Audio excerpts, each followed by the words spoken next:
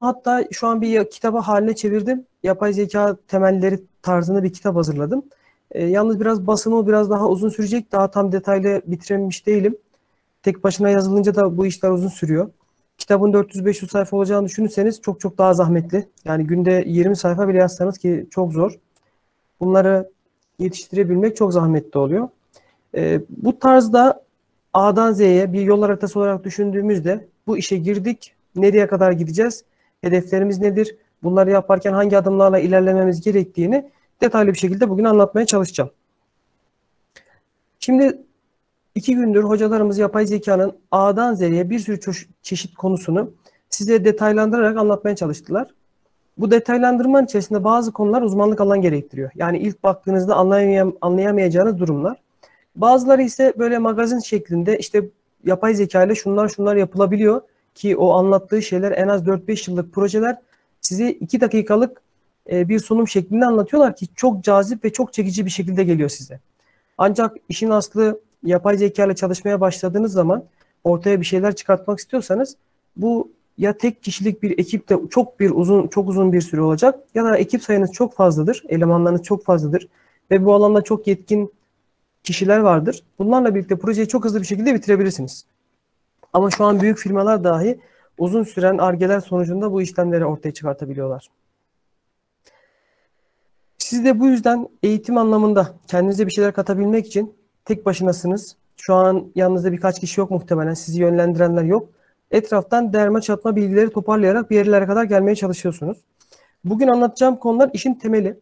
Bunu öğrendiğiniz zaman e, bazı eğer MATLAB, ben MATLAB kapsamında anlatacağım.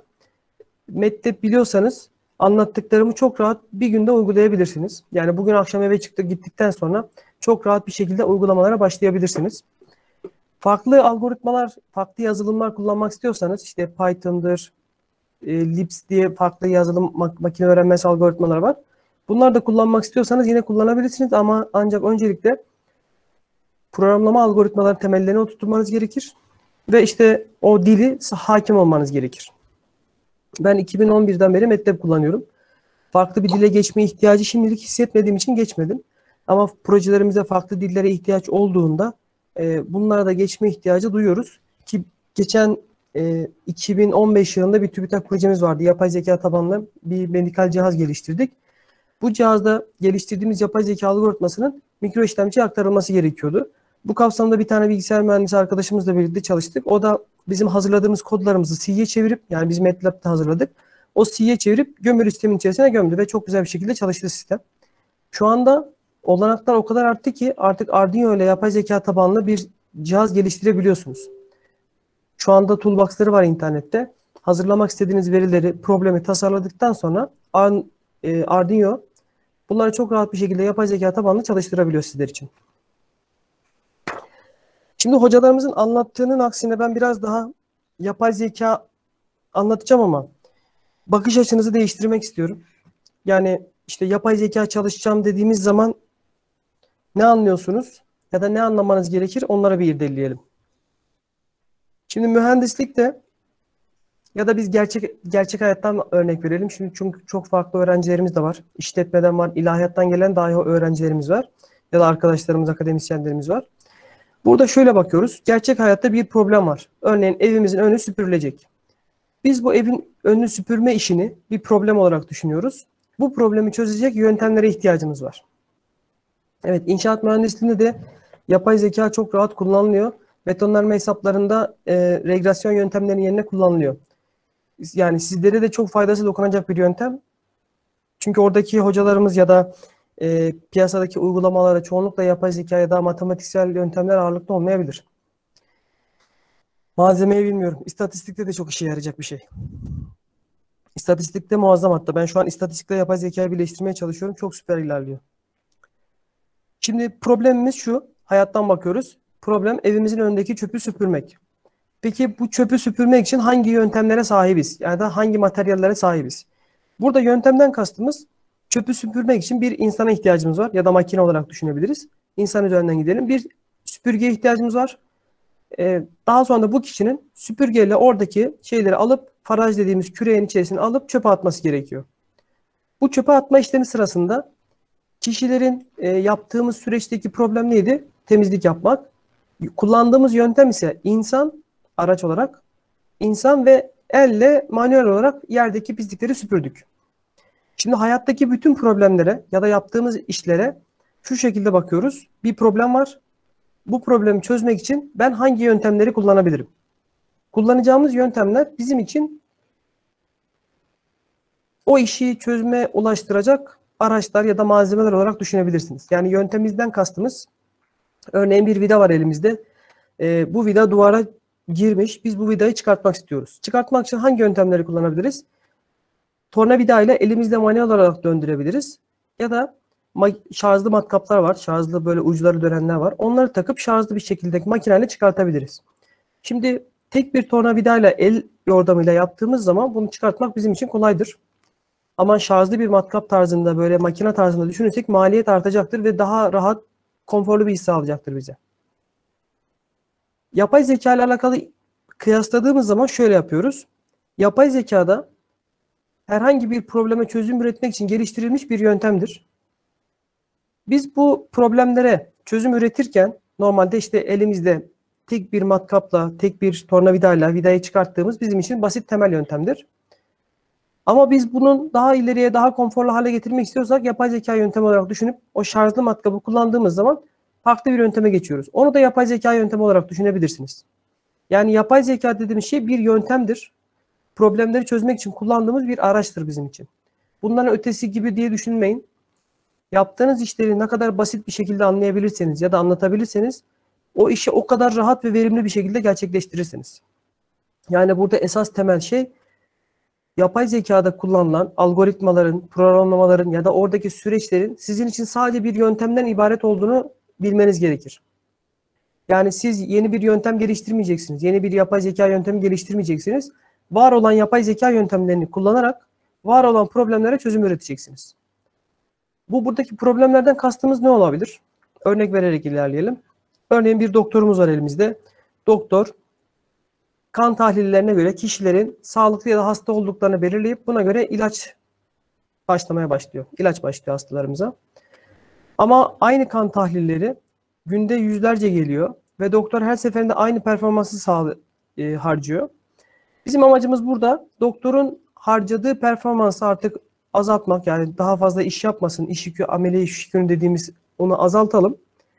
Bunu yapay zeka yaptıralım. Yani kan tahlilleri gelecek. Yapay zeka kan tahlillere bakacak. Doktorun verdiği kararın birebir aynısını verecek şekilde algoritma oluşturulacak. Burada yapay zeka doktorun yerine doktorun verdiği kararların birebir aynısını verecek şekilde programlanır. Doktorun her gün o sabahtan akşama kadar yaptığı sadece kan tahliline bakıp ilaç önerisi yaptığı iş sürecini doktordan almış olacak. Bu bizim için doktora zaman kazandıran bir yöntemdir. Buradan baktığımız zaman yapay zeka sizin için sadece bir yöntem, bir araç yani amaç değildir. Yani ben yapay zeka çalışacağım demeyin. Elinizde dünya kadar problem olabilir. O problemler gerçekte hangi yöntemlerle çözülüyor? Öncelikle ona odaklanmanız gerekir. Eğer biz buna odaklanırsak, problemi tespit edebilirsek bunu çözen yöntemleri çok rahat tespit edebiliriz. Yani işte tornavida vardı, vida vardı duvarda çakalı. Biz bunu çıkartmak istiyoruz. E bunu tornavidayla zaten çıkartıyorlar. Biz var olan önce yöntemleri öğrenip daha sonra biz buna yapay zeka ile ne katabiliriz acaba? Gerçekten katabiliyorsak yapay zeka ile bir şeyler o zaman verimli olur. Ama yaptığımız işi çok çok daha böyle külfetli hale getiriyorsa bu yapay zeka işi bizim için verimli bir yöntem değildir. Yapay zekayı her yerde kullanmamız gerekir diye bir şey yok. Bizim için bir yöntem, bu yöntem burada işe yarıyor mu, bu problemde işe yarıyor mu ona bakıyoruz. Yarıyorsa kullanıyoruz, yaramıyorsa kullanmıyoruz. Peki yapay zeka hangi problemlere çözüm üretebiliyor? Bunun birkaç tane farklı gruplaması var diye düşünebiliriz. Birincisi sınıflandırma problemleri. Hasta sağlıklı şeklinde düşünebiliriz. Doktora geldi hastalar e, ya da sağlıklılar. Bunların hasta ya da sağlıklı olduğunu bir yapay zeka programlayıp kendi içindeki algoritmalarına göre kişinin hasta ya da sağlıklı olduğunu tespit ediyor. Ya da e, yani sınıflandırma olarak düşünebilirsiniz birincisini. İkincisi regresyon. Regresyondan kastımız artık tek bir ya da iki sınıf değil de birden fazla değer üretmesi gerekiyor. Örneğin havasız tahmini. Gün içerisindeki sıcaklık işte sıfırdan 40 dereceye kadar değiştiğini düşünün. Artık yapay zeka sınıf etiketi değil de yani 1, 2 bayan, kadın, erkek işte cinsiyet etiketi değil de ya da hasta sağlıklı etiketi değil de spesifik sayı üretmesi gerekiyor. 3 derece, 5 derece, 7 derece tarzında etiket üretmesi gerekiyor. Sınıftan farklı etiket ürettiği durumda da biz buna regresyon diyoruz. Yani regresyon bizim temel olarak temel anlamda sayısal değer tahmin etmek için kullandığımız e, bir süreç olarak düşünüyoruz. Yani yapay zeka temelde iki probleme çözüm üretiyor. Sınıflandırma problemleri ve regresyon problemleri. Bu problemleri üretir, çözüm üretirken de örneğin sınıflandırma algoritmaları vardır yapay zekada. Önümüzdeki e, öğleden sonraki derslerde sınıflandırma algoritmaları nasıl çalışır? Bunların hakkında detaylı bilgi vereceğim. İkincisi regresyon yöntem dedik. Regresyon yöntemlerde yine öğleden sonra nasıl işliyor, süreçleri nasıl gerçekleşiyor bunlar hakkında detaylı bilgi vereceğim. Kendi işlerinde çünkü çok fazla algoritmalar var. İşte sınıflandırma algoritmaları farklı, regresyon algori- algoritmaları farklı ve bunların işte siz yöntem geliştirdiniz, gerçekten bu yöntem işe yaradı mı? Onun test edilmesi gerekiyor. Onun testi için de bazı performans değerlendirme kriterleri var. Yani ben bu işi yaptım ama gerçekten yapabildim mi? Yaptım oldu değil. Nasıl yaptığımızı, yaptığımız, elde ettiğimiz sonuçları belirli değerlerle kıyaslamamız gerekiyor. Durum bundan ibaret şimdi. Şimdi bir tane sunumumuz var arkadaşlar. O sunum üstünden kısaca bazı bilgileri tekrarlayarak yapay zeka çalışacak kişiler için bilmeleri gereken spesifik temel şeyleri gösterip geçeceğim. Daha sonra e, Excel üzerinden bazı tablolar oluşturmamız gerekiyor. Yapay zekada yine tablo oluşturma, matris oluşturma çok önemli. Onlarla birlikte devam edeceğiz. Şimdi ben sizlerle ekranımı paylaşıyorum.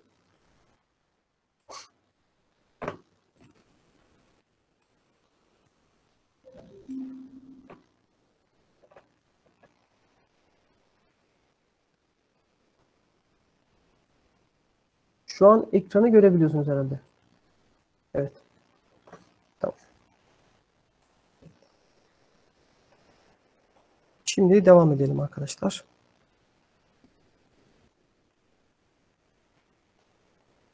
Şimdi plan olarak baktığımız zaman problemimiz var elimizde. Problemimizin çözüm üretmemiz gerekiyor. Ama ancak biz bu çözümleri şu anda bilgisayar tabanlı düşündüğümüz için robotlar, algoritmalarla karşılaştırmaya çalışacağım. Bunlarla birlikte hani kullandığımız gerçekteki algoritmalardan yapay zekanın ne farkı var? Bunu idrak etmeye çalışalım birazcık daha. İlk başta robot nedir ona bir bakalım. Algoritma, yapay zeka, insan ve bilgisayar zekası ile bir kıyaslama yapacağız. Ya ben ekran paylaşımı yaptım da arada başka bir arkadaş paylaşım yapınca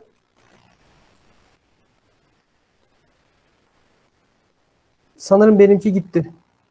Kaçıyor. Gözüküyordu aslında. Ben Ya görüyordum ama. Bazı arkadaşlar da gitmiş olabilir. Az önce başka bir sunum girdi, geri çıktı aradan. E, Hocam belirteyim o zaman. E, arkadaşlar bu sunumun üstünde rad diye işareti var. Ona tıklarsanız ekranınızda sadece sunum, sunum sabitleniyor. Araya başka bir şey girmiyor yani. Bilginiz olsun.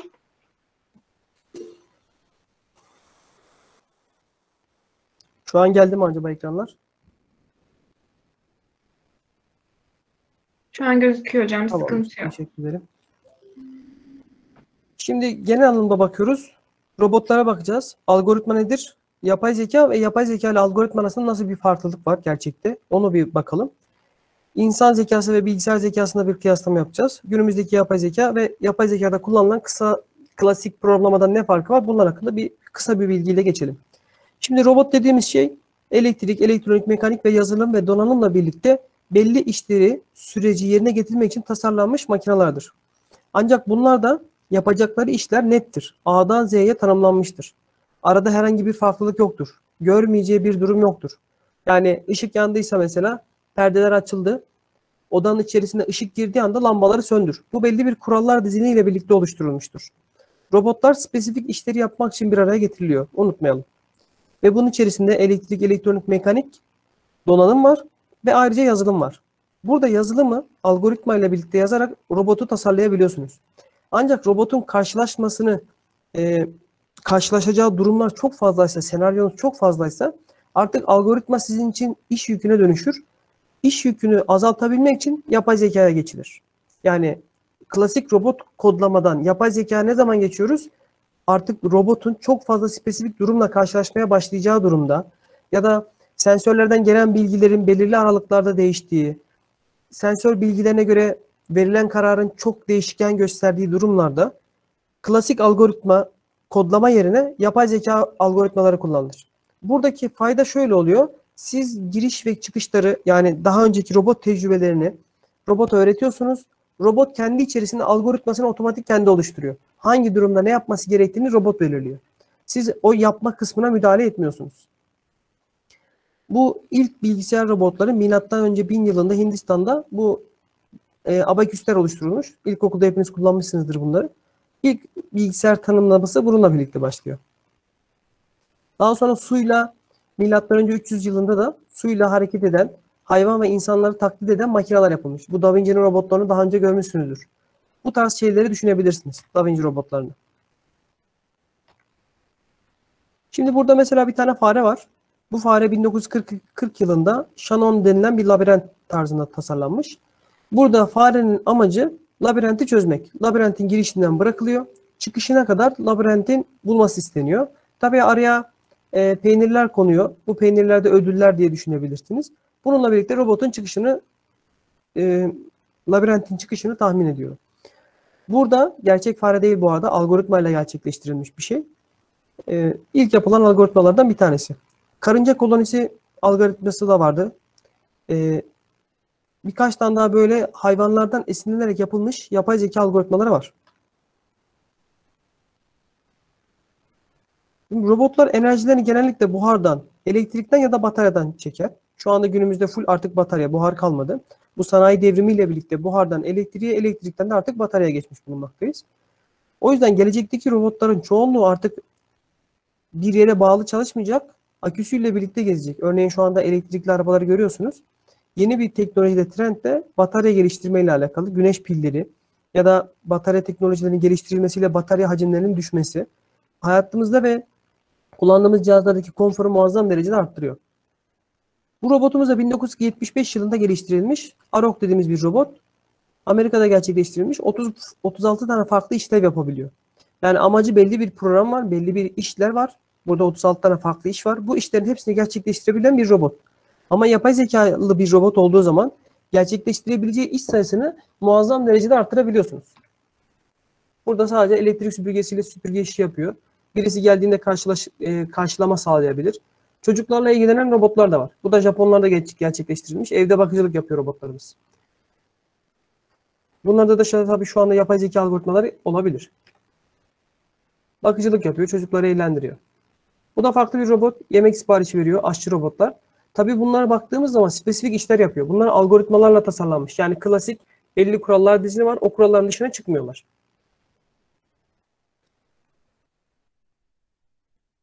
Algoritma dediğimiz zaman bir işi yapmak için A'dan Z'ye kurallarını sağa sola dön tarzındaki bütün işlemleri belirli bir yolu tasarladığımız kurallar bütün olarak düşünebiliriz. Peki kuralları biz bilmiyorsak, gerçekte bu kuralları hazırlayamıyorsak, algoritmayı ortaya çıkartamıyorsak ne yapacağız? O zaman yapay zeka algoritmalarını kullanıyoruz. Yani yapay zekanın gerçekte ihtiyaç olduğunu e, hissedebildiğimiz nokta elimizde bir algoritma yoksa o zaman diyoruz ki yapay zeka tam burada kullanılabilecek bir çözüm yöntemidir diyoruz. Unutmayın yapay zeka sizin için bir çözüm yöntemidir. Yani yöntemdir. Çekiç düşünün. Siz bir camı kıracaksınız. Camı yumrukla mı kırarsınız çekiçle mi? Hangisi size daha konforlu, daha sağlıklı bir işlem yaptırıyorsa onu, o yöntemi tercih edeceksiniz. Burada duvara e, cama yumruk atmak değildir yönteminiz. Çekiçle kırmak olacaktır. Çekiç sizin için bir yöntemdir. Burada da yapay zeka problemi çözmek için elverişli, konforlu bir yöntem olduğu için algoritmaların artık görev yapamayacağı yerlerde yapay zeka algoritmaları kullanılmaya başlanır. Eğer klasik algoritmayla aynı iş yapabiliyorsanız yapay zeka geçme sizin için çok lükstür. Yani şöyle düşünelim. Tarlada traktör kullanılır. Siz tarlaya Ferrari arabayı sokarsanız arabayı ne kullanabilirsiniz ne de tarlada istediğiniz işi yapabilirsiniz. O yüzden her yöntem gerekli yerde kullanılması gerekir. İhtiyaç olunmayan yerde bir şeyleri kullanmaya çalışırsanız olanı da bozarsınız. O yüzden algoritma çalışacağım, yapay zeka yapacağım diye kendinizi böyle kasmamaya çalışın. Yapay zeka dediğimiz şeyde de belirli bir işi, belirli bir kuralı daha önce öğrendiği bilgilere dayanarak kendi tecrübesiyle yani tecrübe dediğimiz burada insan düşünün. Geçmişte yaşadığı belli tecrübeler var. Şu anda bir karar verecek geçmişte yaşadığı tecrübeleri beyinde düşünerek bir karar veriyor. Yapay zeka da aynı bu şekilde çalışıyor. Geçmişteki tecrübelerini ele alarak bugünkü koşulları değerlendirip bir karar veriyor. Peki buradaki en önemli nokta yapay zekaya tecrübeyi nasıl aktaracağız? Bu tecrübe aktarma olayı matrislerle yapılıyor. Yani siz bir e, geçmişteki tecrübelerinizi matrise dökebilirseniz bundan sonra işlemler artık topla çıkartmıyor. Önemli olan nokta burada tecrübe matrisini oluşturabilmek. Tecrübe matrisini oluşturduğunuz anda sizin için problemin çözümü bitmiştir. Bundan sonra sadece birkaç tane programa dili öğrenip işlerinizi çok rahat bir şekilde yap gerçekleştirebilirsiniz. Zeka dediğimiz şey de daha önce karşılaşılmayan bir durumu tecrübelerine göre cevap vermesi. Eğer algoritma olsaydı kurallar belliydi zaten. Olduğu gibi yap, geç. Ama zeka burada önemli bir ayrım gösteriyor. Tecrübesi tecrübeye dayanarak bir işlem yapıyor. Şu an günümüzde çok fazla kullanılan bir tabir akıllı evler diye. Daha önce duymuşsunuzdur. Akıllı evlerde ne diyorlar size? Telefonunuza uygulama yüklüyorsunuz. Oradan evin kapılarını açıp kapatıyorsunuz. Panjurlarını açıp kapatıyorsunuz. ışıkları açıp kapatıyorsunuz. Akıllı diyebilmek için evin bunu ortamın şartlarına göre kendisini yapabilmesi gerekir. Ama ben uzaktan yapıyorsam bunu bu uzaktan kumandalı evdir. Akıllı ev değildir. Yani kelimeleri size pazarlama taktiğiyle dönüştürüp satmaya çalışıyorlar. Yani çok karşılaşıyorum bana da diyorlar akıllı ev diye. E, akıllıysa bunları yapabilmesi gerekir. Böyle bir şey yok. Bu uzaktan kumandalı ev. Yani bunu herkes yapabilir. Akıl koymak farklı bir şey. Yapay zeka algoritmalarını kullanarak oradaki problemlere çözüm üretebilmek farklı bir şey. Yani siz evdesiniz. Yapay zeka evin bütün her tarafında sensörler var. Bu sensörlerle birlikte evin şartlarını e, olması geri gittiği gibi ayarlayabiliyorsa, panjurları kapatıp açıyorsa, evin ışıklarını aydınlatmasını açıp kapatıyorsa bu akıllı ev diyebiliriz biz buna. Yoksa ben elden yaptıktan sonra bunu bu uzaktan kumandalı ev işine dönüşür. Bu uzaktan kumanda ve akıllı olayını e, idrak etmeye çalışalım. Şimdi yapay zekanın fiziksel sistemlere dönüştürebilmesi için multidisipliner çalışmalar şart. Yani buradan neyi kastediyoruz? Örneğin yapay zeka algoritmasını geliştiren kişi mühendisse, bu problemin uygulanacağı alan sağlıksa, sağlıktaki çalışan kişiyle mühendisin multidisipliner şekilde birlikte konuyu, problemi, çözüm yöntemini karşılıklı anlaşabilecek şekilde geliştirmeleri gerekir. Aksi halde işte mühendis yaptım oldu der ama sağlıkçı kullanamıyorsa bunu, bu yapılmış bir e, iş ya da çözüm bulunmuş bir problem değildir. Bunu aktarırken nerelerde kullanabiliyoruz biz bunu? Matematikte çok kullanılıyor. Matematikteki algoritmalar ve optimizasyon algoritmaları çok kullanılarak yapılıyor. Bunları bilgisayar mühendisleri kodları yazdıktan sonra artık kullanılabilir paketler haline geliyor. Sizin amacınız paketleri kullanmak. Şöyle düşünelim. Amacımız buradan İstanbul'a gitmek. Yani Sakarya'dan İstanbul'a gitmek. Sakarya'dan İstanbul'a hangi yöntemlerle gidebiliriz? Arabayla, bisikletle, yürüyerek, uçakla, helikopterle. Tabii bunların maliyetleri bize değişiklik gösterir. Biz elimizdeki maddi ve manevi imkanlara bağlı olarak bir karar vereceğiz. Yöntemimizi seçeceğiz. Ama burada yönteminiz arabayı sıfırdan yapıp sonra o arabayla İstanbul'a gitmek değil. Yani araba burada yapay zeka algoritmaları da diye düşünelim. Araba, bisiklet, uçak, helikopter sizin için birer tane yapay zeka algoritması. Sizi buradan alıp İstanbul'a götürecek. Siz oturup yapay zeka algoritmasını tekrar yazmayacaksınız. Yani arabaya bir üretelim de sonra İstanbul'a gidelim demeyeceksiniz. Siz yöntemi alacaksınız. Öncelikle kullanmayı öğreneceksiniz. Elinizde bir araç var, araba var. Bunu çok iyi kullanmayı öğrendikten sonra ister buradan İstanbul'a, ister Bursa'ya, ister Antalya'ya, Ankara'ya istediğiniz yere gidebilirsiniz. Ancak buradaki en önemli nokta var olan problem çözüm yöntemlerini yani yapay zeka algoritmalarını çok iyi kullanabilmek. Burada gerçek hayatınızı aksattırabilmek için şöyle bir örnek daha tavsiye daha vereyim. Her işi ilmine göre yapın. Her işi ilmine göre derken çözüm yöntemlerini, yöntemlere çok iyi hakim olun. Karşınıza bir problem geldiği zaman ben bu problemi hangi yöntemlerle çözebilirim? Benim bildiğim becerilerim, bilgilerim nedir? Elinizdeki var olan yöntemleri kullanarak istediğiniz probleme çözüm üretirsiniz. Ama bilmiyorsanız karşınıza gelen problemin çözümüyle alakalı bir fikir üretemiyorsanız kendiniz deneme yanılma yoluyla yapmaya çalışırsınız. Bazı durumlarda elinde cihaz olan ki e, ailelerde çok oluyor belki dikkat etmesinizdir. Anneler diyor ki evde buzdolabı ya da çamaşır makinesi bozuldu. Baba diyor ki ben yaparım diyor. El atıyor makine bozuluyor sıfır makine almak zorunda kalıyorlar. Adam bilmiyor deneme yanılma yoluyla bir şeyler yapmaya çalışıyor. Bu durumda ne oluyor? Makinede çöp, bir de evde kavga, huzursuzluk. Bilmediğiniz işi, ilmini bilmiyorsanız sakın dokunmayın. Olanı da bozarsınız. O yüzden yöntem öğrenip ya bu yöntemi ben şu problemlerde kullanabilirim. Ya da bir problem geldi. E, elimde şu yöntemler var bildiklerim. Bunlar buna gider mi? Gitmez. O zaman işi bilen birine havale etmem lazım bunu. Bilmediğiniz işe atlamak da bazen sıkıntılı. Var olan şeyi de bozabilirsiniz. Şimdi 1940'lı yıllarda bu robotlar yapay zeka ile çalışır hale getirmişler ama burada dikkatinizi çekmiştir. Bu Turing şeyini de daha önce vermişlerdi. Robotun içerisinde altında bir insan var. Yukarıdan satranç takımındaki e, taşları yerlerine oynatıyor. Ama yapay zeka esasen bu değil. İçeride bir insan olduğu için biz insanın yerine artık bunu mekanik olarak, yazılımsal olarak yapmasını istiyoruz. Aslında bunu yapan lojik devrelerimiz var ama bunlar da belirli kurallara göre çalışıyor. Yani karşılaşmadığı bir durum olduğu zaman tecrübeye dayalı bir karar veremiyor.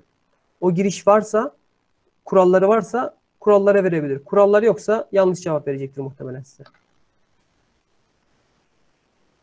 Zeki sistem dediğimiz zaman az önceki akıllı evde verdiğimiz örnek gibi düşünmesi lazım, tecrübe etmesi lazım. Tecrübeyle birlikte şu anki şartlara uygun bir karar vermesi gerekiyor. Yani uzaktan kumandalı ev olarak düşünmüyoruz. Burada bakın farklı robotlar var. İnsansı davranabilme yeteneği kattığınız zaman robotlara karşısındaki insanlar çok daha iyi etkileniyor bu- bunlardan ve e, sipariş verme oranları daha da arttırabiliyorsunuz. Mantıklı karar verecek verdiği zaman. Mantıklı karar vermediği zaman yapay zeka için ya bu zeki değil saçma sapan karar veriyor olarak da düşünebilirsiniz siz bunları.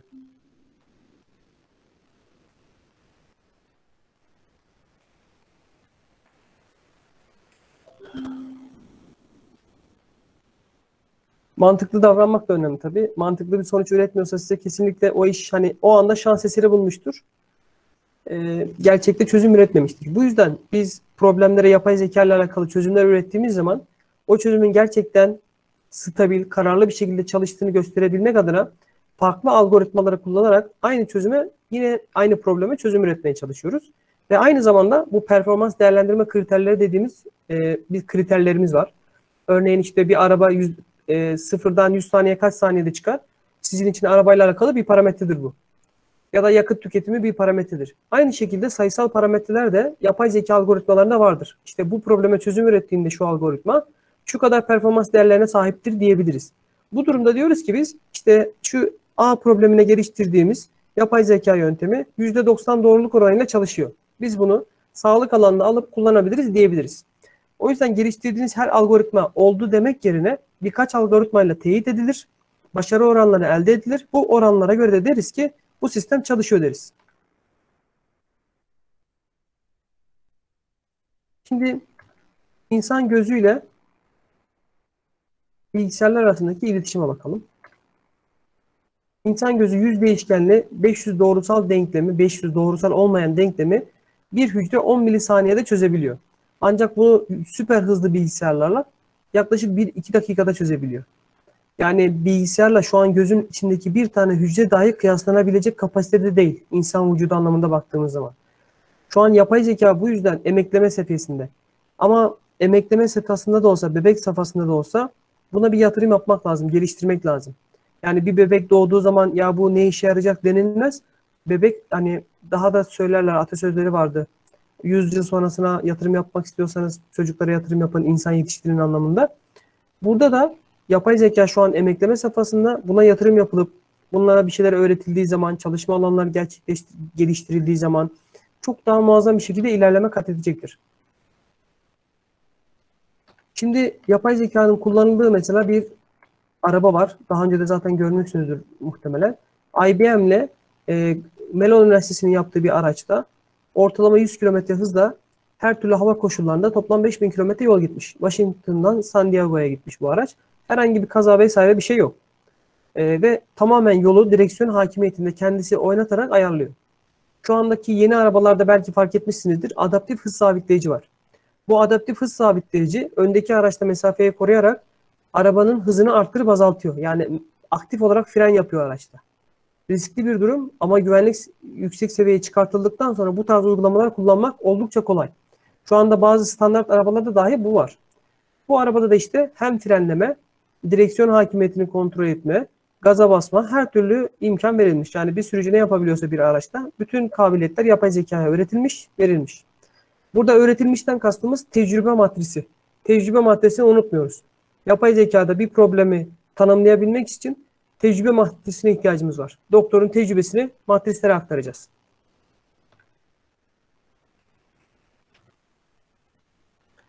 Şimdi uygulama örnekleri var şu anda kullanılan. Mesela Pegasus yer ayırma sisteminde kullanılabilen bir arayüz geliştirilmiş. Şu anda da Garanti Bankası'nın kullandığı bir uygulamaymış bu. Turing testini zaten herkes biliyordu. Defalarca tekrar edildi. Bu kısmı geçiyorum. Şimdi burada yapay zeka algoritmaların birkaç tanesi yazılmış. Ve karşısında da e, bazı kullanım alanları gösteriliyor. Örneğin ne var burada?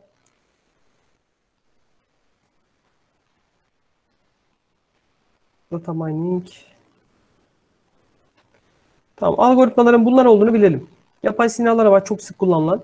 Genetik algoritmalar var. Bunlar genellikle genetik algoritmalarda belli bir optimum değeri hesaplamak istiyorsanız kullanıyorsunuz. Ee, bunun dışında ben daha çok sınıflandırma problemlerine ve regresyon yöntemlerine e, odaklıyım.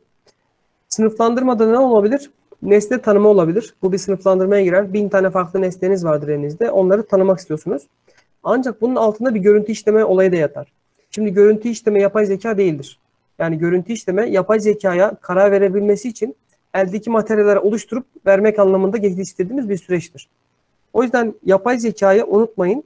Belirli şeylerde karar vermede kullandığımız algoritmalardır. Yani görüntü işleme denildiği zaman aklınıza direkt yapay zeka gelmesin. Görüntü işleme muazzam bir derin bir konu. O da ayrı bir mecra yani. Doğal dil işleme var. Burada da insanların konuşmalarını tanıyorsunuz ki Garanti Bankası'nda ya da bazı bankalarda e, çok büyük olasılıkla diyor ki sesinizi sesinizde işlem yapıyor. Siz misiniz? Evet, hayır şeklinde adınızı söyleyin, numaranızı söyleyin tarzında sizden bilgiler alabiliyorlar.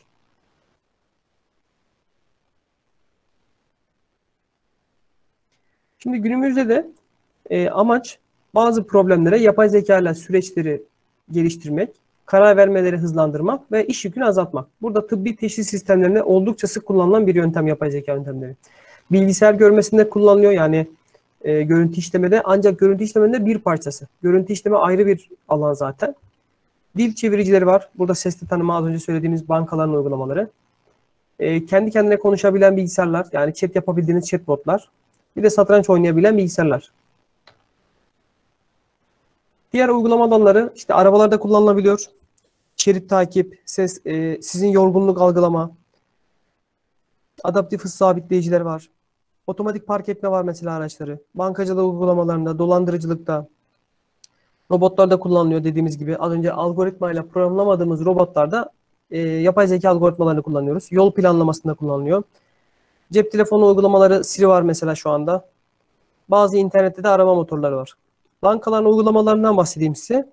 E, bu dolandırıcılığı engellemek adına ben geçen ay, geçtiğimiz ay işte bankalarda hesap açma için işte internet bankacılığının deneme yanılma yoluyla birkaç tane hesap açtım. Daha sonra farklı bir banka benim bütün hesaplarımı kilitledi. Geçen ay birden fazla işlem yaptığım için dolandırıcılık yapılma ihtimali yüksek olduğu için bütün hesaplarımı kilitledi. Şubeye gidip açtırma zorunda kaldım. Ve hala bazı banka işlemlerinde karşıma çıkıyor. Siz böyle böyle bir işlem yapmışsınız o yüzden sistem e, sizi bloklamış tarzında. Evet gerçekten akıllı ev tasarımlarında kullanılabilir. Ancak bunu yapması maliyetli. Sensörleri almak gerekir. Yapılır mı? Yapılır kesinlikle. Ee, ve çok da maliyetli bir şey de değil. Aynı kartları kullanacaksınız. Tek yapmanız gereken içerideki yazılımı değiştirmek. Bunu değiştirdikten sonra çok rahat bir şekilde yapılabilir. Ee, başka neler var? Güvenlik sistemlerinde tanınıyor. Akıllı evler var ama bu akıllı ev uzaktan kumandalı ev değil. Hava yollarında planlamada kullanılıyor ki şu anda Türk Hava Yolları yapay zeka tabanlı bir yakıt tasarrufu sistemi geliştirmişti en son benim bildiğim. Onu kullanıyorlardı ve muazzam derecede yakıt tasarrufu yapılıyordu. Madencilikte yerin altında maden olup olmadığını tespit etmek için kullanılabiliyor görüntü işlemeyle birlikte. Tıpta ve sağlık alanında muazzam bir kullanım var. Ben de şu anda yani yaklaşık 8 yıldır sağlık alanında çalışıyorum. Sağlık alanı ve yapay zekayı birleştiriyorum. Yani benim genellikle problemlerim sağlık alanından gelen problemler. Siz de otomotivden gelen problemlerle yapay zekaya birleştirebilirsiniz. Yani sadece yapay zeka yetmek, çalışmak size yetmeyecek. Ya multidisipliner çalışacaksınız, karşınızdaki insan e, probleme çok iyi hakim olması gerekir. Ya da sizin hem probleme hem yapay zeka hakim olmanız gerekir. Şimdi multidisipliner çalışmalarda bazı zorluklar olduğu için biz hangi alana giriyorsak o alanı artık derinlemesine öğrenmeye çalışıyoruz. Ben şu anda 8 yıldır ya- sağlık alanında çalışıyorum. Doktorlarla çalışıyorum. işte diyetisyenlerle çalışıyorum. Bunlarla TÜBİTAK projeleri geliştiriyoruz. Sağlıktaki fakültedeki hocalarımızla çalışıyoruz. Ve sağlığa artık aşina olduğum için buradaki problemleri anlamam da rahatlaşıyor. Sağlık terimlerini, tıbbi terimlerini öğrendiğim için. Hatta gidip bir ay hastanede dahi çalıştım Gazi Üniversitesi'nde, tıp fakültesinde. Ee, bazı arkadaşlarımız otomotiv sektöründe çalışıyor. Yapay zeka ve otomotiv. Bazıları yapay zeka ve görüntü işleme. Bazıları yapay zeka, e, turizm. Mesela benim turizmle alakalı farklı bir çalışmam da var. E, onda da şöyle bir işlem yaptık. 2019 yılında Çin, Türkiye turizm yılı ilan etmiş. Yani Çin'deki turistleri Türkiye'ye yönlendirmek için bir işte turizm yılı ilan edilmiş. Bizde de hatta bazı spesifik kelimelerle işte turizm yılı ilan ediliyordu hatırlarsanız. Bizim amacımız da burada TripAdvisor'daki kişilerin geçmiş seyahat bilgilerine dayanarak e, acaba bu insanlar Türkiye'ye gelir mi gelmez mi tarzında müşteri potansiyeli belirlemeye çalıştık. Burada amacımız şu, Çin'den çıkıp Avrupa'ya turistik amaçla seyahate gelen kişiler arasında Türkiye'ye gelme potansiyeli olan kişileri yapay zeka ile tespit ettik. E, daha sonra bu tespit ettiğimiz kişileri şöyle düşünüyoruz. E, yapay zeka ile tespit ettik. Google bunlara reklam gösterecek. Yani reklam göstereceğimiz kişileri yapay zeka ile seçiyoruz. Görüntü gitti mi? Evet duruyormuş.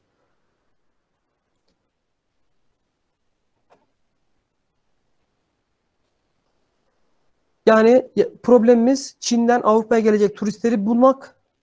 O turistler içerisinde de hangisi Türkiye'ye gelebilir onu tespit etmek. Biz bunun için de işte tecrübe maddesi dediğimiz insanların geçmişteki tecrübelerine bakarak, seyahatlerine bakarak e, Türkiye'ye gelip gelemeyeceğini yapay zekayla %70, %80 oranında tespit edebildik. Bu oran bizim için ne ifade ediyor? E, farklı alanlarda doğruluk oranı kabul edilebilir. Örneğin turizmde %50, %60 oranında doğruluk oranı kabul edilir. Ancak sağlık alanında %80 doğruluk oranı isteniyor. Neden? Çünkü insan sağlığıyla alakalı hayati bir öneme sahip bir olay. Bu yüzden e, her doğruluk oranı yetmeyebilir sağlıkta. Siz çünkü kanser tedavisi uygulatacaksanız insana bu riskli bir olay. E, Ben bunu hemen uygulayamam, emin olmam gerekir, birkaç tane test yapmam gerekir. Hemen kabul edilmiyor. O yüzden doğruluk oranının yüksek olması isteniyor. Yapay zeka o yüzden sizin için bir yöntem farklı alanlarda kullanabilirsiniz. Yani ben sadece yapay zeka çalışırım, beni ilgilendirmez başka bir alan derseniz sizi e, bir yerde tıkatır. Şimdi bir arkadaşımız soru sormuş. Sağlık alanında çalışmak istiyorum. Bilgi açımı nasıl kapatabilirim diye. Yani ben de ilk girdiğimde konuları anlamakta zorluk çekiyordum. Buradaki önemli nokta çalıştığınız kişilerin ya da sağlık alanında çalışacaksanız oradaki problemi anlayabilmek için bununla alakalı eğitimler almak. Ben mesela uyku çalışıyordum. Uyku uyanıklık analizi, insanların gece uyuyup uyumadığını yapay zeka ve biyomedikal sinyal işleme ile birlikte tespit etmeye çalışıyordum. Burada tıbbi bilgiye ihtiyacım olduğu için önce oturup uyku teknisyenliği kursuna gittim Ankara'ya. Sonra uyku laboratuvarında bir ay çalıştım. Staj yapar gibi ki o zaman akademisyendim hala. Ee, daha sonra bununla alakalı makaleler yaptım. Hastanelere gittim, nöbet tuttum. Oturdum deli gibi kitap okudum. Ve hasta bakmaya başladım belli bir yerden sonra. Artık yavaş yavaş oturmaya başladı. Yani konuya hakim olabilmek için eğitimlerini alacaksınız. YouTube'dan, başka yerlerden ya da gidip spesifik olarak e, ilgili hastanede çalışacaksınız. Bu durumda çok daha fazla bilginiz artıyor. Tecrübeniz artıyor. Bu şekilde ilerlemekte fayda var. İkinci bir durum askeri alanda kullanılıyor. Türkiye'deki askeri ilerlemeleri bununla ilgili anlatayım size. Ben askerliğimi yedek subay olarak Milli Savunma Üniversitesi'nde yaptım. Yapay zeka konularına ilgili çalıştığım için de yapay zeka ile alakalı bir şey olduğu zaman e, çalıştığım bünyede beni görevlendirip gönderiyorlardı Ankara'ya. Birkaç defa Ankara'ya yapay zeka ile ilgili eğitimlere gittim.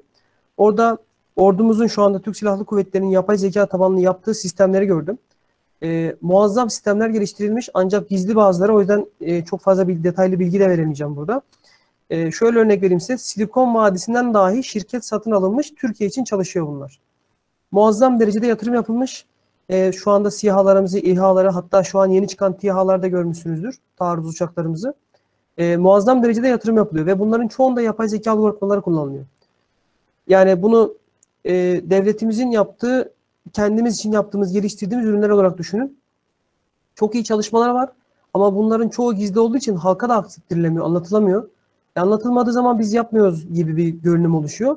Ama ben işin içinde olduğum için, gidip geldiğim, gördüğüm için de kesinlikle böyle şeyler var. Ama devlet sırrı olduğu için açıklanmaması gerektiği için açıklanmıyor. Yani sizin de içiniz bu konuda rahat olabilir. Çalışmak istiyorsanız ki şu an YouTube'da bazı eğitmenler var. Elektronik anlamda, gömülü sistem anlamında eğitim verenler. Ee, insansız hava uçakları bizim geliştirdiğimiz uçaklarda çalışan bir sürü mühendis arkadaş var orada. Hatta yakın zamanda 2023 diye sanırım tarih verildi. İnsansız savaş uçakları geliştirilmeye başlandı Türkiye'de. Yani kötü komşu ev sahibi yapar. Dışarıdan alamadığımız uçaklar sebebiyle artık kendi uçaklarımızı yapmaya başladık. Ve içerisinde yapay zeka algoritmalarını kullanan, farklı böyle yüksek teknolojiler kullanan ve bu teknolojileri bizim için Amerika'da geliştiren kendi şirketlerimiz dahi var. Silikon Vadisi'nde satın alınmış e, birçok şirketimiz var. Şu an Havelsan var biliyorsunuz. E, Aselsan var. Bunlar uzaydaki e, noktayı dahi vuracak silah kapasitelerine sahipler. Orada çalışan kendi öğrencilerimden biliyorum. E, işler alınıyor. İşler ihaleyle özel firmalara veriliyor ve bu işleri yapacak donanımlar gerçekleştiriliyor ve muazzam derecede iş yapan kaliteli sistemler geliştirilmiş şu anda. Ee, birkaç arkadaş yazmış da bakayım hemen bir. Nörobilim alanında yapay zeka ihtiyaç duyuluyor mu? Yapay zeka sağlıklı ilerleyip özel olarak nörobilimciler çalışabilir mi? Çalışabilir. Şöyle anlatayım. Ben bir önceki dönemde e, bir psikiyatri hocamızla birlikte profesördü sanırım Üsküdar Üniversitesi'nde. Onunla birlikte çalışmaya başladık. Amacımız e, Alzheimer hastası hastalarının ilerleyişini takip etmek, onları durdurabilmek için ilaç tedavisi başlanıyor. O tedavilerin ne zaman keseceğimizi belirlemek için yapay zeka algoritmalar geliştirecektik.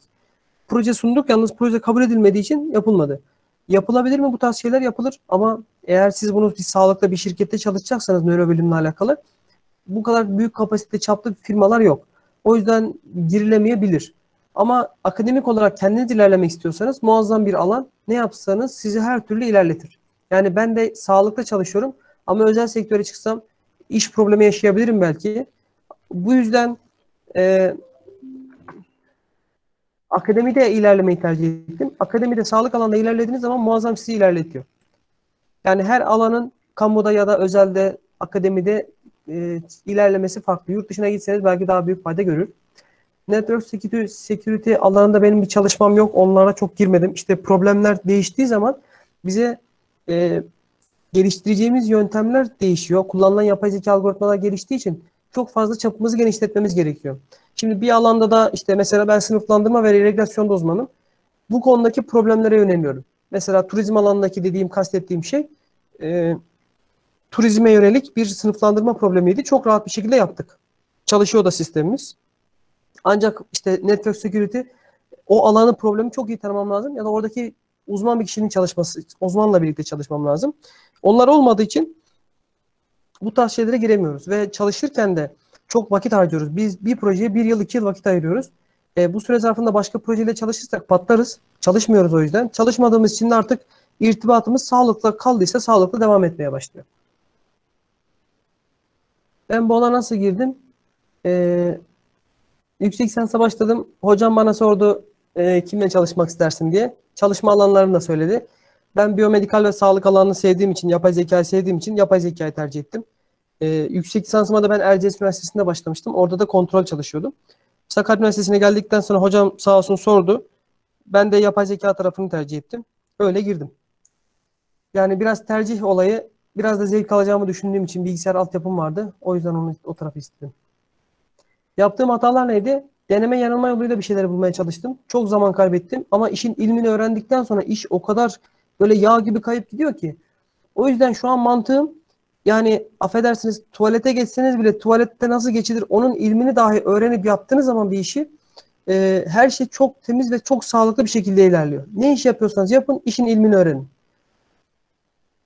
Yani işin ilmini öğrenmeden yaptığım için birçok hata yaptım deneme yanılma yoluyla. O yüzden şimdi diyorum bizim zamanımızda böyle kılavuzlar vesaire yoktu. Çok büyük eksiklik hissettiğim için bir YouTube kanalı açtım kendime.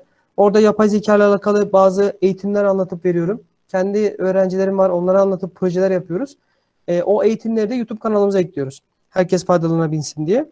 E, işin ilimsiz iş yapmak çok patlattı bana. Bana çok zaman kaybına sebep oldu. Zaman parayla alamayacağınız en büyük kıymetli bir hazine sizin için.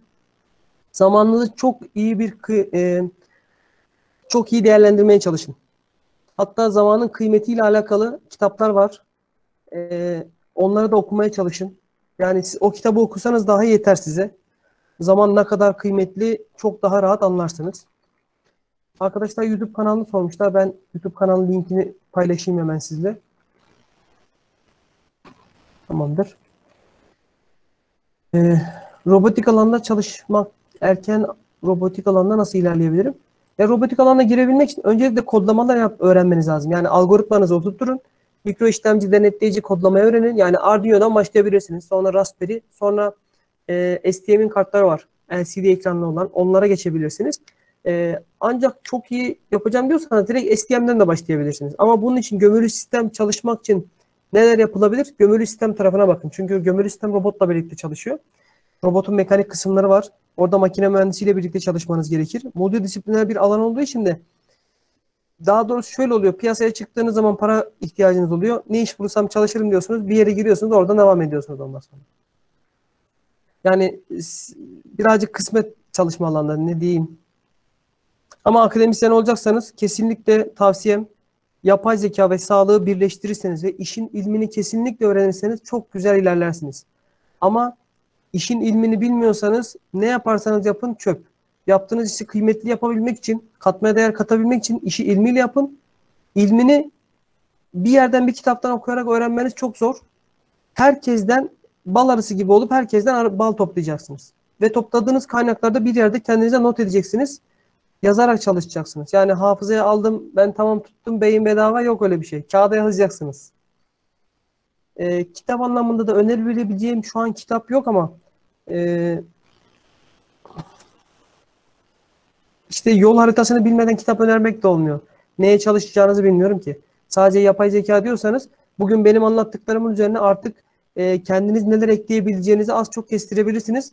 Ama en önemli kitap gibi kaynak derseniz bir projeye girin, yapışın. O projede bir süreç öğrenirsiniz. Sonraki süreçleri kendiniz geliştirebilirsiniz. O çok daha verimli olur sizin için. Şimdi yapay zekada kullanılan algoritmalar var. C, Java, C Sharp, pardon C++, Python, MATLAB, JavaScript var, Rust var, Golang dediğimiz farklı bir algoritmalar var.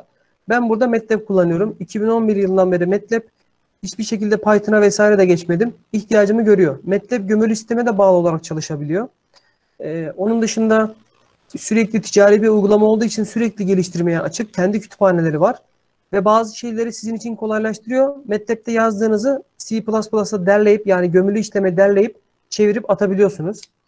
Python da çok popüler. O da bilgisayar diline yakın olduğu için işlemcilere atılma olanağı çok fazla.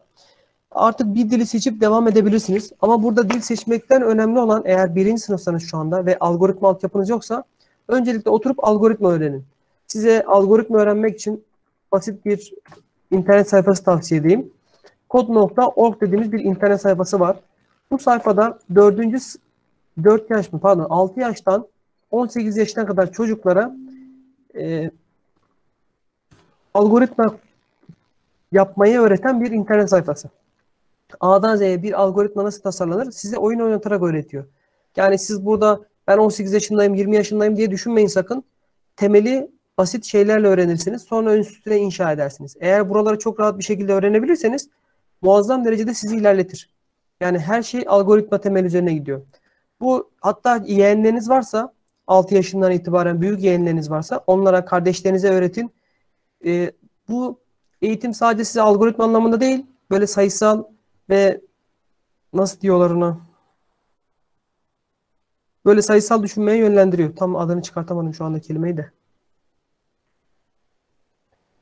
Yaptığınız işleri belli bir kural ve plana yapmak için sizi yönlendiriyor. Buradan bir kayıt oluşturabilirsiniz. Ücretsiz. Hatta Milli Eğitim'de şu anda bunun bazı Scratch dediğimiz farklı versiyonları da kullanılıyor. Bir tane de robot olabilirsiniz çocuklarınıza. Kesinlikle çok verimli. Ben kendi yeğenlerimde bunu kullanıyorum hocam. Programlama dillerine geldiğimiz zaman da burada Python'da kullanabilirsiniz.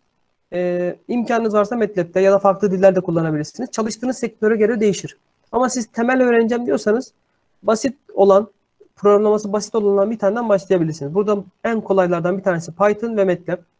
E, bunları kullanarak hem süreci öğrenirsiniz hem bazı problemlere çözüm üretip e, yapay zeka algoritmaları geliştirirsiniz. Daha sonra da artık piyasaya çıktıktan sonra artık nerede hangi dile ihtiyacınız varsa onu kullanırsınız. Çünkü her dili her yerde kullanamıyorsunuz. Örneğin mobilde bir şey geliştirecekseniz e, işte Android kullanmanız gerekir. Android'e çalıştırabilecek bir şey bulmanız lazım. Bu arada R da çalıştırılıyor. E, ama ben R'ı bilmiyorum. R da var doğrudur. Temel bilgi oluşturma açısından ODTÜ'nün bil, bilgi bilgiist.net platformu ücretsizmiş. Tamam Fatih Hocam teşekkür ederiz. Hocamızın söylediği şey de kullanılabilir. Programlama için başladıysanız C++ çok güzel bir dil. Sıkıntı yok ama yapay zeka algoritması diyorsanız C++ da çok zor. Yani bazı şeyleri değişkenleri C++'da tanımlamanız gerekir. Ama Python'da, MATLab'de böyle bir şey gereksinim duymazsınız. Algoritma oturttuktan sonra istediğiniz kadar dil öğrenin. C++ gömülü sistem için kullanılan bir dildir. Python ve e, MATLab'de yine gömülü sistem ama uzaktan biraz daha. İnsan diline daha yatkın bir programlama dili olarak düşünebilirsiniz.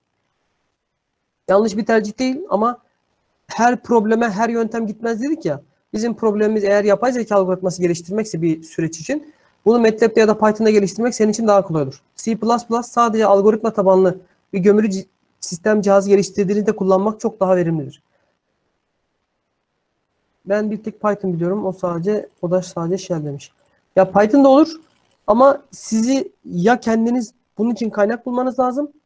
Kaynak bulamıyorsanız size bunu öğretebilecek birisi ne biliyorsa onun bildiği üstünden gitmek daha mantıklı. İşte video derslerini izliyorsunuz YouTube'dan. Adam ne anlatıyorsa onu dinliyorsunuz. Adam Python anlatırken siz C çalışmıyorsunuz herhalde. Burada da aynı durum geçerli. Bir hocanız varsa, sizi yönlendiren birisi varsa onun bildiği dil üzerinden gitmek yani usta çırak ilişkisi diye düşünürseniz usta bilmediği şeyi size nasıl öğretsin? Bir ustaya yapışmakta fayda var.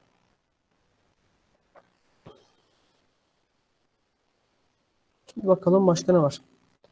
Şimdi yapay zekanın en büyük avantajlarından bir tanesi algoritmaya ihtiyaç duymaz. Yani siz gömülü sistemde bir algoritma geliştirmişsinizdir. Ancak yapay zeka algoritmayı kendisi oluşturur. Tecrübeye dayalı bir sistem oluşturur. Bu tecrübeye dayalıdan dediğimiz kastığımız şey insan düşünün geçmişte yaşadığı tecrübelere göre bugün bir karar veriyor. Örneğin bir adam çek senet işinden çok zarar ettiyse artık ömür billah ben çek senet işine girmem diyebilir mesela. Bu tecrübesine dayalı bir işlemdir. Peki biz bunu yapay zekada tecrübeyi nasıl oluşturuyoruz? Matrislerle. Matris bizim için tecrübe maddesidir ve hayati öneme sahip. Onu oluşturduysanız yapay zeka sonrası topla çıkart böl. Birazdan o matrisler nasıl oluşturulacak onları göstereceğim. Yapay zeka algoritmalarını istediğiniz her dilde yazabilirsiniz. Hazır kütüphaneleri zaten var. Unutmayın. Yapay zeka algoritması sizin için bir araç. Yani araba gibi düşünün. Otobüs ya da uçak dedik. Buradan İstanbul'a giderken biz arabayı sıfırdan üretip gitmeyiz. Arabaya bineriz, arabayı kullanmayı öğrenip İstanbul'a gideriz. Siz yapay zeka algoritmasını kullanmayı öğreneceksiniz. Örneğin bir sınıflandırma algoritmamız var. Biz sınıflandırma problemine çözüm üreteceğiz. O zaman biz algoritmayı kullanmayı öğreneceğiz. Oturup algoritmasına bakayım. Matematiği nasılmış ben bunu tekrar yazayım diye sakın uğraşmayın. Sizin işiniz var olan kütüphaneyi kullanabilmeyi öğrenmek. Arabayı kullanabilmeyi öğrenmek. En çok sık kullanılan algoritmalarda işte MATLAB, Lisp, C++, Prolog dediğimiz var. Python'da şu ara çok revaçta. Hatta bununla alakalı şeyler de var. E, bunların gömülü sistemde kullanılması tercihlerinde şöyle bir farklılık oluyor. Gömülü sistemde eş zamanlı çalışma ya da çekirdeği çalıştırma kuvvetleri açısından bakılıyor. Bazı durumlarda Java çok iyi, bazı durumlarda Python çok iyi. MATLAB zaten akademik anlamda çok iyi. E, ben akademik anlamda ilerlediğim için full MATLAB yani başka hiçbir dile ihtiyaç duymadım öyle düşünelim. Hani kullanabilir miydim? Kullanabilirdim ama şu ana kadar yaptığım her şeyi MATLAB'de yapabildiğim için ne istediysem yaptım ki o dile de çok iyi hakim olduğum için istediğim işleri tek tek yapabiliyorum. Gerek kalmıyor. Öteki tarafa Python'a geçip ben onu öğrenene kadar çok daha fazla vakit kaybedeceğim. Durum bu. Şimdi sorulara bakalım. Başka bir arkadaş varmış. Hilal yazmış. Algoritmayı öğrenmeye Python'dan mı başlayayım? Algoritma öğrenmeye önce az önce söylediğimiz Codorg bir de Fatih hocamızın söylediği bilgiist.net'ten başlayabilirsiniz. Sonra dile geçin. Önce algoritmayı oturtturun. Yani öncelikle oyun oynayarak algoritmayı oturtmanızda fayda var. Dil içinde Python'da çok revaçta Python olabilir şu anda lisans için sizin. Ee, Java yapay zekada Java öğrenmek ne kadar yardımcı olur? Yani Java yazdığın uygulamaların yerine bağlı değişir işte. Java'nın kullanılacağı bir platformsa Java ihtiyaç vardır zaten. Ben mesela MATLAB'de geliştiriyorum ama uygulamaya eğer Java ile çalışan bir sistemse benim buna Java'ya çevirmem lazım. Java ben bilmiyorsam bilen birisini alacağım. Orada sen ihtiyaca yani araya girmek durumunda kalırsın Enes. E, drpacketrocket.com varmış. Orayı ben bilmiyorum ama o nasıl internet sayfası mı o? Onu bilemedim. MATLAB'de kendimizi nasıl geliştirebiliriz? Önerebileceğiniz bir kurs var mı? Ee, bir tane internet sayfası var. Ben şimdi hemen buradan linkini vereyim size. Benim kendi notlarım, yani kendi notlarım değil, bir hocamızın notları. Ee, sunumlar var. O sunumlar üstünden ben kendimiz çalışıyoruz. Bizdeki kural şudur. Sunumu alırsın, A'dan Z'ye oturup o kodları yazarak tek tek çalışırsınız. Ee, bununla birlikte video izlemiyoruz. Sadece MATLAB'in temellerini öğrendikten sonra MATLAB'in kendi yardım toolbox'ı var. Orada A'dan Z'ye her şey yazıyor. Yani bir kitapta bulabileceğinizden çok çok daha fazlası var orada. Bir bakayım hemen MATLAB notlarını. Burada sorular varmış sadece. Elektronik yaz projeler.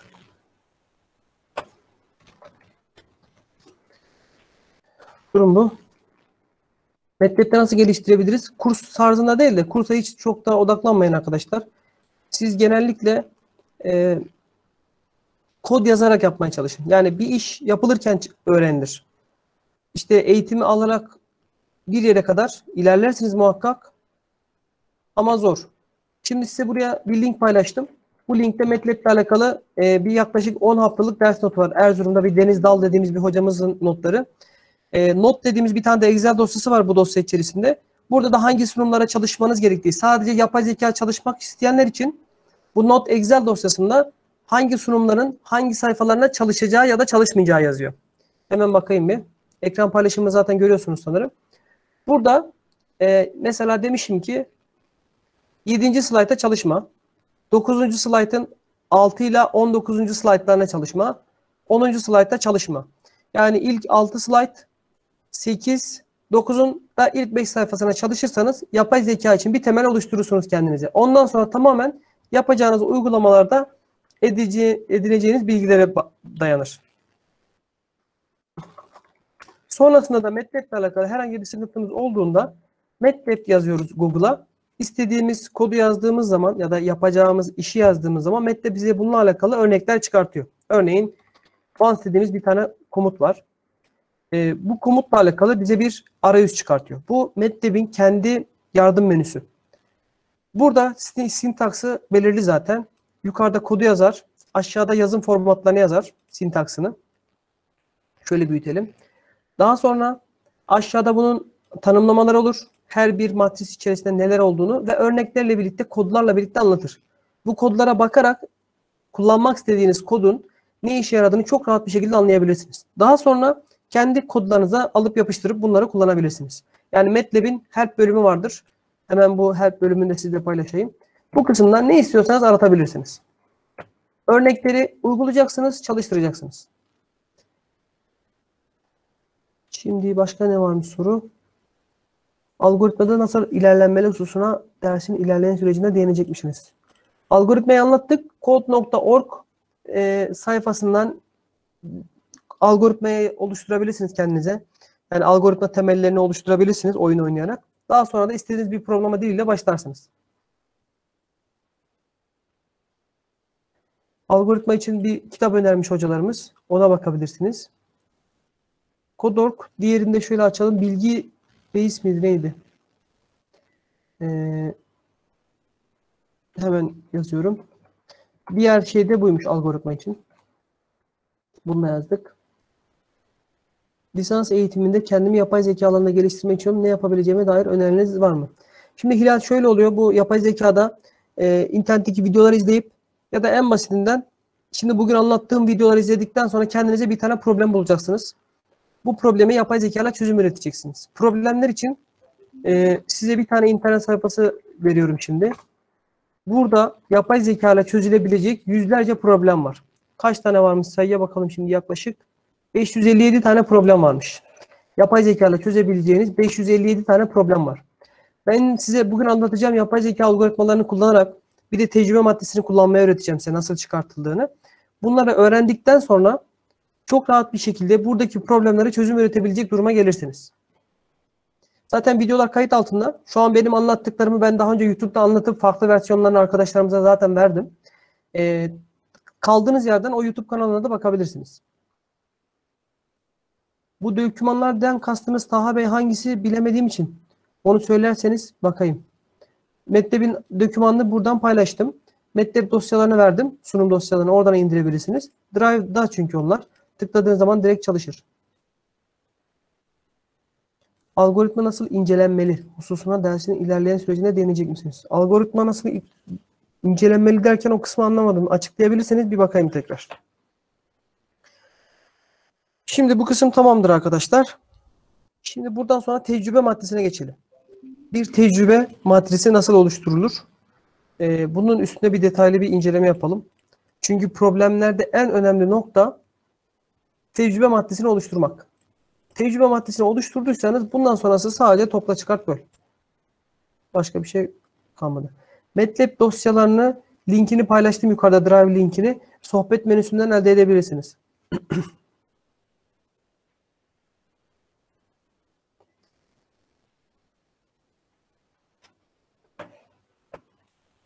Katılım belgeleriyle arkadaşlar ilgileniyor. Onlara bakarsınız. Şimdi bir matris oluşturalım. Hatta oluşturulmuş matrisler üzerinden gidelim. Tekrar oluşturmaya gerek yok. Şimdi tecrübe maddesini oluşturacağız. Burada sektörümüz sağlık. Sağlık sektöründe bir doktorumuz var. E, problemi öncelikle tanıtayım size. Bugünkü dersimiz saat 12'de bitecek. Sonra 1'de başlayacak. 2'de bitecek. 2'de başlayacak. 3'de bitecek. Benim bugün 4 saat dersim var. Bir saatini tamamladık şu anda. İsterseniz bir 5 dakika ara verelim. Eğer çok sıkıldıysanız tekrar devam ederiz. Eğer sıkıntı yok diyorsanız devam edebiliriz.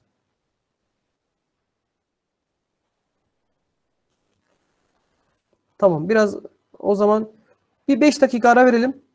İhtiyaçları gider geliriz.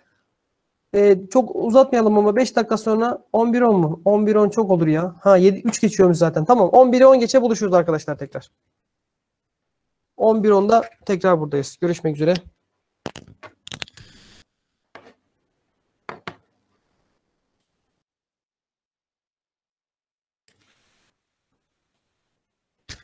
Öğleden sonra uygulama yapılacak. Ee, şöyle ama hiç kod yazmadan MATLAB'de uygulama nasıl yaparsanız onu göstereceğim. Yani R'da sanırım kod yazmadan yapılıyormuş. Yani kod yazmadan yapay zekayı nasıl kullanabilirsiniz hızlı bir şekilde onu göstereceğim size.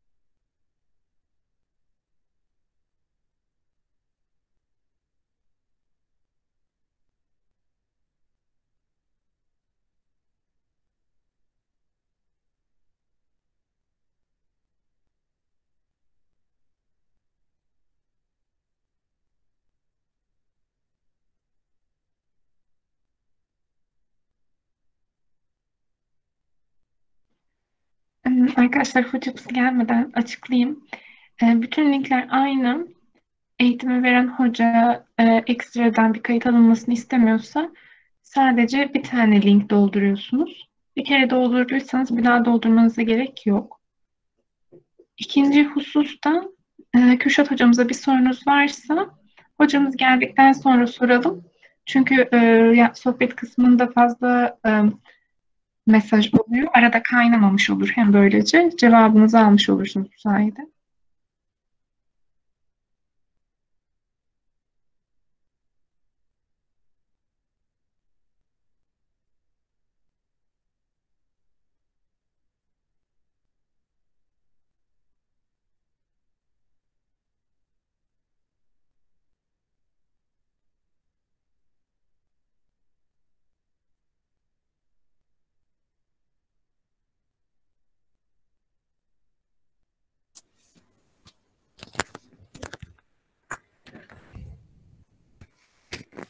Evet arkadaşlar.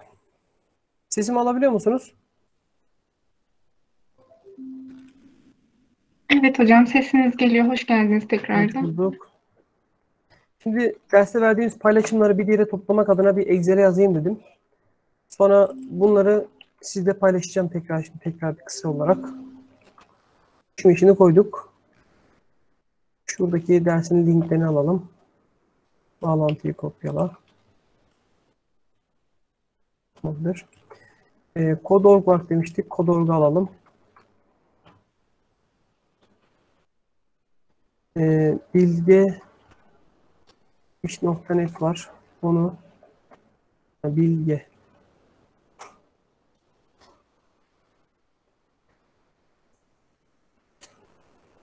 Bu da Milli Eğitim'in sanırım. Bunu da alalım koyalım.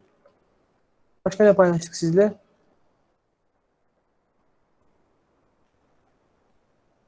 Başka bir şey yok gibi sanki aklımda. Tekrar bunları paylaşıyorum size. Hemen atıyorum. Tamamdır. Şimdi soru varsa sorulara bir bakalım.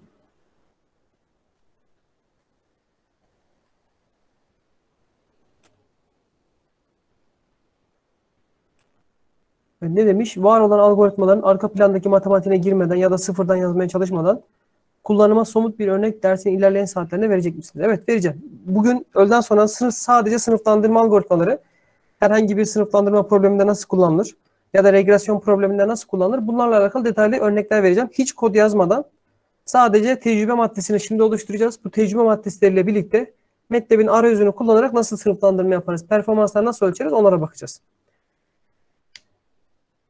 Ee, Şeyma yazmış sanırım da ses kesik kesik bazen gidiyor olabilir.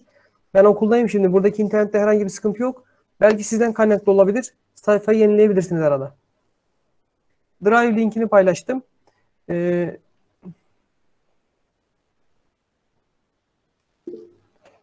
pardon.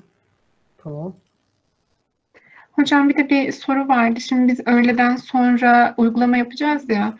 İndirmemiz gereken herhangi bir şey var mı uygulama için diye sormuşlardı. Hiçbir şey yok. Ben göstereceğim ekrandan. Daha sonra benim yaptığım tarzda siz kendiniz uygulayabilirsiniz. Ee, ben MATLAB kullanıyorum. MATLAB'i şöyle, MATLAB'in ana sayfasında hemen bir bakalım. Ana ekranımı açtım. MATLAB yazın. Ee, Anadolu Üniversitesi olan arkadaşlar için söylüyorum. Anadolu Üniversitesi bir e-posta adresiniz varsa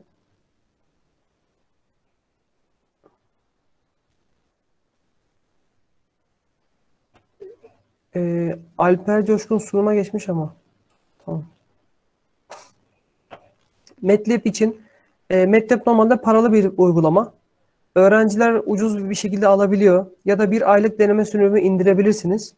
MATLAB'i lisanslı kullanmak istiyorsanız şu şekilde yapabilirsiniz. Üniversiteleriniz genellikle lisans sağlıyor bazıları. Bazıları sağlamıyor. İkinci bir alternatif Anadolu Üniversitesi şu anda e, tüm öğrencilerine MATLAB lisansı ücretsiz sağlıyor. Akademik ve tam sürüm bir şekilde. Bunu nasıl elde edersiniz? Anadolu Üniversitesi'nde açık öğretimde okuyan birisi varsa, Anadolu Üniversitesi'ndeki öğrencilerden bir tanesi, mezunlardan bir tanesi olabilir ki anamız babamız herkes açık öğretim okudu Türkiye'de. Herkes Anadolu Üniversitesi'nden okumuştur. Ee, orada var. Sakarya Üniversitesi sağlama yapmıyor şu anda, vermiyor. MATLAB'e yazdığınız zaman şöyle yazıyoruz. MATLAB Anadolu Üniversitesi e, kurulumuyla alakalı yönlendirme PDF'leri çıkıyor. Buradaki PDF'lere göre e, yönlendirme ile birlikte lisanslı bir MATLAB sürümü elde edebilirsiniz. Ücretsiz veriyor, sınırsız. Eski sürümlere de ulaşabiliyorsunuz. İmkanınız varsa MATLAB 2020'yi indirin. Bizde sağlamıyor. Biz kendi imkanlarımızla, projelerimizle, paralarımızla almaya çalışıyoruz. Şimdi bu dersin birinci kısmında ne öğrendik?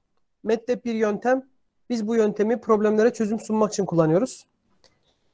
Gerçek hayattan size bir bağdaştırabilmek adına söyleyeyim. Mühendislikte en önemli şey yöntemlere hakim olmaktır. Günlük hayatınızda bir işiniz olduğunda sürekli bir arkadaşınızı arıyorsanız o arkadaşınız demek ki hayatını aksettirebilmek için, sürdürebilmek için muazzam bir derecede yöntem öğrenmiştir. İşte para nereden çekilir, kredi kartı nereden alınır, işte ev kiralayacağım nereden alabilirim, e, araba satın alacağım nereden alabilirim. Günlük hayatta takıldığınız her soruyu bir arkadaşınıza sormak için arıyorsanız demek ki o çocuk dünya kadar ilim öğrenmiştir, yöntem öğrenmiştir. Bu yöntemlerde problemleri çözüm olarak kullanabiliyordur aktif bir şekilde. Eğer kaliteli bir mühendis olmak istiyorsanız kendi alanınızdaki yöntemlerin hepsine sahip olmaya çalışın. Bu yöntemlerden kastımız nedir? Lisansta aldığınız her bir ders, ders içerisinde öğretilen konular sizin için bir yöntemdir. Örneğin elektronik devre tasarım dersini düşünelim. Elektronik devre tasarımının amacı nedir? Normalde kodlamayla yapılan bir problemin çözüne, çözümü için kodlama yaparsınız. Ama elektronikte bir problemi çözmek için elektronik devre kartı geliştirirsiniz. E burada yöntem kart geliştirmek. E siz bu dersi aldığınızda çok iyi öğrenirseniz, kendinizi kart geliştirebilecek çapa ulaştırabilirseniz demek ki siz mühendislik yöntemlerinden bir tanesini çok iyi öğrendiniz demektir. Şu an seste bir sıkıntı var mı? Mustafa ses kalitesiz demiş ama. Tamam belki diğer arkadaşlardadır. Hoparlörlerinizde kaynaklı olabilir. Teşekkür ederim arkadaşlar. Ee, yani günlük hayatta da olsa, mühendislikte de olsa hayat en önemli nokta yöntem öğrenmek. Yöntemleri öğrendikten sonra hayatınızdaki problemleri çok kolay çözüm bulabilirsiniz. Mühendislikte aldığınız her bir ders sizin için muazzam bir yöntem kaynağıdır. Derste gördüğünüz her bir konu, her bir yöntem e, iş hayatınıza çıktığınız zaman iş hayatındaki problemleri çözüm olarak üretebileceğiniz yöntemlerdir. Ama iş, dersin dışında da yöntem öğrenmeniz gerekir. Örneğin e, bilgisayarın kullanımı, Office, Word, Excel'in kullanımı ve hayatınızdaki teknolojik aletlerin kullanımını öğrenmeniz sizin için bir yöntem kaynağıdır. Bu yöntemlerde ne kadar iyi hakim olursanız işlerinizi o kadar iyi organize eder, problemlere o kadar iyi çözüm bulursunuz. Hayat kalitenizi arttırırsınız, maaş imkanlarınız artmaya başlar, iş imkanlarınız artmaya başlar. Ee, yani yöntem önemli arkadaşlar. Yönteme çok iyi odaklanmaya çalışın. Şimdi bizim amacımız neydi? Yapay zekaydı. Bir yöntemdi bizim için. Biz bu yöntem için yöntemde e, yöntemi öğreneceğiz şimdi. Peki bu yöntemi nasıl kullanmaya başlarız? Ne demiştik yapay zekada? Algoritmadan bağımsız çalışır, tecrübeye dayalı çalışır. Tecrübemiz nedir bizim? Tecrübeler bizim için hayatımızda yaşadığımız olaylardır. Bunu ki hafızamızla çağırırız. Ama biz bu hafızamızdaki bilgileri bilgisayara aktarabilmek için matrise dönüştürmemiz lazım. Matris yani tecrübe matrisi olarak düşünelim. Tecrübe matrisi yapay zekanın temelidir. Bu matrisi oluşturabildiyseniz ki zaten bütün problemlerde amaç öncelikle bu matrisi oluşturmak sonra yapay zeka çözümlerine geçmektir. Bunu oluşturduysanız gerisi kolay. Şimdi bu tablomuzda bakalım. Ee, öncelikle tanımlamalar yapayım. Burada ne, ne, ne, hangisi ne işe yarıyor? Şimdi şu no'lar hastaları gösteriyor. Problemimiz şu. Hastalar ya da sağlıklı insanlar geliyor doktora. Kan tahlillerini getiriyorlar. Kan tahlillerinde parametreleri A, B, C, D, E. Bu parametrelere göre doktor bu kişilere bakıyor. Kişi hasta mı sağlıklı mı? Hasta ise bir, sağlıklı ise iki etiketlerini vererek bunlara belli ilaçlar başlıyor. Şimdi amacımız doktorun bu kan tahlillerine bakma süresini kısaltmak. Hiç bakmasın. Direkt sağlıklı mı hasta mı olduğu gelsin. Doktor gerekli ilaçları artık hastalık durumuna göre versin. Ya da hast e, ikinci bir problem yani burada iki tane problem var. Birinci problem kişinin hasta olup sağlıklı olduğunu tespit etmek. İkinci problem ise hasta kişiye hangi ilacı başlaman gerektiği. Yani her bir problem için burada yapay zeka için e, her bir problem için bir yapay zeka algoritması geliştirilir. Yani siz 10 tane probleme aynı anda tek bir yapay zeka algoritmasıyla çözüm üretemezsiniz. Görünmüyor mu? Bir dakika. Arkadaşlar benim ekranın üstünde pinle tıklamanız gerekiyormuş ama. Ben paylaşımı durdurup tekrar açayım. Bazı arkadaşlar araya girip sunum yaptığı zaman diğer arkadaşlardan düşüyor sunumlar. Açtım. Yeşil tablo var. Evet şu anda yeşil bir tablo var önümüzde. Tamamdır. Tekrar anlatıyorum. Problemimiz hasta geliyor doktora. Kişinin hasta olup olmadığını kan tahlillerine göre tespit etmek istiyoruz. Daha sonra da buna ilaç başlanacak. Unutmayın her bir yapay zeka yöntemi bir probleme çözüm üretir. Her problem için bir yapay zeka algoritması geliştirmeniz gerekir. Yani problem size geldi. Dediler ki şöyle bir problem var. Ee, buna nasıl bir süreç geliştirirsiniz? Her problem için bir yapay zeka algoritması geliştireceksiniz. İkinci bir durum. Geldi tecrübe maddesini oluşturuyoruz şimdi. Tecrübe maddesini nasıl oluşturuyoruz? Sol tarafta kişilerin, hastaların numaraları var. 1, 2, 3, 4, 5, 6 diye gidiyor işte 10'a kadar. Burada her bir hastaya ait e, tecrübelerimizi yani doktorun daha önce karar verdiği kişilerin kan tahlillerini alıyoruz. Bir numaralı kişinin 5 tane farklı kan parametresine karşılık doktor bu kişiye hasta demiş. Daha sonra ikinci kişi gelmiş. İkinci kişinin 5 tane farklı kan parametresine göre doktor bu kişi için sağlıklı demiş. Üçüncü kişi için hasta, sonra 4 sağlıklı, hasta sağlıklı şeklinde gitmiş. Bizim elimizde toplam 10 tane kişinin eski kan tahlilleri ve 10 tane kişinin hasta mı sağlıklı mı olduğu bilgisi var. Bu bizim için yeşille gösterdiğimiz kısım bizim için artık tecrübe maddesidir. Doktorun daha önce verdiği kararları bir biz Excel dosyasına aktarıyoruz ya da tabloya aktarıyoruz. Bu bizim için tecrübe maddesini oluşturmaktır.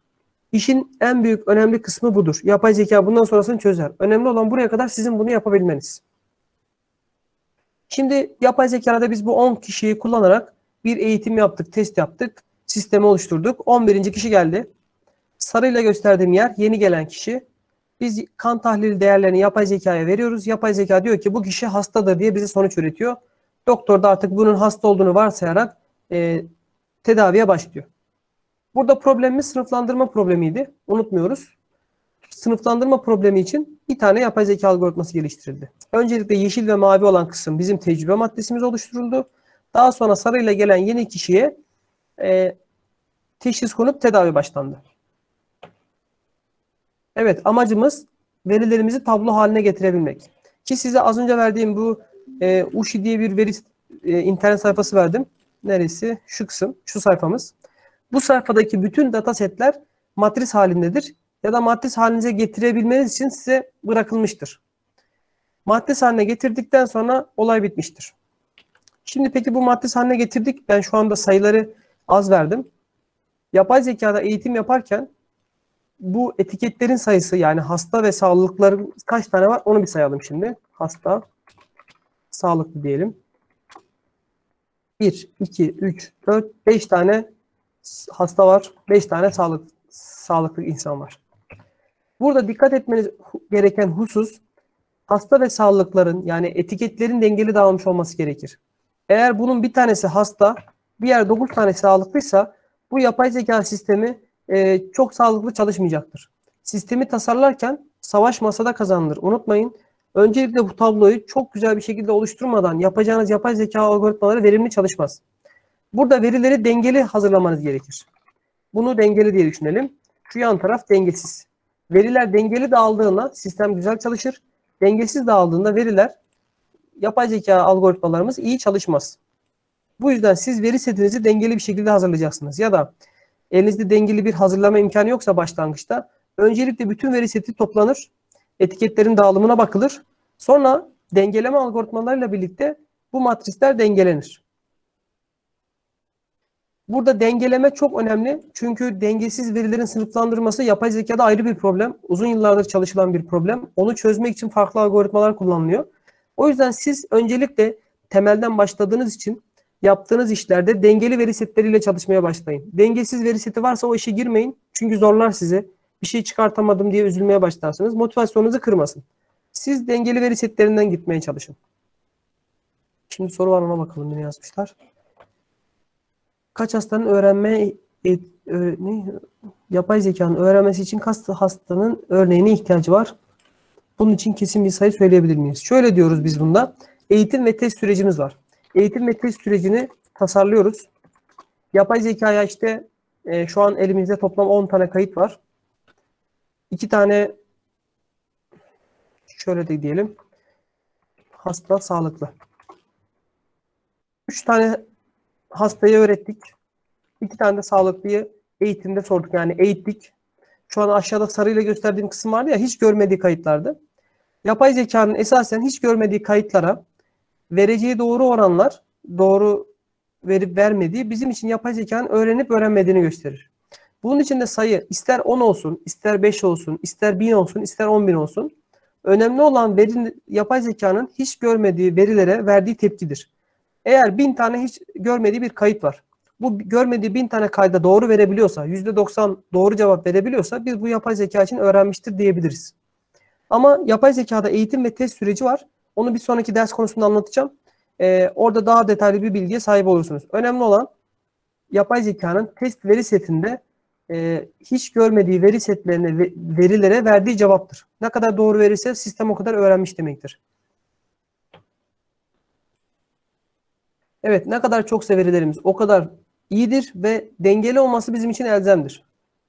Minimum değer diye bir şey yok. 5 tane veriyle bile yapay zeka eğiten çalışmalar var. Çünkü mesela RNA çalışıyorlar. RNA'da sayı almak, örnek almak çok zor. O yüzden çok küçük sayılarla çalışmak zorunda kalıyor hocalarımız. Akademik makaleler var. 6 tane örnekle yapay zeka algoritması çalıştıran e, uygulamalar var. O yüzden verinin çokluğu bizim için avantaj ama probleme göre değişir. Bu bir problemde veri toplayamıyorsanız, maliyeti çok yüksekse onda az veriyle de yapabilirsiniz. Kural şu, öğrendi mi öğrenmedi mi? Öğrendiğin neyle test edersin? Eğitim test süreci dediğimiz bir süreç var. O süreçte testte göreceği, testte sorduğumuz soruları kaç tanesine doğru cevap vermiş ona bakıyoruz. Onu birazdan anlatacağım. E, dengesiz med meridyan uzaklaşan kısımları elimineme etmeliyiz diye. Doğrudur öyle bir şey yapacağız ama onun için de e, alt örnekleme teoremi dediğimiz bir yöntem var. Örnekleme teoremleri. Elimizdeki veriyi dengeli bir şekilde istatistiksel yöntemler kullanarak azaltacak. Az önce e, sabahleyin arkadaşımız dedi işte istatistikte okuyorum diye. Benim amaç istatistikteki yöntemleri şu anda yapay zeka ile birleştirerek performans arttırmaya çalışıyorum. Normalde yapay zeka çalışanlar istatistik çalışmıyor. İstatistik çalışan yapay zeka çalışmıyor. Ben tıp fakültesinden de istatistik dersleri aldım. E, hocamdan öğrendiğim yöntemleri şu an yapay zeka algoritmalarını kullanıyorum. Yani multidisipliner çalışırsanız farklı alanda kullandığınız yöntemleri yani farklı alanlarda kullanılan yöntemleri alıp kendi alanınıza uyguladığınız zaman size muazzam bir ilerleme kat ettirir. Yeni kişiler geldikçe yapay zeka doğruluk oranı karar verme olasılığı yükseliyor mu? Veri setini arttırdığınız zaman yapay zeka o verilere çok daha fazla adapte olduğu için çok daha iyi çalışıyor. Yani bunu tecrübe olarak düşünün. Tecrübesi arttıkça e, doğruluk oranı da artmaya başlıyor. Veri sayımızı arttırmakta fayda var. Şimdi burada matrisi oluşturmayı öğrendik. Elimizde matrisimiz var. Bu matrisin ama yüzlerce olduğunu düşünelim. Yani biz bunu 2-3 tane verilerle birlikte yapmıyoruz çalışmamızı. Eğitim test süreci var. Onu birazdan detaylı bir şekilde anlatacağım. Şimdi başka bir örnek verelim. Şimdi burada da farklı bir matrisimiz var. Artık problemimiz farklı bir probleme dönüştü. Sarı ile göster, mavi ile gösterdiğim kısımlar örnek sayısı. Burada 2358 tane örnek koydum. Ee, özellikler dediğimizde az önce kan gruplarıydı. Şimdi biz buna özellikler dedik. Ee, buradaki amacımızı anlatalım. Amacımız pulse oksimetreyi görmüşsünüzdür. Hemen cihazı açayım size göre gösterelim. Pulse oksimetre. Sağlıkçılar bilir. Pulse oksimetre dediğim şey parmağı taktığımızda kandaki oksijen oranını ölçen ve buna bağlı olarak da şurada bakın resmini büyük açalım.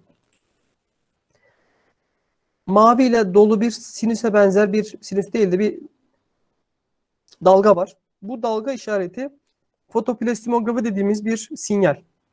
Yani vücudumuzun ürettiği kalp sinyaline benzer bir sinyal. Bizim amacımız burada insanın kalp sinyalini benzer üretilen sinyalle birlikte insanın uyuyup uyumadığını ya da nefesinin durup durmadığını tespit etmek. Bu bir hastalıkta kullanılan bir süreç. Biz oradaki süreci kolaylaştırmak için böyle bir algoritma geliştirmiştik. Amacımız e, bu cihazla kişinin uyuyup ya da uyumadığını tespit etmek. Ama buradaki sinyali alarak. Sinyal biyomedikal bir sinyal. Burada yapay zekanın yanında tıbbi bilgiye ihtiyaç var ve ayrıca bir sinyal işleme tekniklerini, işlemlerini bilmek gerekir. Şimdi burada da nasıl yaptık? Bu sinyalin az önce gösterdiğim o mavi dalgalı sinyalden özellikler çıkartıyoruz. Bu özellikler de şunu yeşil yapalım. Tamam yeşil olsun. Özellikler de sayısal değerler. Elimizde matris var. Biyomedikal sinyal. O matristen özellikler çıkartıyoruz. 86 tane özellik çıkartmışız. Ve bu özellikleri karşılıkta örneğin bir insandan aldık. O insan uyuyorken aldık bunu. Etikete 1, 1 dedik. Uyanıkken de aldık 2 dedik. Şuna uyku diyelim. Şuna da uyanık diyelim. Elimizde toplam 2358 tane vardı. Bunun 1125 tanesi uykudaymış. 1233 tanesi uyanıkmış. Veriler birbirine yaklaşık dengeli. Burada tekrar bir dengeleme işlemi yapmanıza gerek kalmayabilir. Eğer çok yakınsa. Çok yakın değilse e, yapabilirsiniz. İkinci bir durum aynı sinyalde insanın solunumunun durup durmadığını tespit edebiliyoruz. Bize doktor diyor ki şu anda solunumu durdu. Biz o andaki sinyali alıyoruz. Buna karşılık bir etiket veriyoruz. Bu da aynı şekilde solunumu durması var ya da yok şeklinde. Bu matrisleri oluşturmak problemi biraz tanımaya, onunla alakalı teknik terimleri bilmeye gerektiriyor. O yüzden e, az önce oluşturduğum kan tahlilleri spesifik herkese gidiyor. Bu birazcık daha sinyal işlemeyle alakalı olduğu için e, özellik kısmını o başta oturtturmamış olabilir sizde. Bir sonraki örnekte inşallah oturur. Etiketleri verdikten sonra matrisimizi oluşturduk. İçindeki bu sayıları çıkartmak sinyal işleme teknikleriyle yapılıyor. Unutmayın burası şu anda yapay zekanın konusu değil. Sinyal işlemenin konusu. E, sinyal işleme çalışmıyorsanız içerisinin nasıl çıkartıldığını bilmenize gerek yok. Önemli olan bu tabloyu oluşturduk. Elimizde etiketler var. Örnek tablo bitmiştir bundan sonra.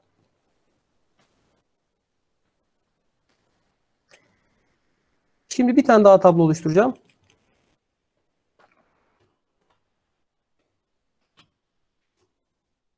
Şimdi buradaki amacımız da burada bir kameramız var. Kamera görüntü işlemeyle içeriye giren insanların fotoğraflarını çekiyor. Giren kişinin erkek mi kadın mı olduğunu tespit edecek. Kamera kayıt özellikleri diyelim. Yani görüntü özellikleri diye düşünebilirsiniz. Bu görüntü özellikleri de içeride yapılırken şu yeşil kısımda gösterdiğim kısmı hesaplaması görüntü işlemeyle yapılır. Özellik çıkartma. Şurayı da 1000 diye yapalım. Tamamdır. Elimizde kapıdan içeriye giren 1000 kişi var. Biz bu 1000 kişinin kayıtlarını oluşturmaya çalışıyoruz. 1000 kişinin görüntüsünü alıp e, şu an anlayabilmeniz adına spesifik böyle anlayacağınız özellikleri vereceğim. Kişi geldi. Bu kişinin dış görünüşüne bakarak hangi özelliklerini çıkartabilirim? Örneğin saç uzunluğunu çıkartabilirim. E, görüntüyle bakıp tahmini olarak uzun ya da kısa tarzında bir etiket verebilirim. Yani uzuna bir, kısaya iki deyin mesela tarzında. Şunları beyaz yapalım. Sonra sakal var mı yok mu? Varsa bir yoksa sıfır tarzında. Başka etek giymiş mi? Bir, sıfır. Başka ne olabilir? Pantolon var mı yok mu? Daha sonra e, saç uzunluğu dedik. Başörtüsü takabilir belki. Başörtüsü var mı yok mu? Başında şapka var mı yok mu? Sakal dedik. Kişinin bıyık var mı yok mu? Onlara bakabiliriz. Bunların e, her bir insan için sayısal değerleri yerine yerleştirdiğimiz zaman bize gözle görebildiğimiz özellikleri çıkartmış olur. Fark ettiyseniz bu gözle görülerek çıkartılabilen özellikler.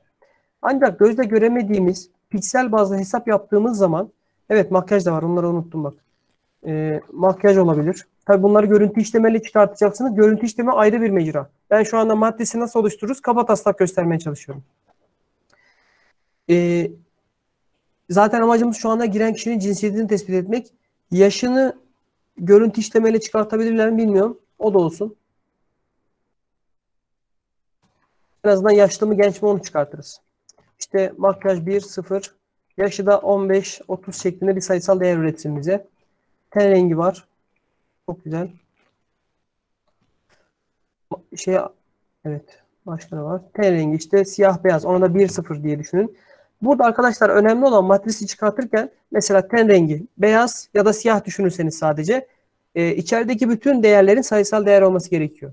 Bir etikete karşılık gelse dahi örneğin ten rengi beyazsa 1, siyahsa 0. O zaman e, bunu kesinlikle sayısal ifadeler yapacaksınız ama siz oradaki birin siyah olduğunu ya da beyaz olduğunu bileceksiniz. Sonra bunları bir kopyalayalım şimdi aşağıya karşılık. Ne oldu? Elimizde 1000 kişi var. Bu 1000 kişiye karşılık etiketleri oluşturduk. Kişinin e, içeri girdiğinde bir ise erkek diyelim, iki ise kadın diyelim. E, erkek kadınların giriş çıkışlarına göre biz sayılarını toparladık burada. Daha sonra ne olmuş olsun? Toplam 1000 kişi dedik. Bunların 500 tanesi erkek olsun. 500 tanesi kadın olsun. Bunları hesaplayabildikten sonra biz bu tecrübe maddesini oluşturduk demektir. Artık diyeceğiz ki yapay zekaya bu matrisi al. Bu bilgilere göre kişilerin etiketleri budur. Yani giren kişinin özellikleri şuysa erkek ya da kadındır diye vereceğiz. Kendisi etiketlerle bu girişte verdiğimiz özellikler genel olarak biz bunlara özellikler diyoruz. Bir matriste yapay zekada bir giriş olur bir de çıkış olur. Bizim girişlerimiz özelliklerimiz olacak. Çıkışlarımızda etiket olacak. Çıkışlar her zaman sadece bir tanedir unutmayın. Daha fazla kullanılır ama kullanılması doğruluk oranını düşürmeye başlar. Siz başlangıçta sadece tek özellik kullanmaya çalışın. Giriş özelliklerimize karşılık, şu sarı sütunlara karşılık çıkış etiketimizi yapay zekaya verdik. Yapay zeka etiketlerle özellikler arasında bir algoritma kuruyor. Bir algoritma oluşturuyor. Bu algoritmaya göre artık yeni bir kayıt geldiğinde sistem bu kişinin, gelen kişinin erkek ya da kadın olduğuna karar verebiliyor. Şimdi peki bundan sonraki süreç nasıl işleyecek? Bundan sonraki süreçte artık matrisleri oluşturduk. Kullanmayı öğrendiniz. Bir tane matris indirelim şeyden. Az önce size Ushimeşin dediğim siteden. Hmm. Burada Parkinson'la alakalı bir tane hastalık var. Bu Türkiye'de toplanmış bir veri seti. Sayfayı açıyorsunuz. Yukarıda data folder ya da data description denilen bir kısım var. İkisini de açalım bakalım ne var. Data folder'da data dosyalarıyla alakalı kayıtlar var. RAR dosyasıymış. Şimdi bir onu indiriyoruz. Data description'da yine aynı sayfaya geldi. Burada kullanılan özellik sayısı mesela 754 taneymiş. Biz kaç tane kullandık? Sarılarda 3, 6, 9, 10 tane kullandık. Orada 756 tane varmış.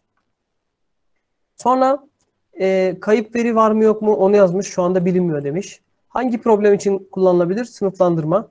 Gerçek sayılar, reel girişler kullanılmış. Verinin bağışlanma tarihi ve nerede toplandı? Bu Boğaziçi'nde toplanmış sanırım. Bir hocamızın doktora teziydi. Yıldız da varmış. Bahçeşehir. Birkaç tane ortak hocanın toplamasıyla birlikte yapılmış. Şimdi veri seti indi. Bu veri setini açalım.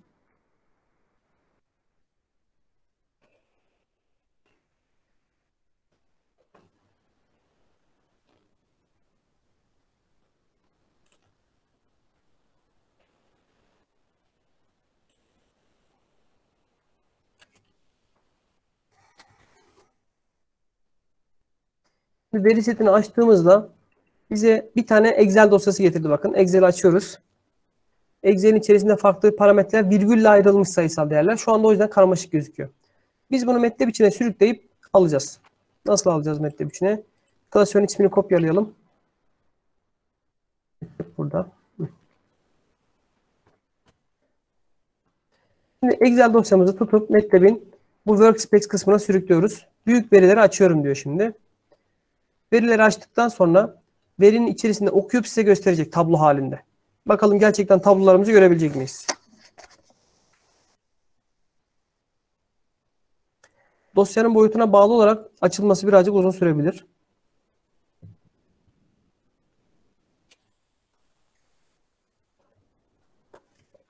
Bakın tablo açıldı. Yukarıda tabloların isimleri var. Var name 1, var name 2 şeklinde devam ediyor. Özelliklerin sayısal değerleri içerisi full dolu. Sağ tarafa doğru yaklaştırdığımız zaman da en sonda etiket var.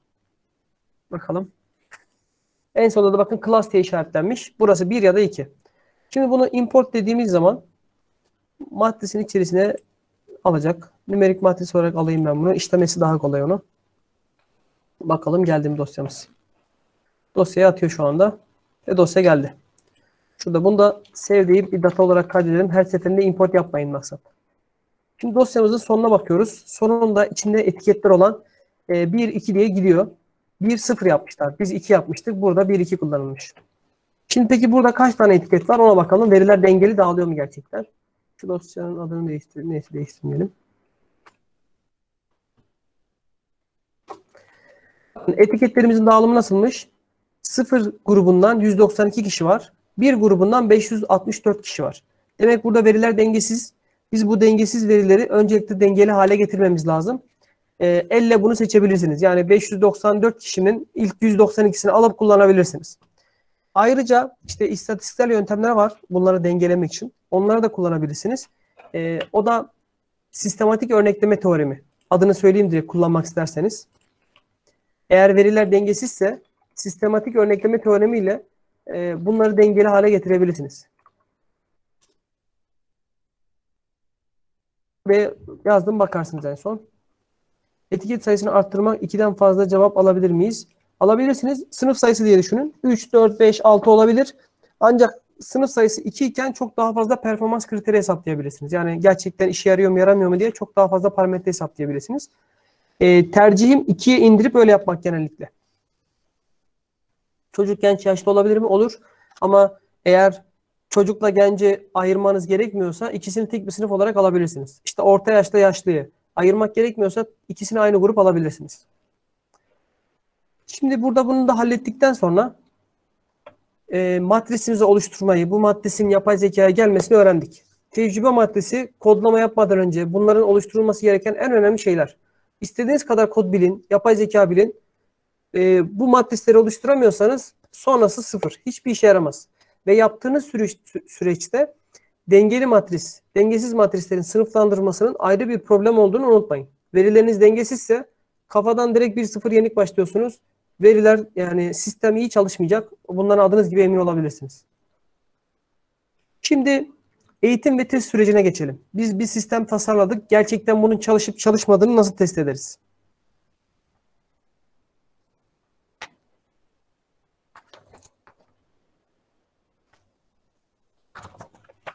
Evet.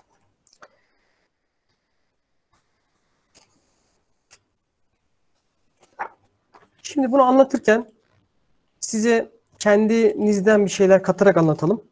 Daha kolay olur sizin için de. Vize ve final örneğini düşünelim. Ee, size sınav yaptık. Sınavda alakalı sorular soracağız. Ben bir dakika bir farklı bir kaynak bakayım.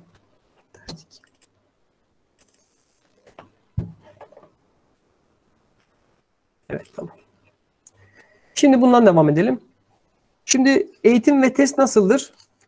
Eğitimi lisansta size hocalarınızın anlattığı ders olarak düşünün. Testi de vize ve final yaptığında size soru sorduğu kısımlardır. Yani eğitimde anlatır, örnek sorular çözer. Daha sonra vize ve finalde derste görmediğiniz sorular ama anlatılan konularla alakalı sorular sorulur. Burada amaç şudur öğrencide yani hocada anlattığım konuyu idrak edebilmiş, daha önce karşılaşmadığı problemlere çözüm üretebiliyor mu bu? Aynı süreç yapay zekada vardır. Biz tecrübe maddesimizi veririz yapay zekaya ama test kısmında, eğitim kısmında veririz tecrübemizi. Test kısmında daha önce hiç görmediği ama cevaplarını bizim bildiğimiz soruları sorarız. Bu durumda yapay zekanın verdiği cevaplarla bizim bildiğimiz cevapları karşılaştırırız. İşte 100 tane soru sorduk. Bu 100 tanenin kaç tanesine doğru cevap verdi yapay zeka? 80 tanesine doğru cevap verdi. Diyoruz ki bu yapay zeka %80 doğruluk oranıyla çalışıyordur diyebiliriz. Yani 80 puan aldı diyebiliriz. Şimdi bunu bir de farklı bir şekilde düşünelim. Final yapacağız hocamız size. Elinizde hoca size e, hocanın elinde 100 tane soru var. Dedi ki bunların 100 tanesini size veriyorum çalışın. Yani bunlar sizin için eğitim sorular diye düşünün. 50 tanesini de finalde soracağım. Bu 50 tane soruyu da daha önce hiç görmediniz. Siz bu 50 tane soruya çalıştınız. Ezberlediğinizi de düşünüyorsunuz. Ama hoca size e, tamam şöyle düşünelim. Bu 50 hocanın size sınavda verdiği 50 tane soruyu çözdünüz. Ona rağmen bu 50 tane sorunun sadece 45 tanesine doğru cevap verebildiniz. 5 tanesini yine kaçırdınız. Bu eğitim doğruluk oranı olur bizim için. %90 oran, oranında öğrettiklerimizi öğrendi demektir. İkinci bir kısım hiç görmediğiniz 50 soru vardır. Bu 50 sorunun 40 tanesine doğru cevap vermişsinizdir. %40 oranında doğru cevap, %80 oranından doğru cevap vermiştir. Çalışıyordur diyebiliriz biz bu öğrenci için. Yapay zekada da aynı şekilde yapacağız. Elimizdeki bütün verileri iki kısma ayıracağız. Eğitim ve test şeklinde. Az önce oluşturduğumuz tecrübe maddesini ikiye ayıracağız. Eğitim ve test. Daha sonra eğitimi öğreteceğiz. Yine eğitim sorularını soracağız. Eğitim başarı oranını test edeceğiz. Test kısmında ise hiç görmediği soruları soracağız. Hiç karşılaşmadığı hastaları göstereceğiz. Cevap isteyeceğiz. Yalnız o cevapları zaten biz biliyoruz. Elimizdeki cevaplarla karşılaştırıp testteki sorulara yüzde kaç oranda doğrulukla cevap veriyor onu bakacağız. Yani yapay zekada eğitim ve test süreci çok önemli. Yani yapay zeka anlamak, anlatılan problemler anlatılıyorsa çok hoş. İşte arabayı otonomla sürdürdük, şöyle yaptık, böyle yaptık. E, işte silahlar atılıyor, hastalıklara çözüm bulduk. Ama onların hepsinin temeli bu. Eğitim, test, verilerin maddesi oluşturulması, tecrübe maddesinin oluşturulması. Yani bunları bilmeden işte ben yaptım ettim, eğitim yaptım, iki tane kod yazdım. Olur mu? Olur, çalışmıştır da ne yaptığını bilmiyorsunuzdur. İşin teknik kısmı yani süreci bu, algoritması bu. Test olacak soruların seçimi şöyle önemli. Regresyon yapıyorsanız hesaplamak istediğiniz sayısal değeri büyükten küçüğe doğru sıralayıp aralardan belli değerler seçeriz. Çünkü bir eğri düşünürsek eğrinin ilk bir kısmını öğretip şöyle göstereyim size. Farklı bir algoritma anlamında. Regresyonda çok önemli, sınıflandırmada çok önemli değil. Şöyle bir eğri düşünelim. Nerede?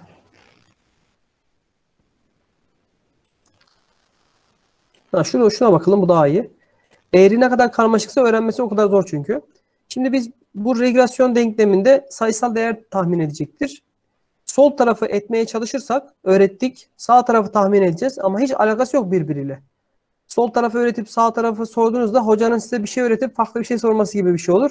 Çözemezsiniz sıfır olur. Testte başarı oranı elde edemezsiniz.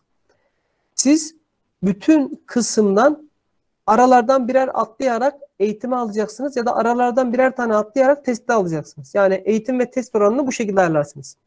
Aynı dağılım üzerinde birer tane boşluk ya da ikişer defa atlayarak, üçer tane atlayarak ama aynı bütün verileri kapsayacak şekilde seçmeniz gerekir. Evet 50 tane soruyu daha önce yapay zekaya eğitimde hiç vermediğiniz sorulara vermek zorundasınız. Eğer verdiğinizi tekrar veriyorsanız o işin hiçbir anlamı yok. O zaten yapacak onu.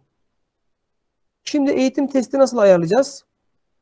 Yani şöyle yapalım. Burada var mı örnek? Yok. Şimdi örnek anlamında söylüyorum. Ee, az önce ne yaptık? Hasta sağlıklı yaptık. Onun üzerinden gidelim. Elimizde hastadan bin tane kayıt var. Sağlıklı var. Sağlıklıdan da bin kişiye ait kan tahlillerimiz ve bu kişilerin hasta olup olmadığı ile alakalı bilgilerimiz var. Biz şimdi elimizde toplam kaç tane kayıt olmuş oldu? 2000. Biz şimdi bunları e, biraz kısaltalım. Eğitim ve testi vereceğiz. Testi vereceğiz. Şuraya yine toplam diyelim. Şu kısmına toplam olsun. Tamam. Şimdi bu 500 hastanın biz yarısını eğitimde kullanacağız. Diğer yarısını testte kullanacağız. Ve eğitimdeki 500 ile testteki 500 farklı kişiler olacak. Şu andaki sınıflandırma problemi için anlatıyorum. Şurada yazalım. Sınıflandırma problemi. Sağlıklı kişilerin de 500 kişisini eğitime vereceğiz. 500 kişisini hastaya vereceğiz. O zaman toplamda eğitimde kaç kişi kullanmış olduk? 1000 kişi kullandık olduk şu kısım. Testte kaç kişi kullanmış olduk? Onda da yine 1000 kişi. 500 eğitimden 500 testten. Yani e, kaç tane etiketiniz varsa o etiketlerden aynı oranda hem eğitimde hem testte olması gerekir. Benim elimde 1000 hasta var, 1000 sağlıklı var. Ben hastaların 1000'ini e, eğitimde kullanırsam, sağlıkları hiç eğitmezsem, testte de hiç hasta sormayıp sağlıklı sorarsam sistem sapıtır. Hiçbir şekilde size doğru cevap vermez. Elinizdeki verilerin yarısını eğitime, yarısını teste koyacaksınız. Bunların dağılımları çok önemli. Yoksa hiçbir şey çıkmaz ortaya. Yani önemli olan tecrübe maddesini dengeli bir şekilde dağıtıp hem eğitimde hem testte kullanmak. Eğitim ve test neydi? Elimizdeki soruların bir kısmını soruyoruz. Bir kısmını pardon ikisini de soruyoruz ama birisini öğreterek soruyoruz. Birisini öğretmeden soruyoruz.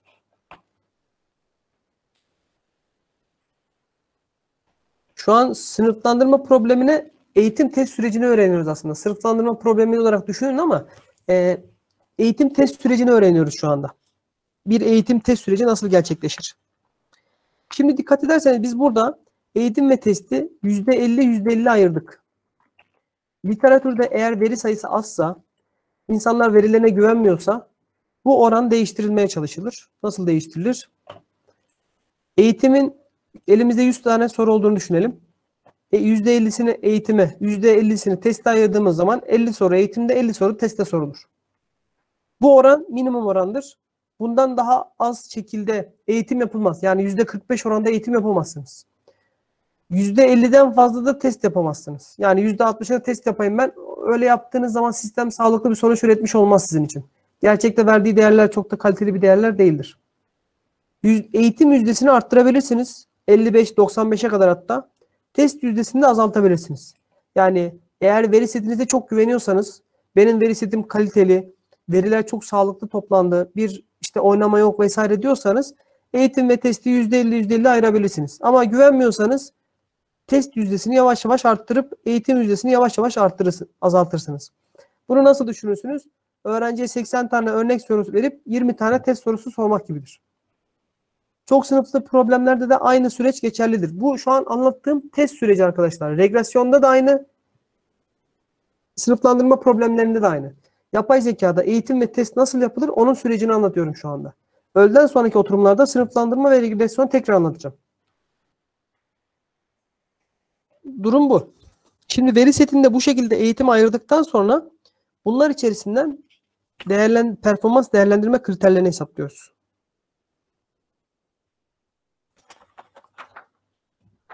Tamamdır. Burada şimdi 100 tane soruyu 50 tane eğitime 50 tane teste nasıl ayırırsınız? Kafanıza göre direkt gözle gördüğünüz 50 tanesini sınıflandır şeye e, eğitime 50 tanesini teste ayırabilirsiniz. Regresyon problemlerinde de aynı ama regresyonda şöyle yapıyoruz biz.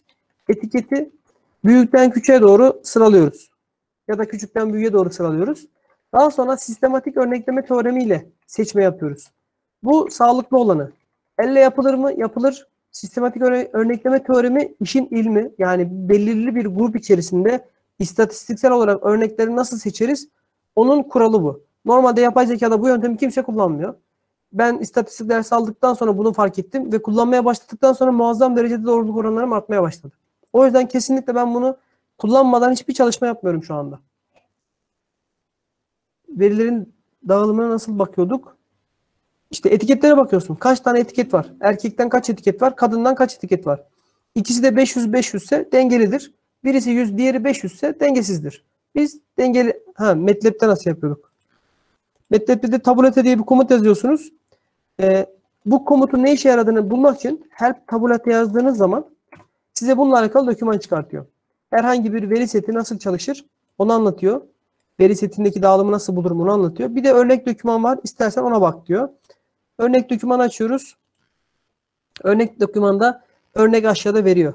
İşte şuradaki sol tarafta example'a tıkladığınız zaman şuradan sonrası aşağısı e, verilerin nasıl frekans tablosunu çıkartıldığını tabulete komutuyla gösteriyor. Tabulete ediyorsunuz, içeriye matris yazıyorsunuz. Ama eğer matris çok büyükse yani birden fazla sütunu varsa istediğiniz sütunu işaretliyorsunuz. O da MATLAB temel bilgisi gerektirir. Size sabahleyin verdiğim Drive linkinde MATLAB'in temel notları var. Oradan bakabilirsiniz.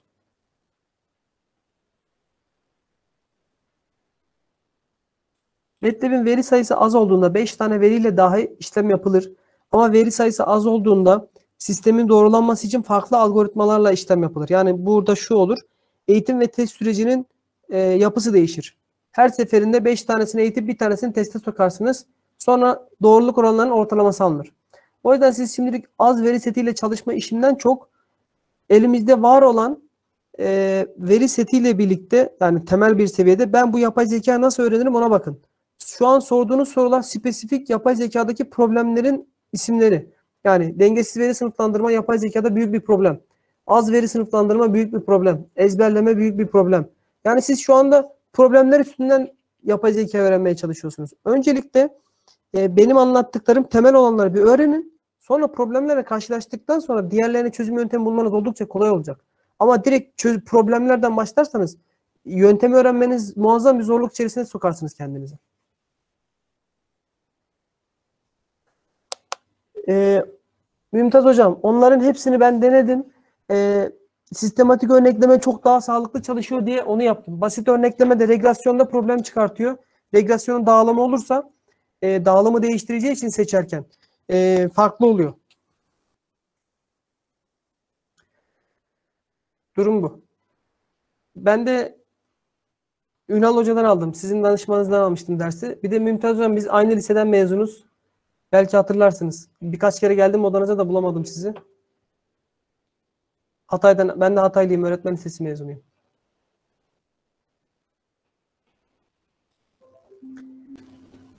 Şimdi tekrar devam edelim. Tamam hocam. Bir gün ziyaretinize gelirim inşallah tekrar. Şimdi başka ne var? Burada eğitim ve test sürecin için matrislere ayırmamız gerekiyor. MATLAB o şekilde kabul ettiği için. Ee, o kısma girmeyeceğim. Ama anlatayım onu da ufak bir kısımda. Sonra dersimizi tamamlayalım.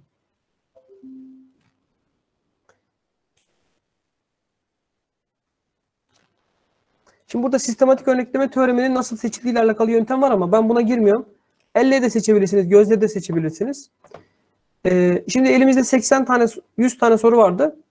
50 tanesini eğitimde, 50 tanesini testte kullandığımızı düşünelim. Bunlarda doğruluk oranı hesaplamasını herhalde biliyorsunuz. Tek tek bakarsınız. Cevap anahtarı gibi. Öğrencinin cevap anahtarı var. Öğrencinin cevapları var. Elimizde cevap anahtarı var. Karşılaştırıyoruz. Kaç soruda kaç doğru yapmış? Bizim için doğruluk oranıdır. Bu doğruluk oranı 0 ile 100 arasında değişir. Bir de bunların dışında duyarlılık, özgürlük, F ölçümü, kapa, AUK ve ROK dediğimiz farklı performans değerlendirme kriterleri var. E, bu değerlendirme kriterlerine bağlı olarak öğren e, yapay zekanın ne kadar iyi çalıştığını gösteriyor. Burada yüzde ne kadar yakın olması doğruluk oranı o kadar iyidir. Sıfır kötü bizim için. Bunun dışında duyarlılık, F ölçümü ve AUK'a kadar parametreler de 0 ile 1 arasında değişir. 1'e yaklaştıkça e, sistem kalitesi artar. Sıfıra yaklaştıkça sistem kalitesi azalır. Sadece doğruluk oranının yüksek olması bir sistemin iyi olduğunu göstermez. Diğer parametrelerle tek tek kontrol etmek gerekir. Bunların formüllerini internette çok sık bulabilirsiniz. Yani elimizde gerçek cevap anahtarı var, öğrencinin cevap anahtarı var. Ben buradan duyarlılığı nasıl tespit edebilirim? Formülleri var. Oradan bakarak bunları e, uygulayıp sayısal değerleri test edebilirsiniz. E, şöyle yapalım. Duyarlılık sensitivity bir specificity F ölçümü e, F measurement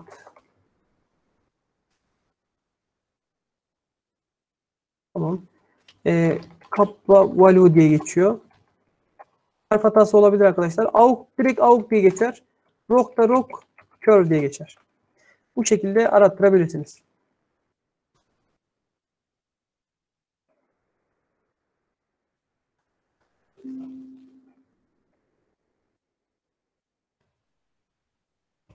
Tamamdır.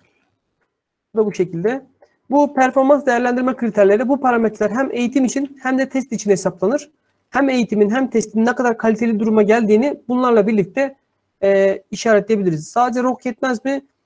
E, istatistikçiler için yetiyor da biz yapay zeka ile alakalı çalışmalar yaptığımız zaman, kendimizle alakalı dergilere makale gönderdiğimiz zaman e, hakemler kabul etmiyor. Diğer parametreleri de bizden istiyor. O yüzden mecburen biz bunları e, yazıyoruz.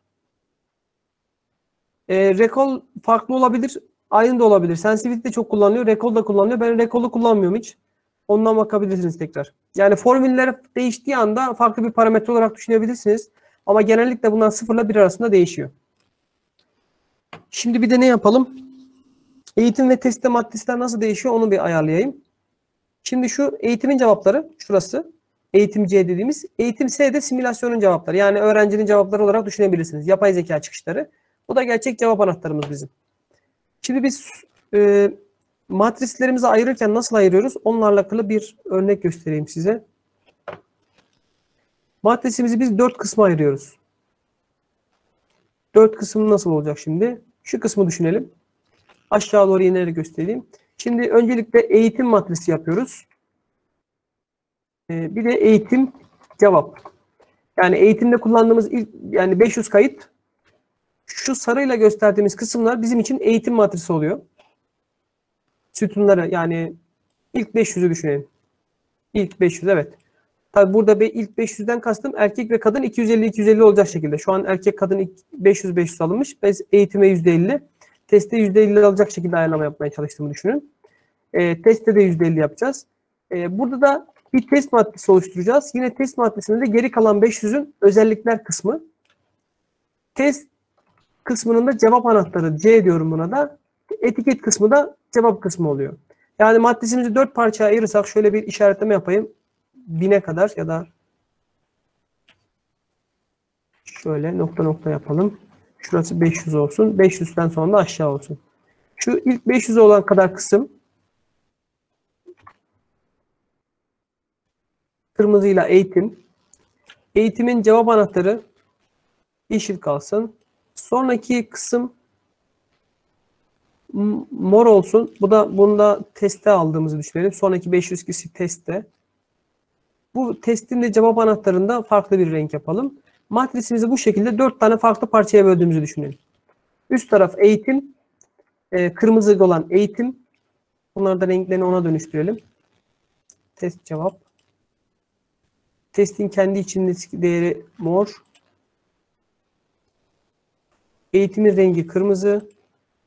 Eğitimin cevabının rengi yeşil. Burada dikkat edersek maddesi dört parçaya ayırıyoruz. Bu dört parçayı yapay zeka tek tek kullanıyor. Kodlama yazarken bazen böyle ayrım yapmak gerekebiliyor. Ee, bunları kullanmakta fayda var. Mazlum Bey de şey yazmış hangisi kullanılmalıdır diye. Ben makalelerimde genelde bu 6 tane farklı performans kriterini de kullanıyorum. Yani hangilerini tekrar sayayım. Doğruluk oranı, sensitivity, specificity yani duyarlılık ve ölçülülük. Bu üçü kesin oluyor. Bunun üstüne arada bir F ölçümünü ekliyorum. Eğer görselleştirme ihtiyacı duyarsam hakemlere biraz daha görsel olarak bir şeyler sunayım dersem ki bu şirketlerde rapor sunacağınız zaman görselleştirmek önemli. AUK ve ROK'u da ekleyebilirsiniz. AUK dediğimiz şey e, bir sistemin ne kadar kaliteli olduğunu gösteren e, bir ROK eğrisi. AUK da bu ROK eğrisinin altındaki kalan alanın miktarını gösteriyor. Şöyle bir bakalım. Şöyle bir grafiğimiz var. Şu sarı olan bizim eğrimiz. Yapay zekanın performansını gösteren bir eğri. Bu turuncunun altında kalan alan da AUK değerini gösteriyor. Dikkat edersek burada bu bir kare. Karenin kenar alanı bir birim alanda birim. Bir. Sağdan bir, yukarıdan bir. Çarparsanız 1 ile 1'i çarparsanız 1 olur. Yani AUK değerinin alabileceği maksimum değer 1'dir. Ama e, bu tam bir kareye çıkamayacağı için yani %100 olursa çıkıyor. %90, %80 olursa yavaş yavaş aşağı doğru iniyor. Alan da bizim için sistemin ne kadar performanslı çalıştığını göstergesidir. Şimdi temel anlamında benim anlatacaklarım bu kadar arkadaşlar. Öğleden sonra sınıflandırma algoritmalarına bir giriş yapıp e, sonra MATLAB ile uygulamayla devam edeceğiz. Bir de regresyon algoritmaları ve regresyonla alakalı da örneklerle birlikte tekrar devam edeceğim. Şimdi sorularınız varsa alabilirim. Yoksa e, öğleden sonra saat 1'de buluşmak üzere ayrılabiliriz. E, şimdi performans değerlendirme kriterlerini anlattım. Ama biraz yüzeysel geçtik. Bunun daha detaylısını matematiksel olarak nasıl yapıldığının anlatımıyla alakalı. YouTube'da bir tane daha video çektim. Ekledim YouTube'a kanala. Oradan takip edebilirsiniz. O daha önce verdiğim YouTube kanalında oynatma listelerinde yapay zeka dersleri yazıyor. Orada performans değerlendirme kriterleri, eğitim süreci daha detaylı anlatılmış şekilleri var. Ama şu andakinden biraz daha farklı anlattım orada. Şu anda da farklı bir anlatım olduğu için ikisini ayrı ayrı dinleseniz dahi tekrar etmiş gibi olmazsınız. Faydasını görürsünüz. Bir de ayrıca YouTube'daki kanallardaki oynatma listelerinin işte oynatma hızlarını arttırdığınızda biraz daha hızlı geçiş yapabilirsiniz. Anladığınız yerlere atlayabilirsiniz. Daha büyük fayda sağlayabilir size.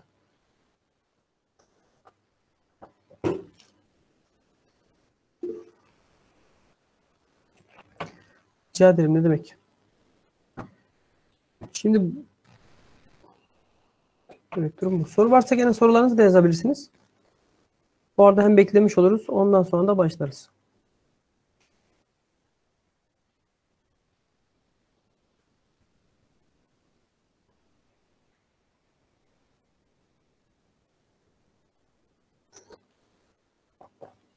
Tamam saat 1 oldu arkadaşlar başlayalım.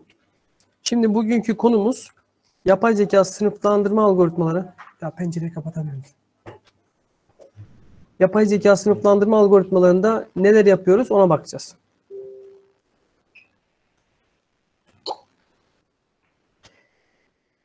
Bir ekran paylaşım onu da neyse. Şimdi ben ekranda paylaşayım.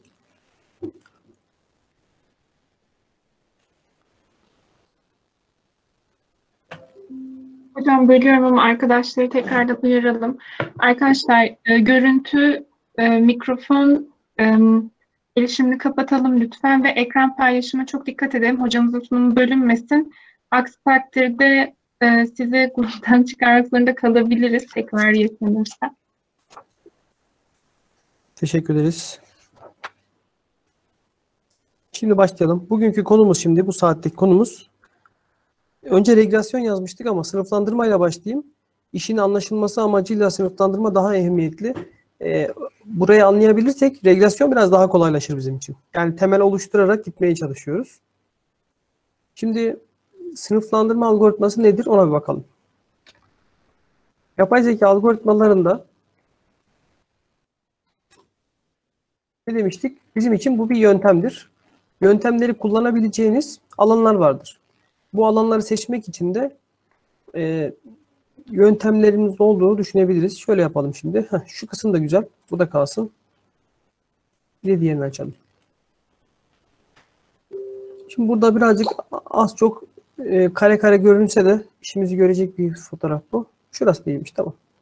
Şimdi esasen yapay zeka şöyle sınıflandırma, regresyon ve kümeleme problemlerine çözüm üretiyor.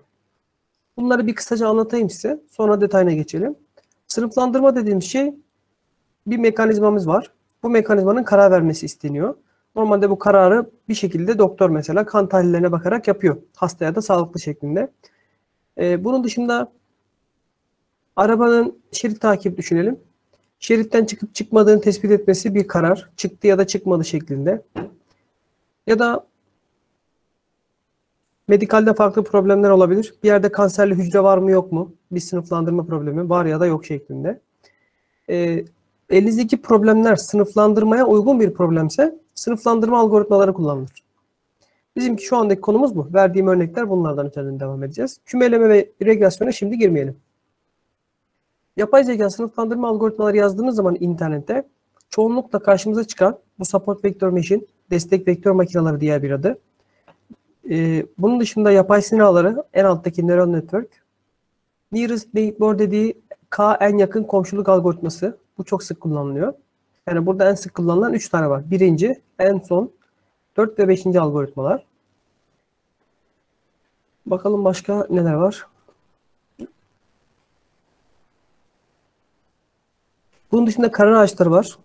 Burada gözükmemiş şu anda. Ee, ensemble yöntemler var. Yani birkaç tane yapay zeka algoritmasını siz kendiniz birleştirerek oluşturduğunuz yöntemleriniz var. Ee, bunun dışında başka bakalım ne var? Destek vektör makineleri. Tamam. Bunlar var genel anlamda. Şimdi bunların hepsi derin öğrenmede sınıflandırmaya problemlerinde kullanılan bir yöntem. Derin öğrenme de olabilir. Olasılıksal yapay sinir ağları var. Radyal temelli yapay sinir ağları var. Bir de ensemble. Ensemble'da dediğimiz şey iki tane farklı ya da üç tane farklı e, doktorun heyet raporunu duymuşsunuzdur. Heyet raporunda kurulda heyette doktorlar olur. 10 tane 15 tane artık sayısı kaç tane ise. Hepsi hastayı inceler. Hepsi kendi fikrini beyan edilip istişareyle bir karar alınır. Aynı durum yapay zekada da geçerlidir. Ensemble learning dediğimiz ya da ensemble kolektif öğrenme, topluluk sınıflandırıcısı dediğimiz bir e, terimin altında da farklı 4 ya da 5 tane işte sayısı arttırılabilir. Genelde tek olması tercih edilir. E, yapay zeka birleştirilir. Tek bir yapay zekamış gibi kullanılır. Yani her bir yapay zekaya kişinin hasta ya da sağlıklı olup olmadığını sorduğumuzu düşünelim. İkisi sağlıklı dedi, birisi hasta dedi. E, toplumda yani oy çokluğunu düşünürseniz hasta diyen çok olduğu için biz bu yeni gelen kayda hasta diyebiliriz. Bu durumda zayıf sınıflandırıcılar varsa elinizde yani 2-3 tane sınıflandırıcınız vardır ama %60, %70 doğruluk oranı veriyordur. Bunları birleştirdiğiniz zaman sisteminizin doğruluk oranını %80-90'a kadar çıkartabilirsiniz. Bu ensemble sınıflandırıcıdaki amaç da zayıf sınıflandırıcıları bir araya getirerek daha kuvvetli bir sınıflandırıcı yapmaktır. Her zaman çok yüksek doğruluk oranı vermeyebilir ama genellikle performansı yükselten bir yapı olarak düşünebiliriz. Şimdi burada sınıflandırma problemlerini anlamışızdır umarım. Amaç sınıflandırmayla çözebileceğimiz problemlerde e, kullandığımız bir yöntemimiz. Şimdi birkaç tane yöntem var dedim. E, önce MATLAB yüzünden bakalım nasıl bir şey yapabiliriz diye.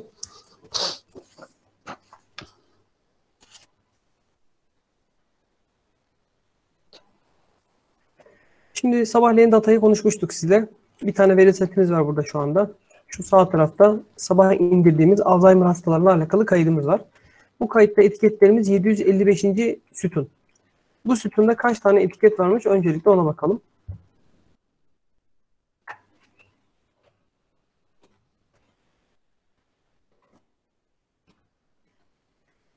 Bu sütunda 192 tane bir kayda ait 564 tane farklı bir kayıt. Veriler dengesiz şu anda. Dengesiz olmasına rağmen biz yine de bir yapalım. Daha sonra dengeli bir kayıt bir tane daha alacağım.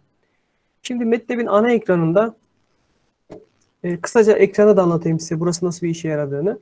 MATLAB'in ana ekranında biz kodunuzu yazıp Enter'a bastığınızda anında çalıştırabileceğiniz bir platform.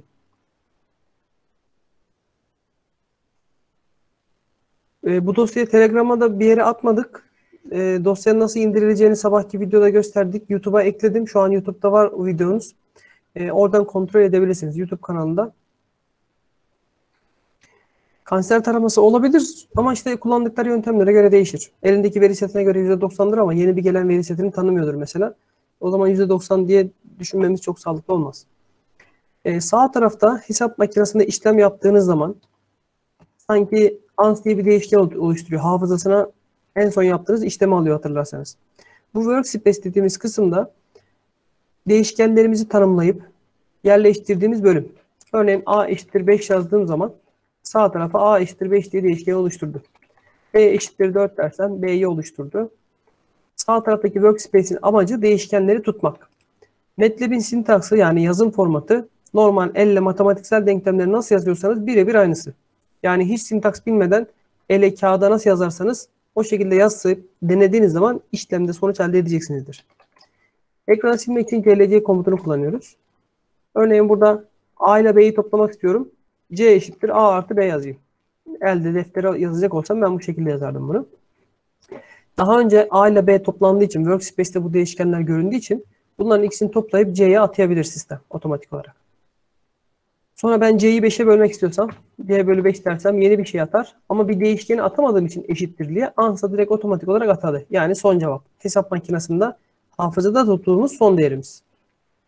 Sol taraf ise klasörümüz ise şu yukarıda e, klasörlerde de Windows klasörlerinde de görmüşsünüzdür.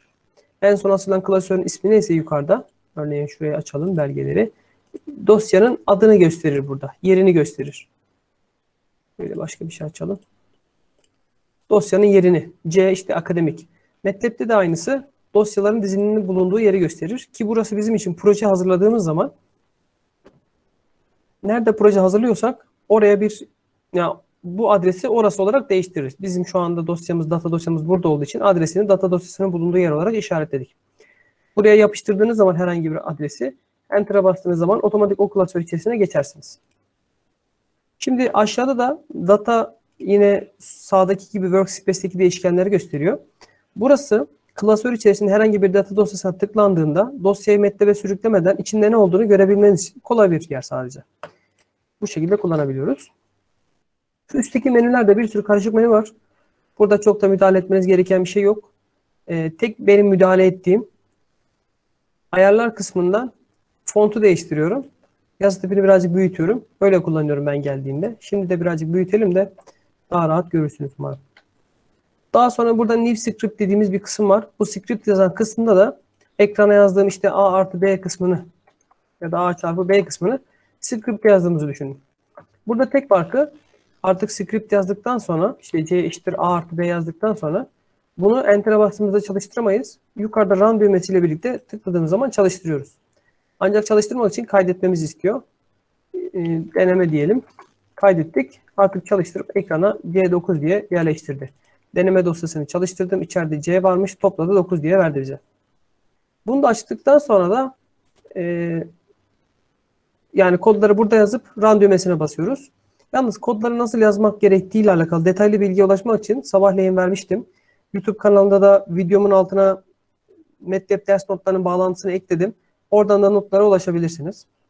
Oradaki notları bilgisayar başına oturup bu şekilde editör sağ tarafta, ana ekran sol tarafta olacak şekilde kodları yazıp her seferinde çalıştırarak denemelerinizi yapabilirsiniz.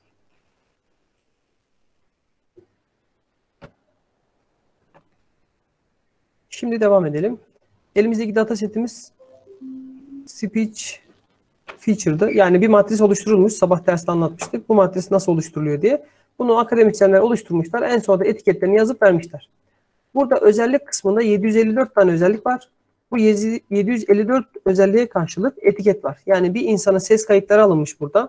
Ses kayıtlarından e, sinyal işlemeye dayalı özellik çıkartılmış. Sinyal işleme tamamen ayrı bir mecra, olay. Oraya girmiyoruz şu anda. Sesinin işledikten sonra da bu kişinin hasta ya da sağlıklı olduğu doktor tarafından etiketleri verilmiş. Yani ilk 754 özelliği mühendis çıkartmış. 755. özelliği o alanda uzman kişiye te- teşhisi koyacak doktor vermiş. Kişi hasta ya da sağlıklıdır şeklinde. Şimdi bizim tekrar bir bakalım. Bize kaç kişi hasta sağlıklı? Şu an etiketlerin bir mi sıfır mı olduğunun hangisinin neye karşılık geldiğini bilmiyorum. Yani hasta mı sağlıklı mı diye. Şu an tamamen e, farazi şekilde devam edebiliriz. Bilmiyoruz. Bu veri setini aldıktan sonra yukarıdaki toolbox'larımızı kullanacağız. Yukarıda neler var? Home kısmında sadece ayarlardan fontu değiştirdim ben. Unutmayın. Hani çok fazla bir şey kullanmanıza gerek yok. Plot kısmında sağ taraftaki dataların e, tıkladığınızda bu dataya çizdirebileceği grafikler çıkar karşınıza. Örneğin Surface'e tıklayalım. Şu andaki datayı çizdirdi. Bize böyle bir grafik verdi. 3 boyutlu vesaire de çizdirebiliyorsunuz bunları. Simsiyah bir kayıt verdi. Tabi bu ters kısmı döndürünce değişiyor. Bunu kaldıralım. Yani bu matrisi tıkladığınızda bu matrisi kullanarak neler çizdirebilirim onu gösteriyor. Mesela ben bunu şekil olarak algıda deseydim görüntü işleme toolbox'ından kullanarak bunu bir resim gibi kullanıp böyle bir resim çıkıyormuş bize elimizdeki kayıtlar. Başka ne var? Yüzey olarak çizdirebilirsiniz. Tabii bunları çizdirmenizdeki amaç yani yaptık oldu da bu bir şey ifade etmiyor şu anda. Her şeyi ilmine göre nerede neye ihtiyacınız var? Şuradaki grafiklerin çizdirmelerin her biri bir yöntem. Bu yöntemlerin hangisi hangi datada gider öğrenmeniz gerekir. Ona göre kullanacaksınız. Ya da işte istatistik çalışıyorsunuzdur. Makalenize koyacaksınızdır. Ya da çalışmanızda e, şirketlere göstereceksinizdir. Ne göstermeniz gerektiğini bulup sonra buradan o yöntemi ararsanız daha sağlıklı olur. Durum bu. Şimdi buradaki matrislerimiz tamam dedik. Yukarıda bir de application kısmı var. Bu kısımda MATLAB'in içerisinde hiç kod yazmadan MATLAB'in e, hazırlanan toolbox'ları yardımıyla işlemler yapmanızı sağlayan kısım. Bu kısımda Classification Learner var. Bu yapay zekada kullanılan sınıflandırma algoritmalarının hepsini içinde barındıran bir toolbox. Ancak burada yapay sinir ağları yok. Unutmayın. Yapay sinir ağlarının toolbox'ı farklı bir durum yerde. Classification Learner bunun yeri.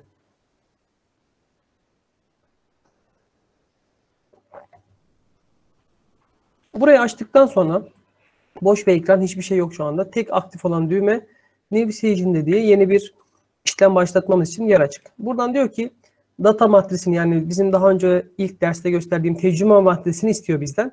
Tecrübe maddesini bana nereden vereceksin diyor. Ya dosyadan çekmeniz lazım ya da Workspace'e atmış olmanız gerekir. Workspace neresiydi? Şurası. Değişkenlerimizin olduğu. Bizim tecrübe maddesimiz bu PSD Speech Feature dediğimiz e, matris.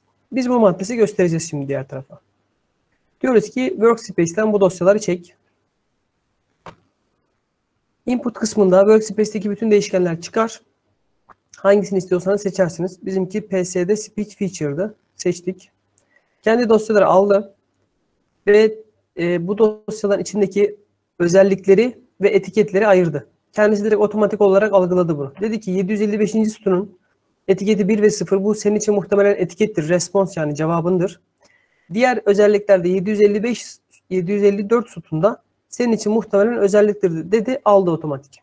Eğer bunu almadığını düşünüyorsanız şu response kısmını kendiniz elle seçersiniz. Ben çıkış işte 755 değil de 750'nin olmasını istiyorum diye dileyebilirsiniz. Ee, çoğunlukla ama matrisler, tecrübe matrisleri hazırlanırken özellikler başlangıçta en sonda sadece etiket olacak şekilde bir hazırlık yapılır. Etiketiniz her zaman en sonda olur. Şimdi bu verileri aldıktan sonra sol sağ kısmında validation dediğimiz bir kısım var. Burada verileri eğitim ve test şeklinde nasıl ayırması gerektiğini siz öğretiyorsunuz. Şimdi no validation dediğimiz zaman eğitim ve test diye ayırmıyor. Bütün verileri öğreniyor. Öğrendiğini bir daha tekrar kendisine soruyoruz. Bu durumda test yapmamış oluruz. verileri iki parçaya ayırmamış oluruz. Bir tane öncelikle bunu bir deneyelim. Start Station dediğimiz zaman oturumu başlatıyor. En basitte bir tane karar ağacı modeli oluşturup size teslim ediyor. Burada bunu çalıştırabilmek için, eğitim yapabilmeniz için yukarıda train kısmı var. Train'e tıklıyoruz. Paralel toolbox'ı var bunun. O oturum açılıyor. Açıldıktan sonra erişime izin verin. Oturum başladıktan sonra eğitime başlayacak yapay zeka.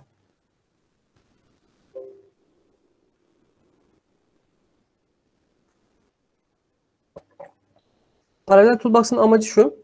Eğer siz aynı anda birden fazla yapay zekayı eğitmek istiyorsanız, hepsini karşılaştırmak istiyorsanız Paralel Toolbox açılıp bunları aynı anda eğitimini gerçekleştiriyor. Ancak eğer kodla yapacaksanız bu işi her seferinde tek bir yapay zekayı eğitebiliyorsunuz. Bakın şimdi eğitim başladı. Bu eğitimle birlikte doğruluk oranı %98.4 verdi bize. Peki bu %98.4'ün gruplara verileri dengesiz dağıldı mıydı? Peki bu dengesiz dağılmasına rağmen acaba birinci sınıfla ikinci sınıfı yüzde kaç oranıyla ayırt edebiliyor? Yani o az olan sınıfı hiç hepsini yanlış mı yaptı acaba? Onu nasıl buluruz? Bir tablo oluşturuyoruz bize. Confusion matris dediğimiz bir matrisimiz var. Bakın mesela gerçek sınıflarımız 0 ve 1. Şu sol tarafta. Bir tane sınıfımız kaçtı? 564'tü. Diğeri 192 idi.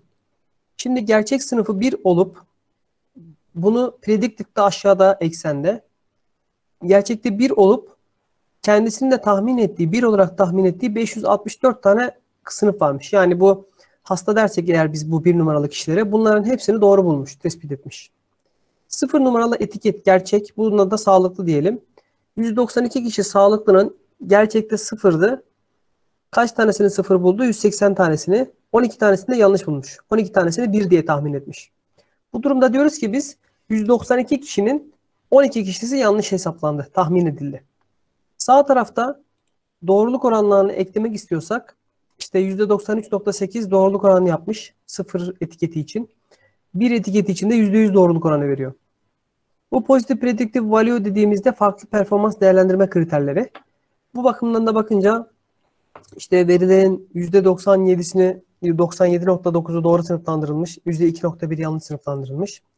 Şey pencereyi açabilir miyiz tekrar ya? E, doğru sınıflandırılmış. Bu doğruluk oranlarını burada verebilir bize. E, bu şekilde çıkıyor. Bunlara bakabiliyoruz. Yani doğruluk oranı nasıl değişir? Mazlum yazmış ben bende 78 çıktı diye. Şimdi yukarıda feature selection denilen bir kısım var. Şimdi burada 754 tane özellik vardı. Hepsi kullanılmadan yapılabilir. O zaman doğruluk oranı değişir. Burada PCA var. Bu PCA da 754 tane 754 özelliği kısaltıp fark, yani kullanarak farklı bir özellik elde ediyor. Yani 754 taneyi açıklayan e, Principal Component Analiz diye geçiyor. Temel bileşen analizi. 754 özellik yerine iki özellik kullanıyor. Ama bu 154'ün içinde olmayan farklı bir özellik türetiyor diyelim. Yani bir topla çıkart çarp böl işlemiyle farklı iki tane parametre elde ediyor. Buna temel bileşen analizi deniyor. Bu durumda da özellik azaltma şeklinde kullanılıyor. Birisi özellik seçme, var olan özellikleri seçiyorsunuz. PCA'da ise özellikleri azaltarak kullanıyor. 754 tane yerine 2 tane ayrı bir parametre türetiyor. Şimdi bu şu kısmı açtık. Bakın ok, oka tıkladığınız zaman şu kısımda model type yazıyor. Model tipi. Buraya tıkladığınızda var olan bütün sınıflandırma yapay zeka algoritmaları çıkıyor. Burada e, bayağı bir yapay zeka algoritması var ve bunların hepsi sınıflandırma için çalışan algoritmalar. Örneğin burada support vector machine demiştik. Bunun içerisinde kendisinde 1, 2, 3, 4, 5, 6, 7 tane farklı SVM algoritması var. Aynı şekilde K en yakın komşuluk algoritması 1, 2, 3, 4, 5, 6, 7, 8 tane de bunda farklı var. 7 tane de bunda var. Ensemble Classification dediğimizde karar ağaçlarını birleştirerek e, size optimum sonuç sunmaya sağlayan farklı yapay zeka algoritmalarını aynı anda kullanan bir bu da bir sınıflandırıcı. İstediğinizi seçip eğitim yaptırabilirsiniz. Örneğin biz bir tane daha seçtik SVM'ye. Eğit diyorum. Bir daha sıraya aldım diyor. Eğitmeye başladı. Bunda %100 doğruluk oranı çıkarttı mesela. Hiçbir hata yok sistemde. Veriler dengesiz olmasına rağmen. Dengesiz olduğunda genellikle çok büyük oranda hata çıkar. Ama hiçbir hata yapmadan verdi. Ama dikkat ederseniz buradaki durum nedir? Eğitim ve testi ayırmadık. Hepsini öğrettik, hepsini sorduk. Ee, hepsini doğru bildi. İyi öğrenmiş diyoruz. Bu durumda yapay zeka ezberlemiş olabilir. Ezberleme olup olmadığını öğrenmek için veriler iki kısma ayrılır. Eğitim ve test şeklinde. Bu yüzden ikiye ayırıyoruz. Yani eğitim ve test neden yapılıyor? Ezberleyip ezberlemediğini anlamak için. Şu an hepsini doğru bildi. Peki ezberledi mi bunu? Ezberlemedi mi? Ezberlerse ne olur? Yeni bir kayıt geldiği anda cevap veremez. O zaman bunu ezberlemesi bize bir fayda sağlamamıştır. Biz öğrenmesini istiyoruz. Derste de aynı şekilde hani size derler ya ezberlemeyin öğrenin diye.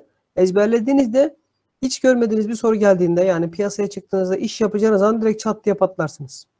O yüzden derslerde ezberlemek yerine öğrenilmesi tercih edilir.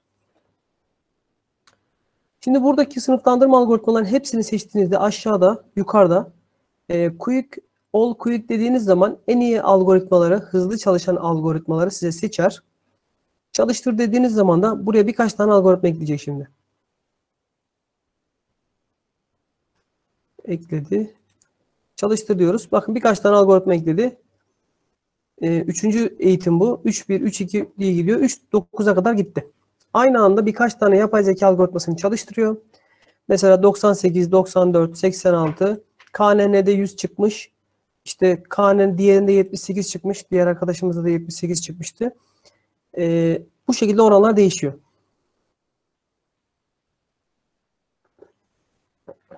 Burada her algoritma aynı sonucu üretecek diye bir şey yok. Veri setine uyum sağlamaya bakar. Elinizdeki bir veri seti mesela KNN. Her veri setinde %100 doğruluk oranı verecek diye bir şey yok. O yüzden biz de elimizde bir veri seti varsa bu veri seti üzerine bütün algoritmaları çalıştırırız. Hangisi iyi sonuç veriyorsa deriz ki bunların ikisi birbirine uyum sağladı. Biz geliştireceğimiz sistemde bu iki sistemi kullanabiliriz. Bu matris ve bu yapay zeka algoritmasını kullanabiliriz diyebiliriz.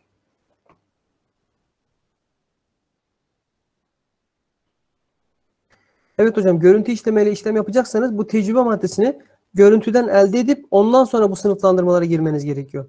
Ya da e, görüntü işlemede eğer derin öğrenme kullanırsanız özellik çıkartma yani tecrübe maddesi oluşturmanıza gerek yok. Direkt özelliği alıp e, derin öğrenme algoritmaları çalıştırabiliyor. Yani aradaki bu benim anlattığım, sabahtan beri anlattığım birkaç işlemi e, matris çıkartma, tecrübe matrisi çıkartma işlemlerini artık kendisi yapmaya başladı. Görüntü işlemenin dışında ise bu tecrübe matrisi oluşturmak şart. Oluşturmadan bu işlemleri yapmanız mümkün değil. Şimdi oluşturduğumuz modellerin üzerinde e, scatter plot dediğimiz confusion matris, ROC curve, e, işte yanlış sınıflandırılanların hata değerleri vesaire değerleri var. Şimdi bir onlara bakalım. Mesela bu tabloya baktığımız zaman cross tab table dediğimiz kısımda confusion matris, çapraz karmaşıklık matrisi diye geçiyor. Sol taraf gerçek sınıfların etiketlerini, alt tarafta tahmin edilenlerin etiketlerini gösteriyor. Bizim elimizde kaç tane toplam kayıt vardı?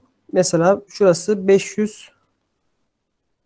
564 kayıt vardı. Onların hepsi 6 tanesi yanlış sınıflandırılmış. 558 tanesi doğru. 0 numaralı etikette ise 33 tanesi yanlış. 159 tanesi doğru. Yok pardon 33 tanesi doğru. 159 tanesi yanlış. Ama genel anlamda bakarsanız doğruluk oranı yüksek. Ama 0 numaralı etiketleri de hepsini sanki 1 numaralı etiketmiş gibi almış. Dengesiz veri sınıflandırdığımız zaman veri setindeki büyük olan sayıya doğru kayma olur. Yani burada büyük olan veri seti hangisi? Bir numaralı etiket. Diğerlerini de birmiş gibi artık algılamaya başlar sistem. Bu yüzden verilerin dengesiz olmasını istemeyiz. Ama dengesiz verilere bile uyum sağlayıp çalışan güzel algoritmalar var. Onları da deneme yanılma yoluyla test ederek bu şekilde ancak çıkartabilirsiniz.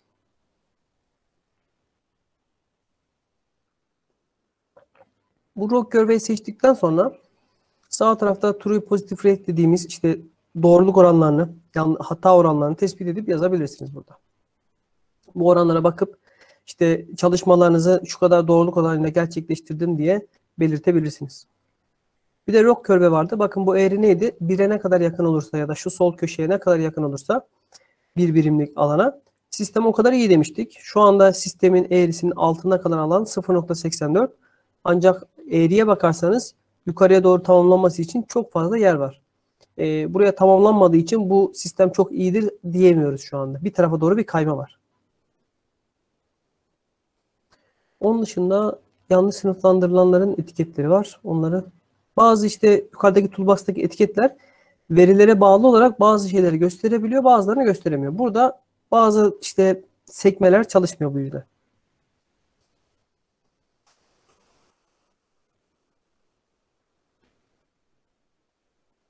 Şimdi yanlış sınıflandırılanların eğrisiyle alakalı bir bakalım. Bir şey var mı diye. Burada da başka bir şey yok.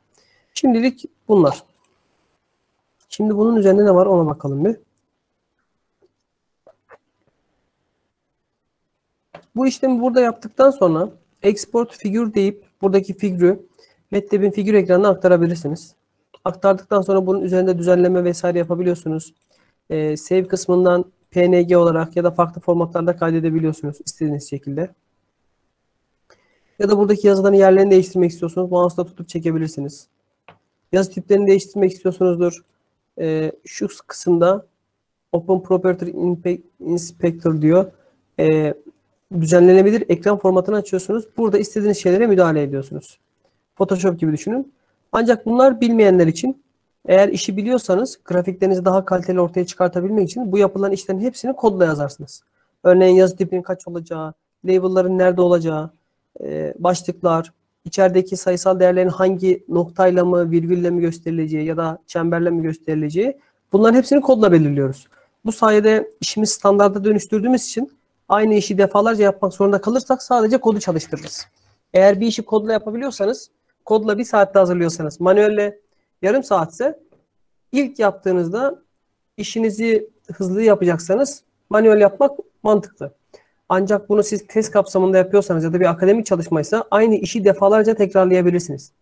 Bu yüzden kodlarını yazıp hazırlarsanız ikinci yapmanız gerektiği anda direkt zaman tasarrufu etmeye başlarsınız. Yani ilk iş maliyetli olur. Bunu bir yatırım gibi düşünün. Ama sonrasında seri üretime geçtiğiniz zaman bunu defalarca tekrarlamak zorunda kaldığınız zaman size muazzam bir geri dönüş sağlayacaktır. O yüzden yaptığınız işleri kodla yapmaya çalışın. Algoritma ve programlama bilmek bu yüzden çok önemli. Şimdi generate function dediğimiz kısımda da diyelim bu %100 çalışan KNN algoritmasının çalıştırmak için bu veri setine özel tasarlanmış e, kodlarını çıkartıp veriyor. Direkt bu kodları kullanarak sisteminizi çalıştırabilirsiniz. Bunu nasıl çalıştırıyoruz? MATLAB fonksiyonu kullanmayı öğrenmeniz gerekir. O yüzden sabahleyin verdiğim ders notlarında fonksiyon oluşturma, kullanma, çağırma onlarla alakalı şeyler vardı. E, bakarak rahatlıkla çağırabilirsiniz. Bir fonksiyonun ismi yukarıda yazılır. E, bu parametreyi kullanarak fonksiyonlarınızı çağırabilirsiniz, çalıştırabilirsiniz. Mesela bir deneyelim bakalım olacak mı? Fonksiyon çağırmak için şu satırı kopyalıyoruz. Şu kısımları kapatalım. İçeride e, şu training data denen kısım bizim datamızın ismi olacak. Enter'a bastığımız zaman sistem çalışır. E, eğitilmiş ağı doğruluk oranını sistem çıkartıp verir. Doğruluk oranı mesela validation accuracy dediği birmiş yani %100'e karşılık geliyor şu anda. Sistem çalıştı bitti. Kodu hazırladıktan sonra istediğiniz veri sete ait Zaten fonksiyonu bakın buraya kaydettik. Bu fonksiyonu çağırmanın kısa yolu budur. Üsttekini çağır. Şu ilk ikinci parametremiz bizim doğruluk oranımızı gösterir ki 1 gösteriyor şu anda 100'dür. Eğitilmiş ağın parametrelerini ise Workspace'te Trained Classifier dediğimiz kısma giriyoruz. Burada bu oluşturulan modelle alakalı bütün parametreler var. İçine giriyoruz bakıyoruz burada ne var. Ee, bütün değerler burada parametre var. Bunları kullanıyor muyuz? Ben kullanmıyorum. İhtiyaç olmuyor. Bizim amacımız şu doğruluk oranını almak ya da e, cevapları girişleri çıkışları almak. Burada çıkışlar Y şeklinde verilmiş mesela. Yani respons anlamında düşünebilirsiniz. Ama tavsiyem işi öğrenmek amaçlı birkaç kere burada deneme yapın. Daha sonra kendi kodlarınızı yazarak süreci kendiniz oluşturun. Yani size anlattığım eğitim test matrislerinin oluşturulması, bunların eğitim ve teste ayrılması, daha sonra kodlarla yapılması daha kolay olacaktır. Örneğin şimdi Toolbox'ta yaptık bunu. Hiç kod yazmadan yaptık mesela. Ama kod yazarsanız işe çok daha fazla hakim olursunuz. Çok daha rahat yapabilirsiniz. Şimdi yeni bir e, oturum başlatalım.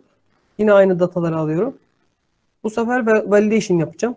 Doğruluk oranı nasıl değiştiğini görelim diye. Özelliklerimizi aldık. Otomatik kendisi etiketleri seçti getirdi. Hold all'da %25 olarak ayırsın. Kendisi otomatik belirledi. Onunla başlattık.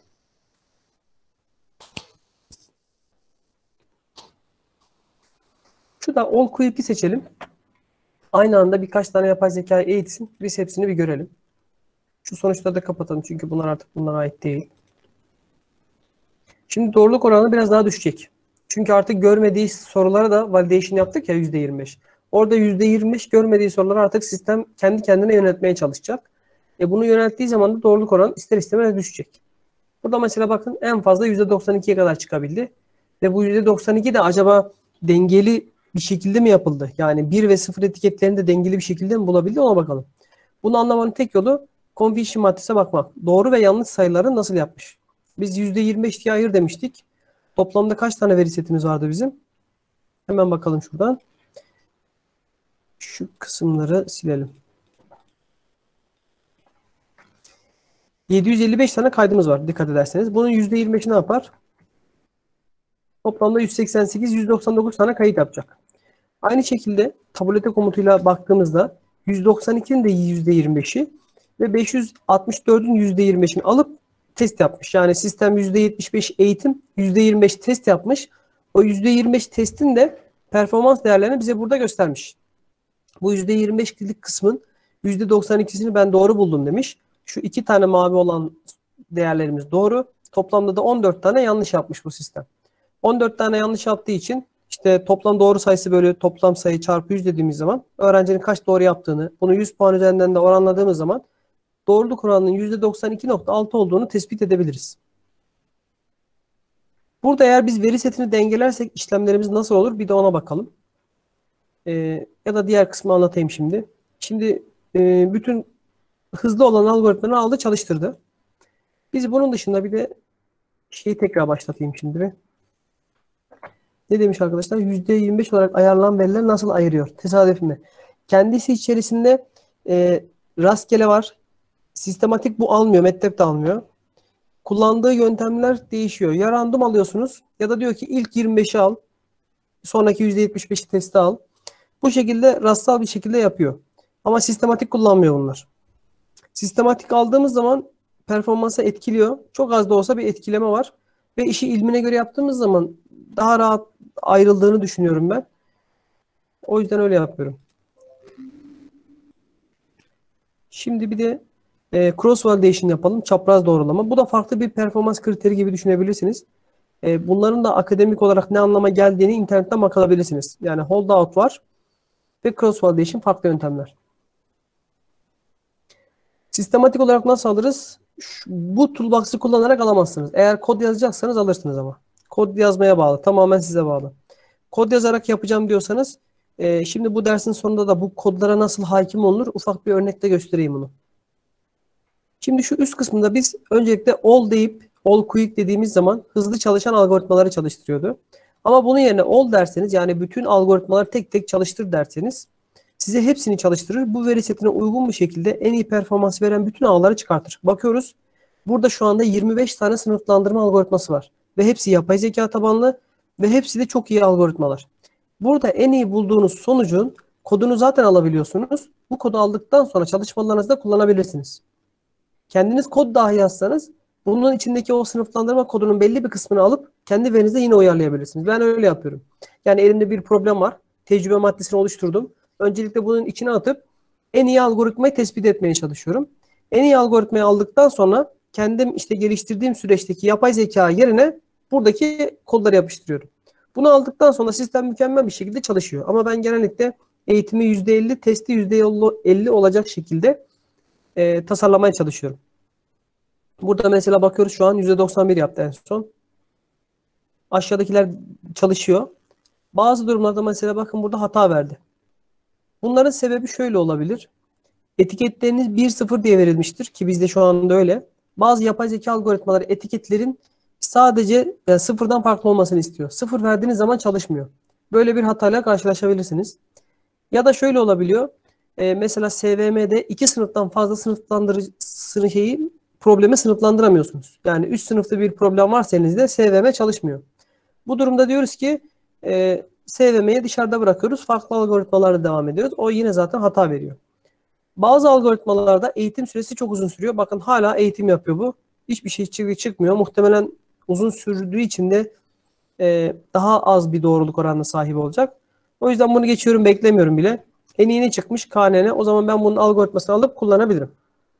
Bunu nasıl kullanacağım peki? Export function diyorum. tabii birazcık buradan sonrası kodlara hakim olmanıza bakar. MATLAB'e birazcık hakim olmanıza bakar. Bunun alt kısmında şu kısmında training classifier dediği bir şey var. Yani modelin eğitilmesi. Bu modelin eğitilmesi kısmı esas olarak modelin performansını belirleyen yer. Ben bu kodları alıp kendimde kullanıyorum. Kendi tasarladığım süreçte kullanıyorum. Ama direkt bunu kullanmak isterseniz kullanabilir misiniz? Kullanırsınız kesinlikle. Ama burada işte ikiye ben eğitim %50, test %50 ayırayım derseniz burada kodlara ayrıca müdahale edemiyorsunuz. Toolbox'ta yapıp e, sonra Toolbox'ın ürettiği kodları o zaman kullanabilirsiniz. Şu kısmı göstereyim. Tekrar yaptığımızı düşünelim. Şunu bir stop yapalım. Nasıl durduracağız? Tamam. Yeni model diyelim.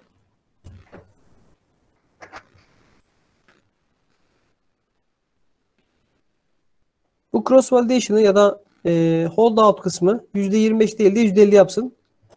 Bakın test kısmını kaç yapacağınızı gösteriyor burada. Hani benim dediğim %50 %50 dediğim yer burası. Maksimum %50 yapmanıza izin veriyor zaten. Sonrası uygun değil diye. Başlattığımız zaman bütün modelleri seç diyelim. Seçti ve çalıştırmaya başlıyoruz. Şimdi doğruluk oranı %50 %50 olduğu zaman düşer. Daha önce de söylemiştim. İnsanlar veri setine güveniyorsa eğitim oranını azaltırlar, testi arttırırlar. Ama veri setine güvenmiyorsa veri setin testi azaltıp eğitim arttırırlar. Ne kadar çok öğrenirse gördüğü sorulara o kadar cevap verir diye. Şu anda da mesela az önce KNN çok iyiydi, şimdi SVM çok iyi oldu. Veri setinin demek ki dağılımının değişmesi seçilen sınıflandırıcıyı da değiştiriyor. Performansının iyi olacak sınıflandırıcıyı da değiştiriyor. O yüzden siz modellerinizi oluştururken elinizde bütün yöntemler olduktan sonra e, hangi oranda eğitim test yapmak istiyorsanız onu belirleyip ondan sonra devam edin. Ama şahsi görüşüm %50 %50 yapmak baktık sonuç iyi çıkmıyor. %20'ye kadar azaltıyorum ben. Veri setimize güvenmekte kastımız ne? Manipüle edilmiş veriler oluyor. Adam verileri toplamış ama hatalı olduğunu düşünüyor. Elle kafasına göre sayılara değiştirmiş. Ya da hastaneden sayılar gelmiş. Ölçüm yapılan cihazın kalibrasyonu bozukmuş o gün. E, kalibrasyonu bozuk cihazla ölçüm yapıldığı için sonuçlar sağlıklı çıkmayacaktır. Eğer sonuçlar kaliteli değilse yani sağlıklı bir ölçüm alınmadıysa yapay zeka algoritmasını da yanlış yönlendirecektir. Bu yüzden güvenmiyoruz biz bu sonuçlara. Ya da işte anketöre verdiniz, anket yap gel dediniz. Adam bütün anketleri kendisi doldurdu getirdi. Bu bir sağlıklı bir sonuç ürettirmez size. O yüzden verilere güvenmek önemli. Yani ben verileri çok titiz topladım. Hiçbir hata olduğunu düşünmüyorum. E, gayri ihtiyari cihazla alakalı bir şey varsa onları tabii göz önüne almıyorum şu anda. Sizin bilemeyeceğiniz bir hata yani bilmediğiniz bir hata varsa sıkıntı yok. Ama siz baktınız ben çok iyi topladım güveniyorum diyorsanız eğitimi %50 yapabilirsiniz. Baktınız oran düşük çıktı. Biraz daha yükseltmek için test oranını azaltabilirsiniz %20'ye kadar. Yani %20'nin altı da çok sağlıklı olmuyor.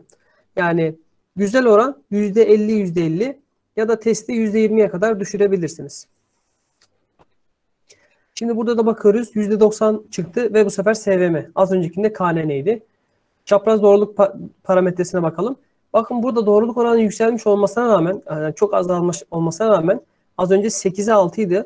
Az önce 8 yanlış yapıyorken şimdi 29 yanlış yapıyor. Bu durumda sensitivity yani bir tane sınıfı tespit etme doğruluk oranı düşmüş demektir sistemin. Yani biz bütün sayıların bu açık mavi olan yerde olmasını istiyoruz.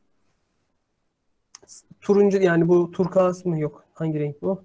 Krem rengi olan yerde sayılar arttıkça sıfır nolu sınıfı tespit etmesi bu sistemin zordur. Bunu şöyle güncel bir örnek verelim. Covid testlerini düşünün. Covid testleri için test kitleri yapılmış. Bu test kitlerini yaptıktan sonra 100 kişiye uyguladığımızı düşünelim bunu. Hemen bir tane Excel maddesi açayım, onu da anlatayım. Daha sağlıklı olur. Covid örnek diyelim. Şimdi pozitif ve negatif var hatırlarsanız. MATLAB'dekine uygun olması için sağ tarafı gerçek değerleri ayarlayalım. Üst kısımda tahmin edilen olsun.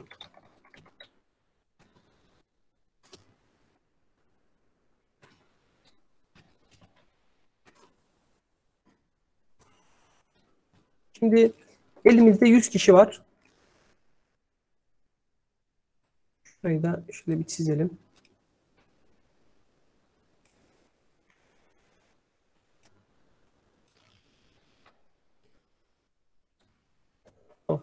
Şimdi kişi sayısı 100 diyelim. Ya da hasta diyelim. Hasta. Elimizde 50 tane hasta var. 50 tane sağlıklı var. Ama bunlara COVID testi yapıyoruz. COVID testi yaptığımız zaman biz bu hastalara genellikle tıp teriminde pozitif denir. Sağlıklılara da negatif denir. Yani hasta değil anlamındadır. Şimdi pozitif negatif üzerinden gidelim. 50 tane hastaya COVID testi yaptık.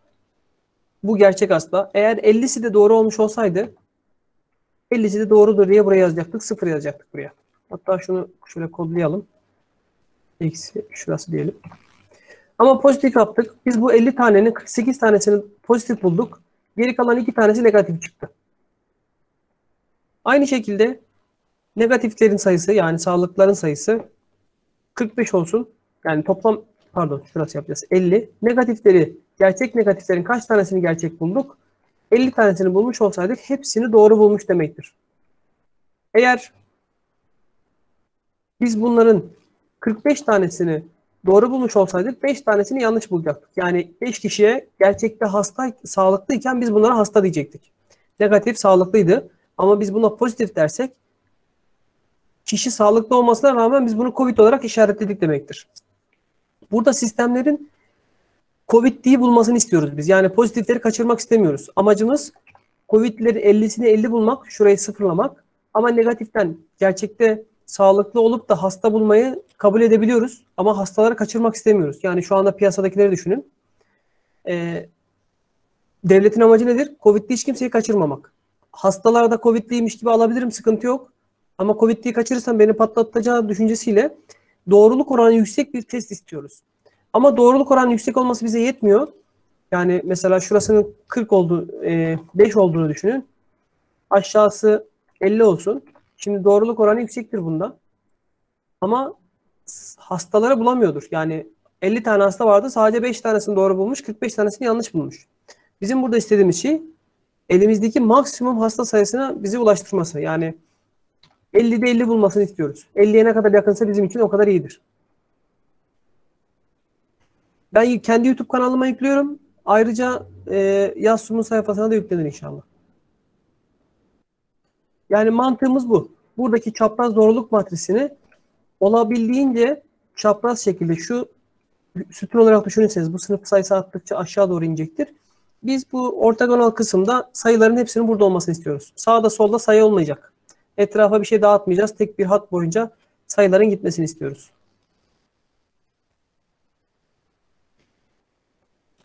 Kapatalım. Kastettiğim de bu. Burada mesela sağda solda sayılar var. 6 ve 29 hatalı bulunan sayılar. 276 ve 67 doğru. Ancak tek bir sınıfı doğru bulabilmek için sayı azaldığı için bu 29 sayısı orada olduğu için e, bizim sistemimizin duyarlılığını yani hastalığı teşhis etme duyarlılığını düşürüyor. Covid testlerinin duyarlılığıyla alakalı hatta hatırlarsanız e, medyada haberlerde çıkıyordu. Burada önemli olan sistemin hastaları yüzde kaç doğruluk oranıyla bulabildiği. Yüzde 99.99 ise hastaları hiç kaçırmıyor demektir. Ama duyarlılık düştükçe hastaları kaçırmaya başlıyor demektir ki bu da istenmeyen bir durum. Evet aynen istatistikteki tip 1 tip 2 mantığının aynısı. Doğrudur. Şimdi bir tane dengeli veri setiyle devam edelim. Ben kendimdeki dengeli veri setini açayım şimdi.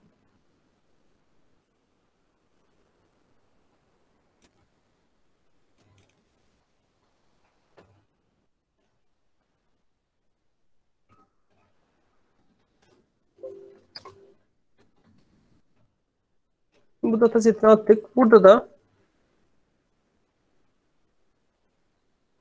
şununla birlikte devam edelim. PPG data diyeyim ya. Bunun belli, neyse hepsini alsın ya. Şimdi yine plot kıs e, application kısmından classification learner'ı açıyorum. Bu sefer dengeli bir veri setimiz.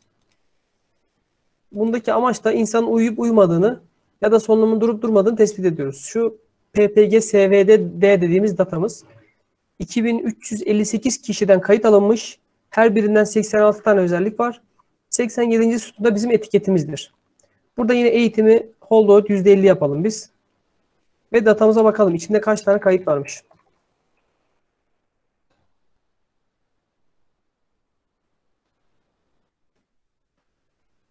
Bu kod yazmayı normalde yazmasanız da olur. Ben sadece görsellik anlamında görebilmek adına yazıyorum bunu.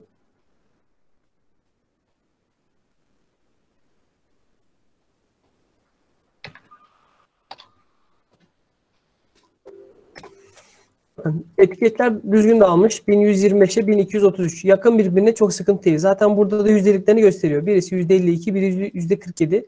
Çok takıntılıysanız bu %52'den işte 1125'e kadar düşürürsünüz. Şimdi gelelim veri setimize. Seçtik, sınıflandır diyoruz. Paralel toolbox açılacak, bir sınıflandırma işlemi yapacak bize. Bakın verilerin dağılımını öncelikle burada gösterebiliyor. Maviler bir sınıf, kırmızılar bir sınıf birbirine yakın bir şekilde dağılmış. Şimdi hızlı olması açısından sadece hızlı çalışan algoritmaları çalıştır diyorum. Çalıştırmaya başladı. Veri sayısı yüksek olduğu için eğitim biraz uzun sürebilir. Ama sürmedi Allah şükür. Dikkat edersek burada KNN %84.6 oranıyla doğruluk oranını elde etmiş. Confusion maddesine bakalım. Dengeli dağıtmış mı? İstediğimiz burada dengeli olmasını istediğimiz durum doğruların sayılarının birbirine yakın olması, yanlışların sayılarının birbirine yakın olması. Burada yanlışlar da yakın, doğrular da yakın. Herhangi bir sıkıntı yok. Sistem iyi ve dengeli bir şekilde çalışıyor diye düşünebiliriz. Kör verisine bakalım. Kör yukarı çıkması gerekiyordu. Altındaki alanda 1'e yakın olması gerekiyordu. 0.92 şu an çok iyi. Yukarıya doğru da çıkmış, gelmiş. E, 0.8'in üstüne de gelmiş, yaklaşmış baya. E, yukarıya 1'e geldiği anda sistem iyidir diye düşünebiliriz. Bu ROC, ROC eğrisinin tam nasıl olur ona bakıp göstereyim size.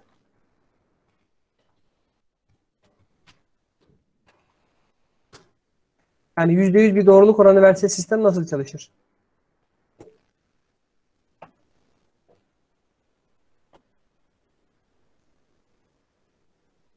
Hı, şurası. Soldaki maviyi görüyorsunuz. Yukarıdaki. Yukarıdaki tam eksen üzerindeyse mavi ise %100 doğru ve çalışıyordur sistem. Ama bu eksen üstündeki kırmızıya düştüyse birazcık düşmüştür. Kırmızı sarıya düşmüşse daha da düşmüştür. Bu eksenin e, yani L şeklindeki grafiğimizin yukarıya ya da sol eksene yakın olması bize hasta ya da sağlıklıyı ne kadar duyarlılıkla tespit ettiğinin farklı bir göstergesidir. Yani yukarıya yakınsa eğrimiz şöyle düşünelim. Var mı acaba böyle bir eğri? Heh, şuradakine bakalım. Çok küçükmüş bu. Şuna bakalım.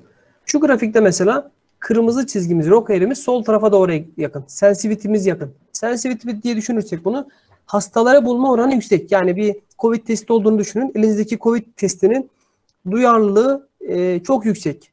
Ama hastaları sağlıklara bulma oranı ise yani yukarıdaki eksene yakın olmadığı için de sağlıkları düşük doğruluk oranıyla tespit ediyor diyebilirsiniz buna. Bununki gibi birkaç tane farklı parametremiz var. Yani performans değerlendirme bu şekilde yapılır. Sistem geliştirdik. Gerçekten bu sistem işe yarıyor mu? Covid testlerini hastalara bulabilir miyiz? Covid'leri bulamaz mıyız? Bulabilmek için testleri böyle sınanır. Bir test geldi elinize. Bu testin gerçekten ne kadar güvenilir çalıştığını bu eğrilere bakarak anlayabilirsiniz. O yüzden yöntem önemli. Yöntemi öğrenip bu yöntemi nasıl değerlendirmeniz gerektiğini öğrendiğiniz zaman çok rahat bir şekilde ilerlersiniz. Şimdi çok vakit kaybetmeden devam edeyim. Şimdi bu da bakın dengeli veri sınıflandırdık ve matrislerin dağılımları dengeli olduğunu gördükten sonra herhangi bir sıkıntı olmadığını söyleyebiliriz. Doğruluk oranlarını şu sağ taraftan tıklayarak tekrar ayrıca görebilirsiniz. Bir de yapay sinir ağlarını göstereyim size. O da çok verimli çalışan bir sistem. Yapay sinir ağları Neural Network Cluster Şöyle yapalım. NN Start bunun hızlı, kısa yazılımı.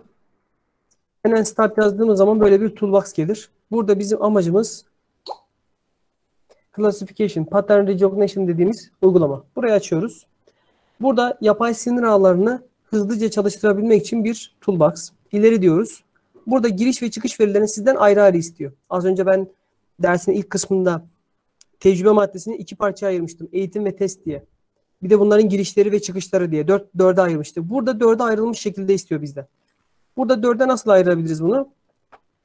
Input kısmı eğitim diyelim biz buna. Öncelikle ben maddesleri hazırlamaya çalışayım kendim hemen. Hmm, neyse. Kaba taslak alıyorum şu anda. Veriler dengesiz gelecek.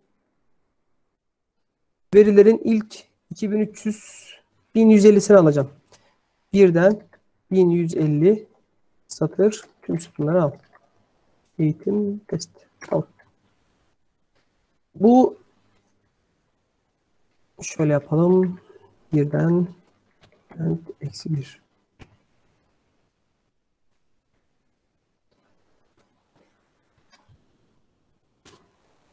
Matrisimiz ben direkt ikiye ayırdım. Dörde ayırmadım bu sefer. Özellikler giriş, son sütun etiketlerde çıkış. Ya da şöyle yapalım. Input diyeyim. Maddesi ikiye ayıracağım sadece. Bütün özellikler bir tarafa, etiketler bir tarafa olacak şekilde. Satırlar.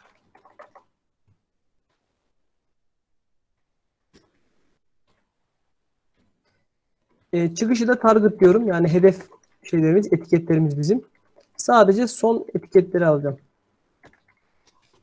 Tamam. Şimdi şu input kısmına geldi veriler. Biz input alıyoruz.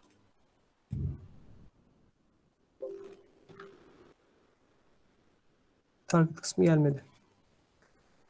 Neyse kendi datamızdan değil de örnek datadan devam edelim. Şurada load sample data test dediğimiz bir kısım var. Ee, belli sınıflandırma problemlerine örnek olarak konulmuş buraya. Mesela örneğin iris dediğimiz bir çiçek tanımı var. Yapraklardan çiçeğin yapraklarının uzunlukları alınmış. Çiçeğin cinsiyeti tahmin edilmeye çalışılıyor. Bu datasetini yükleyeyim. Dataseti yüklendikten sonra burada e, maddesin boyutları burada 3 çarpı 150. Yani 150 tane maddesi var demektir.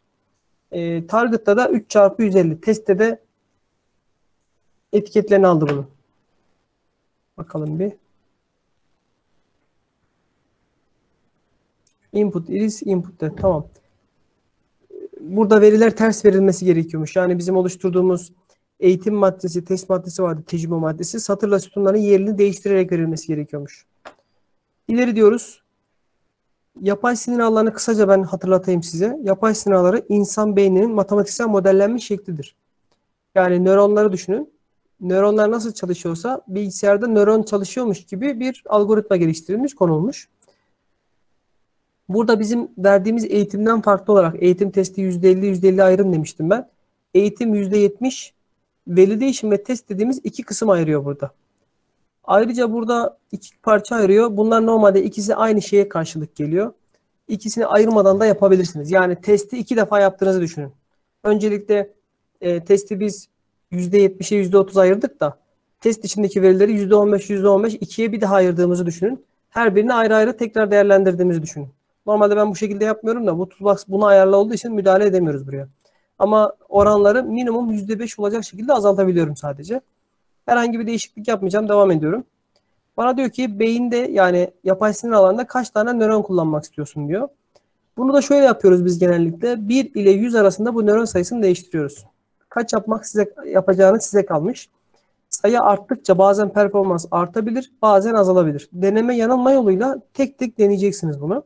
O yüzden Toolbox'ta bunu yapmak çok da sağlıklı bir şey değil. Kod yazarak bunu fonksiyona çevirerek birden yüze kadar işte sistematik olarak arttırıp sonuçları kaydetmek daha sağlıklı.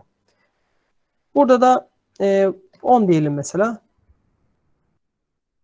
Sistem şu an oluşturuluyor diyor. Önce bir model oluşturacak size. Aklınızda olsun. Mesela 5 numara 5 tane nöron kullanıp ben çalışmayı yaptım. 5 numaralı nöronu tekrar kullanıp tekrar eğitim yapsam aynı sonucu elde edemem. Yapay sinir ağlarında böyle bir e, kararsız bir durum var. Aynı eğitimi yapın, aynı şartlar altında aynı sonuçları elde edemezsiniz. Ama diğer sınıflandırma algoritmalarında aynı sonucu elde edersiniz. Burada bunun dezavantajından kaynaklı olarak her yaptığımda farklı sonuç elde ettiğim için ben genellikle diğer yöntemlere kaymaya başladım. Çünkü bana kararlı yöntemler lazım. Bu sonucu çok iyi ama biz sürekli test yaptığımız için mesela ben bir ağ oluşturuyorum. 12 milyon tane ağ oluşturuyorum. İçinden en iyi olanı seçip almam lazım. E bu her seferinde farklı çalıştığı için benim işleri biraz zorlaştırdığı için bazen vazgeçmek durumunda kalıyorum bundan. Şu kısımda train algoritması ile birlikte train dediğimiz zaman sistem eğitiyor. Eğittikten sonra az önce rock eğrisini çıkartmıştık hatırlarsanız. Burada da rock çıkartıyor. Bakın kırmızı 3 e, sınıf için ayrı ayrı çıkartmış. Yeşil, mavi ve kırmızı için. Burada da 3 tane farklı bitki türü vardı. 3 farklı bitki türü için eğrilerin nasıl olduğunu hem testte, training'de hem de validation ve test için e, ayrı ayrı göstermiş. Ayrıca bunların ortalamasını alıp bir daha all rock dediği kısımda da bunların toplam nasıl yapılması gerektiğiyle yani ortalamasını alarak bilgi vermiş bize tekrar. Durum bu. Şimdi buna ek olarak burada ne var? Plot coefficient dediğimiz çapraz doğruluk maddesi vardı. Öncekiler 2'ye 2'likti burada 3'e 3. Ve bunun altında da hemen doğruluk oranını yerleştirmiş. Çıkış doğruluk oranı, giriş doğruluk oranı. En sağ alt köşelerde ise e, toplam doğruluk oranlarını yeşille, yanlış hata oranlarını da kırmızıyla yazılmış. Yapay sinemaların görselliği diğerine göre biraz daha güzel. E, çok daha fazla detay veriyor size ve anlaşılırlığı daha yüksek. Buradaki durum da bu. Bunları yorumlayabilmek için çıkartıp işte insanlar nasıl yorumlamışlar, e, hangi sayı nerede ne işe yarar öğrenmenizde fayda var. Burada başka ne yapabiliriz? Bittikten sonra bunları tekrar eğitebilirsiniz. E, ağın parametrelerini ayarlayabilirsiniz. A parametresi neydi? Nöron. Sadece burada nöron değiştiriyoruz. Toolbox'ta nöron değiştirme izin veriyor. 30 yapalım mesela. Tekrar eğitim yaptığınız zaman bütün şartlar değişti. Plot coefficient dediğiniz zaman bu e, çapraz doğruluk maddesini tekrar oluşturur verir size. Bakın mesela az önce 10 nörondayken %97 idi validation. E, %91'di. Şimdi %100'e çıktı. Demek ki nöron sayısı başarıyı etkileyen en önemli faktör. Nöron değiştirerek bunları elde edebilirsiniz. Farklı veri satı ekleyip devam edebilirsiniz. İleri dedikten sonra bunun MATLAB fonksiyonu, matrislerini, kodlarını veriyor sistem size. Yani MATLAB fonksiyonunu ver dediğiniz zaman size bakın çıkarttı fonksiyon verdi. Yine bunu kullanarak işlem yapabilirsiniz. Ama bunlara hakim olabilmek için temel MATLAB testlerini görmenizde yani dinlemenizde fayda var. Uygulama yapmanızda. Şimdi bu sınıflandırma algoritmaları bu kadardı arkadaşlar. Bundan sonra regresyon var. Süreç tamamen aynı. Problem tipi değişecek ve elde ettiğiniz sonuçlarla birlikte performans değerlendirme kriterleri değişecek. Regresyon algoritmalarıyla kaldığımız yerden devam edebiliriz. Sesim geliyor mu? Evet tamam çok güzel. Arkadaşlar sorularınız varsa yine aşağı yazın.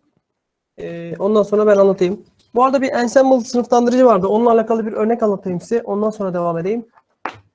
Ensemble çok kullanılan yöntemlerden bir tanesi. Karar şey yokmuş tamam.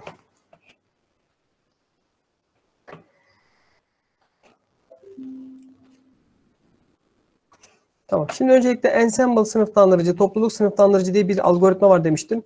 Ee, o ne işe yarıyor? Ona bir bakalım bir. Şimdi elimizde e, birkaç tane farklı sınıflandırıcı olduğunu düşünelim. KNN, K en yakın komşuluk algoritması, SVM destek vektör makineleri, DTT karar araçları olsun. En sonunda da ensemble sınıflandırıcı koyuyoruz. Şimdi bir kişi geldi. Bu bir kişinin kayıtlarına göre KNN bu kişiye hasta dedi. Elimizdeki etiketler bir ya da iki olacak.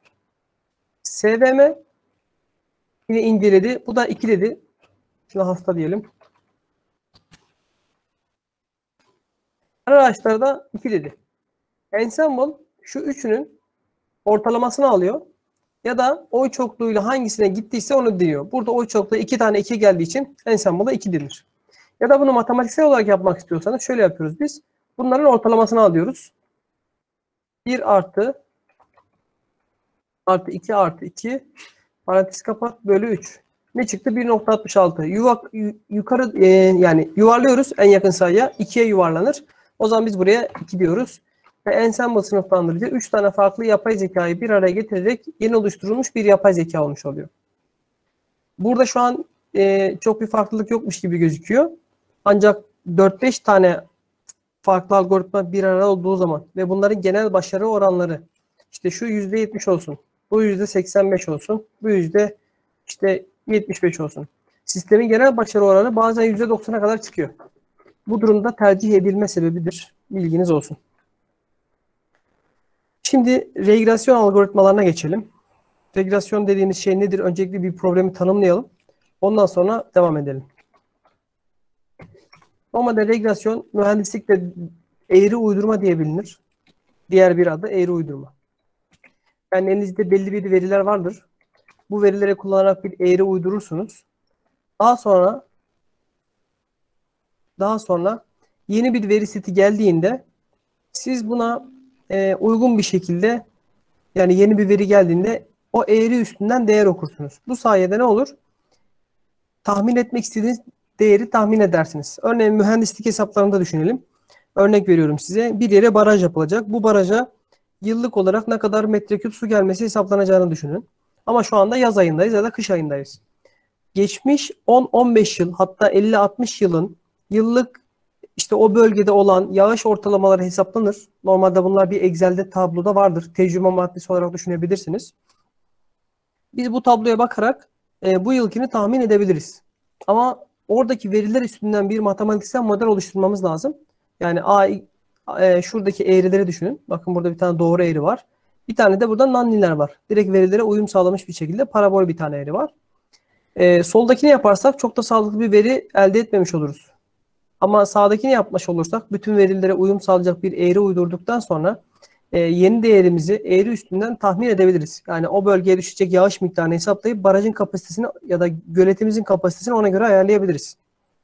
Diğer bir durum metrekareye düşen yağmur miktarına bağlı olarak kanalizasyonların taşıma kapasitesi hesaplanabilir. Bu da geçmiş yıllara bağlı olarak o şehre yağan yağmur miktarları, kanalların kapasitesi, e, buna bağlı olarak ne kadar maksimum kapasiteyi çıkartmamız gerekiyor bizim. Bunları hesaplayabiliriz. Altyapı taşımadığı zaman sel olur. E, selleri engellemek için altyapının kapasitesini arttırmak gerekir. Ama bazı durumlarda kapasite o kadar maliyeti yükselir ki yani arttıramayacağınız bir değerdir. Maksimum yapılabilecek seviyeye kadar çıkartılır. Bunun tahmin modelleri esasen regresyon modelleriyle yapılır. Yani eğri uydurmayla. Ama eğri uyduramayacağınız bir model varsa, çok karmaşıksa e, bunun yerine artık yapay zeka algoritmaları kullanılabilir. Bakalım yapay zeka algoritmalarında e, yani burada tah, tahmin etmek istediğimiz şey yıllık ya da o günkü yağış miktarının metreküp cinsinden hesaplanmış değeri. Yani sayısal bir değer. Şimdi başka bir örnek daha vereyim. Sağlıktan verelim bu sefer. E, diyet yapanlar bilir. Vücut yağ oranı dediğimiz bir parametremiz var. İnsanlar diyet yapacağı zaman işte bir diyetisyene giderler. Tanita dediğimiz bir vücut analiz cihazına bağlanarak vücudundaki yağ miktarları hesaplanır. Bulabilirsek. Heh, şu mesela. Yağ miktarları da %18'in altından başlayıp %40'a kadar, %60'a kadar çıkıyor sayılı değerler. Bunları hesaplamak için de Tanita dediğimiz ya da vücut analizi cihazları kullanılıyor. Bu cihazların da maliyetleri yüksek. Mesela şöyle bir cihaz var. Üstüne çıkıyorsunuz. Ayaklarınızla üstlerine çıkıyorsunuz. Bu aşağıdaki metal kısımlar üzerine basmanız gereken yerler. Temel üst taraftan da direksiyondan ellerinizde tutuyorsunuz. Temel olarak şöyle çalışıyor. Vücudunuza elektrik veriyor ama çok düşük bir akım. Spor salonlarında da kullanılıyor sıklıkla doğrudur. E, ayaktan elektrik verip elden ölçüyor. Yani vücudunuzu sanki bir devre olarak tamamlıyor. Elektronik elektrik devresi olarak tamamlıyor. E, verdiği akımı, gerilimi bildiği için vücudunuzun direncini hesaplıyor. Direnç hesapladıktan sonra kendi içerisindeki bazı regresyon modelleriyle birlikte sizin vücudunuzun yağ yüzdesini hesaplıyor. Diyet yaptığınız zaman amacınız kilo vermek değil, yağ kütlesini azaltmaktır. Yani kiloyu kastan değil de yağdan vermeniz gerekir. O yüzden yağı hesaplamak burada hayati öneme sahip. Bunu niye yapıyorlar? Öncelikle başlangıçtaki yağ miktarınız, yağ kilonuz belirlenir. Diyet yaptınız, geldiniz, 10 kilo verdiniz mesela. Bunun kaç kilosu yağdan gitmiş, bunun tespit edilmesi gerekir. Eğer kastan verdiyseniz yaptığınız diyet sağlıksızdır. Ee, size fayda yerine bir de zarar sağlar. İşte farklı iç hastalıklara sebebiyet verir. O yüzden ne iş yapıyorsanız ilmine göre yapmanızda fayda var. Yağdan verebilmek için kiloya da işte beslenme takviyesinin belli kurallara göre yapılması gerekir. Şimdi burada bu cihazla yapılıyor. Vücut yağ yüzdesinin hesabı. Vücut yağ yüzdesinin sayısal değeri sıfırla bir arasında değişiyor. Yani bu sınıflandırma değil de artık regresyon problemine giriyor. Bizim amacımız burada bu sayısal değerleri tahmin edebilmek. Regresyon modeli. Peki bu şimdi vücut analizi yöntemiyle yapmış. Biz yöntemi de değiştirmek istiyoruz. Daha pratik bir yöntemle yapmak istiyoruz bu iş, aynı işi. Ee, şu anda bu benim kendi çalıştığım bir proje. Biz bu dedik biyomedikal sinyallerle birlikte nasıl yapabiliriz? Yani vücuttan aldığımız bir sinyalle insanları böyle bir yerde çıkartmadan nasıl yaparız diye baktık. Sinyal işleme, e, yapay zeka bunları birleştirerek bu probleme çözüm yöntemi arıyorduk biz şu anda. O pulse oksimetreden aldığımız şöyle bir sinyalimiz var. De pulse oksimetreyi açayım. Parmağa taktığımız hafif de şurada bakın e, görünüyor. Üstündeki hafif mavi dalgalar. Bu dalgaların gerçekte alınmış sinyal şekli şuradaki sinyaldir. Bu kırmızı e, işaretlenmiş nokta sinyal. Biz biyomedikal sinyal işleme ile birlikte e, eş zamanlı hem insanların parmaklarından bu kayıtları aldık hem de tanita cihazlarından kayıtları aldık. Amacımız tanita cihazının verdiği değerleri parmaktan aldığımız sinyallerle tahmin edebilmek. Öncelikle sinyal işleme ile birlikte vücuttan e, insanların bu parmaklarındaki sinyalden özellik çıkarttık matematiksel olarak. O çıkarttığımız özellikler burada nerede varmış bakalım. Şu. 80 kaç tane çıkartmışız? 103 tane özellik çıkartmışız. Matematiksel olarak bu sinyallerden. Burada bir kısmında işte sinyal işleme giriyor. O sizin alanınız değil. Sadece buradan böyle şeyler çıkarttığımızı bilin yeter. 104. sütun ise bizim için e, insanların vücut yağ hücrelerinin dağılımları. Şimdi bunu çizdirecek olursak nasıl çizdiririz bakalım bir. Plot diyelim. İnsanların vücut yağ hücrelerinin dağılımı nasılmış? Tabi burada cinsiyet de var da biz cinsiyeti hesaba katmadık. Burada bir pik değer var.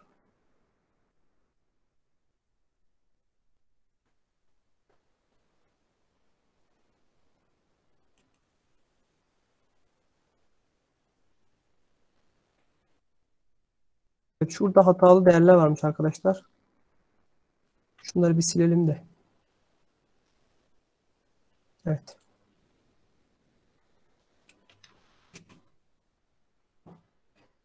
Tekrar çizdirelim.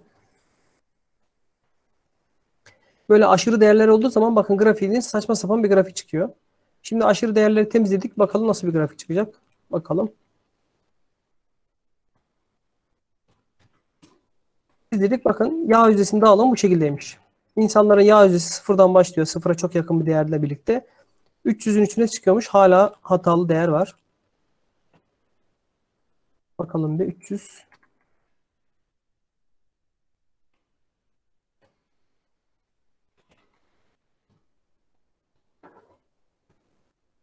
Evet bu şekildeymiş tamam. Ya normalde 100'e kadar olması gerekiyor da burada bir hata var. Ona tek şöyle yapayım bakalım bir. Tamam hala hata var burada. Ona tekrar bakmak gerekir.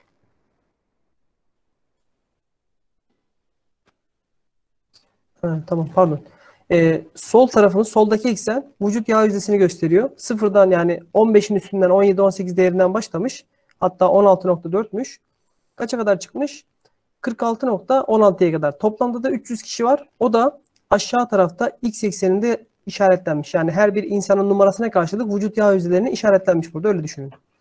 Ama vücut yağ hücresi oranının değişimi bizim şu andaki veri setimizde 16.4 ile 46.16. Bizim amacımız işte bu matristeki değerlere dikkat ederek toplam 103 tane özellikle birlikte 104. sütunu tahmin etmek istiyoruz. Regresyonda yapmanız gereken önemli noktalardan bir tanesi tahmin etmek istediğiniz sütun en sondayken bir kere bunu küçükten büyüğe doğru sıralayacaksınız ki veriler bir düzgün dağılım içerisine girsin. Yani şu grafikte gösterdiğimiz gibi sıraladığımız zaman artan bir şekilde ya da azalan bir şekilde biz bunu görebilelim. Çünkü yapay zeka aralardan örnek seçerek alacak bunu eğitim yapacak. Dengesiz bir şekilde işte verinin ilk kısmını eğitip sonraki kısmı sorarsanız yapay zeka cevap veremez buna. Öğrettiğiniz aralıkta görmediği değerlerden sormanız gerekir. Yani ben 0 ile 100 arasını öğrettim. Gidip 200 ile 300 arasını sorarsam bu sistem bana doğru cevap vermez. Aralığı da geniş tutup öğreteceğiz. Sonra o aralıkta görmediği diğer değerleri soracağız. Şimdi bunda yine regresyon e, toolbox'ımızı açacağız. Toolbox hangisi? Regression Learner diye geçen bir toolbox. Az önceki sabah yaptığımız Classification Learner'dı. Bu da Regression Learner. Burayı açtıktan sonra yine data setimizi sabah yaptığımız işlemlerin yani bir saat önce yaptığımız işlemlerin aynısını tekrarlıyoruz. Workspace'ten alıyoruz. Data setimiz geldi. Ama biz evet bunu alacaktık. En son sütun 104 numaralı sütun bizim vücut yağ yüzdemizi gösteriyor. Ve bakın aralığı 16.39 ile 46.16 arasında değişiyor diye buraya işaretlenmiş. Diğer işaretlerde özellik. Biz eğitim setimizi %50'ye ayıralım. Start dediğimizde eğitimde %50 %50 ayırdık. Bize artık sadece testin doğruluk oranını gösterecek sistem. Evet şimdi bu veri setini gösterdi. Biz quick diyelim. Hızlı bir şekilde hızlı çalışan algoritmaları eğitsin, test etsin, bizi çalıştırsın.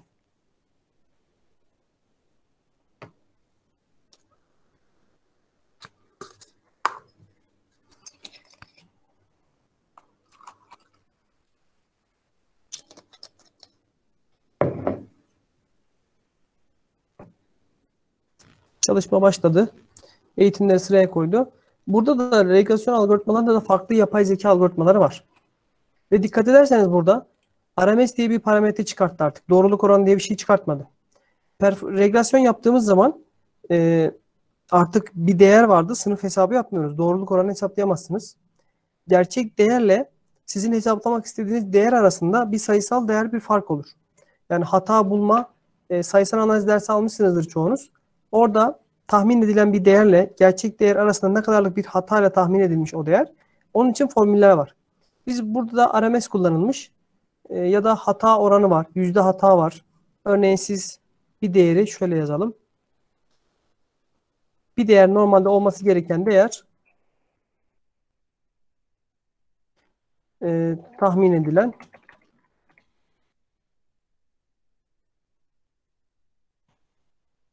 tahmin edilen değer 93. Gerçekteki değer 85. Peki ben bunu e, hata oranı yüzde yüzde kaç hatayla tespit etmiş olurum? Bunu şu şekilde formülle hesaplıyoruz. Gerçek eksi hesaplanan tabii bunu mutlak değerini alıyoruz. Bölü gerçek değer diyoruz. Çarpı 100 diyoruz bir de buna. Bize yüzdelik olarak hatayı veriyor. Tabii bunun önünde eksi olduğu için başına eksi koyup eksiyi kaldırırız.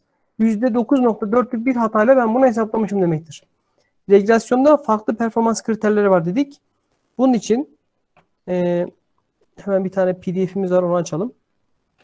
Hangi parametreleri kullanmanız gerektiği ile alakalı.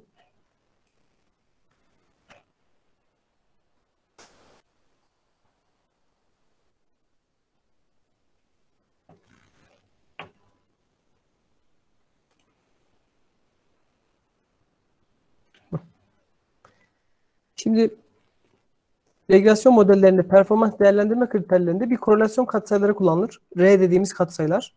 Bunları kullanıyoruz. Daha sonra ham artıklar dediğimiz gerçek değerle e, tahmin edilen değerin farkı olan bir hata değeri. Bunu kullanıyoruz. Standart hata var. İşte tahmin edilen de gerçek değerin birbirinden farkı, karesi, sonra bölü n sayısıyla alakalı bir formülasyon var. Bunu kullanabiliyoruz. Açıklayıcılık katsayısı var. Yukarıda hesapladığımız korelasyon katsayısının karesi. MSE var. Yani mean square error dediğimiz ortalama karesel hata. RMS de ortalama karesel hatanın karekökü. Bu şekilde formüller var. Hata oranı var bir de ayrıca. İşte tahmin edilen eksi gerçek bölü gerçek çarpı 100 diyoruz. Bizim şu anda hesapladığımız değer. Bu bir tanesi için. Benim şu anda hesapladığım bir tanesi içinde. Şu %9'luk değer. Siz bunu her insan için yaptıktan sonra bunların ortalamasını alıyoruz. Diyoruz ki bu sistem %7 ortalamayla e, şey yapıyordur. PDF yok. Bu PDF benim kitap hazırlığım. Kitabım bu. E, yazıyorum daha hala. Ben bunu verirsem patlarım. O yüzden veremiyorum. Kusura bakmayın. Ama bunun İngilizce versiyonu var. İngilizce versiyonu hemen sizinle paylaşayım. E, bir bakalım İngilizce versiyon nerede. O İngilizce versiyonda istediğiniz bu yazdığım şeyleri A'dan Z'ye anlattım. Orada da yazıyor. Ama Türkçe kitap olarak hazırlayacağım için Türkçesi yok şu anda. Yani vermiyorum bunu.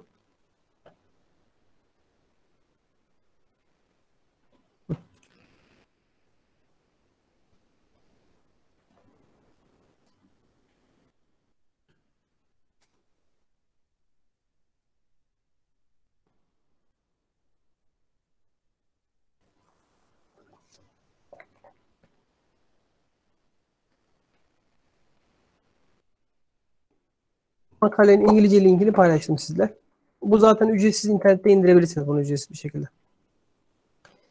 Tamam hata oranı da bu şekilde belirleniyor. Bunun dışında o makalede yazdığım hata tahmin oranları, denklemler zaten orada yazıyor. Onlara bakarak kullanabilirsiniz. Şimdi regresyon modeline gelelim. Şurada sarı işaretler bizim yapay zekanın tahmin ettiği değerler. Maviler ise olması gerekenler.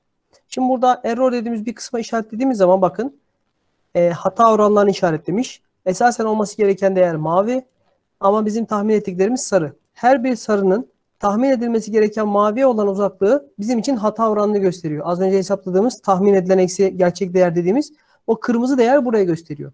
Bu kırmızı sarı noktanın yukarıda olması bizim için işte pozitif hata, aşağıda olması negatif hata olarak düşünebilirsiniz. Veri setimizde bakın dengeli dağılmış. 300 veri setini almış. Bu şu anda veri setinin tamamen dağılımını ve üstüne tahmin ettiğimiz değerlerin yerleştirilmesini gösteriyor. Yukarıda da yine sınıflandırmaya benzer olarak performans değerlendirme kriterleri var. Farklı kriterler. Ee, bunlara her bir tıkladığımızda farklı yönler çıkıyor. Şimdi bu da regresyon için oluşturulan modellerle e, şeyin birbirine olan yaklaşımını gösteriyor. Bu noktalar bu doğru üzerinde ne kadar yaklaşmışsa e, değerlerimiz o kadar iyidir diye düşünebiliriz. RMS değeri de sıfıra ne kadar yakınsa sistem o kadar iyi demektir. Benim az önce size PDF'ten gösterdiğim RMS değerinin hesaplaması formülü vardı. Burada da sadece RMS'i kullanmış mesela. Ben daha farklı e, parametreler de kullanıyordum. Şimdi şöyle yapalım. Bakayım başka var mı? Makul kabul edilebilen değer sıfıra yakın olması demektir. Sıfıra ne kadar yakınsa o kadar iyidir. Ama her bir sayısal değer değiştiğinde hata oranı değişir. Örneğin şuraya açalım. Şimdi bu 93 iken 85 iken hata oranı %99 çıktı değil mi? Şimdi ben bunu 93 bin yapayım.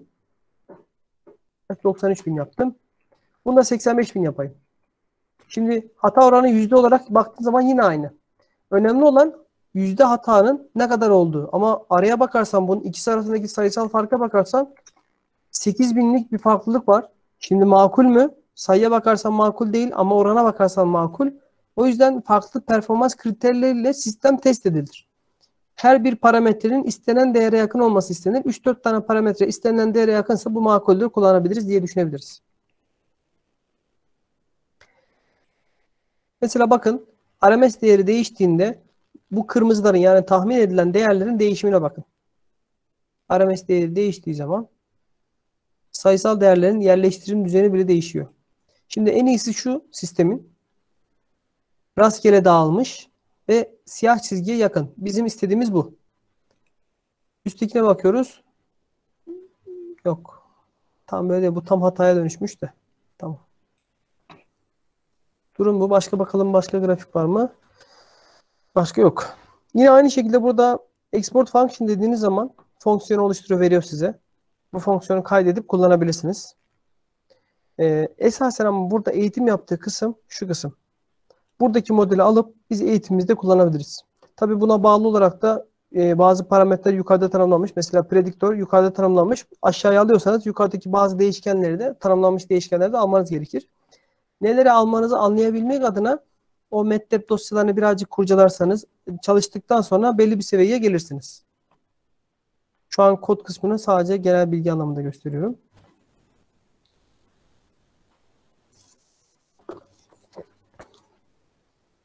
Bu da tamamdır.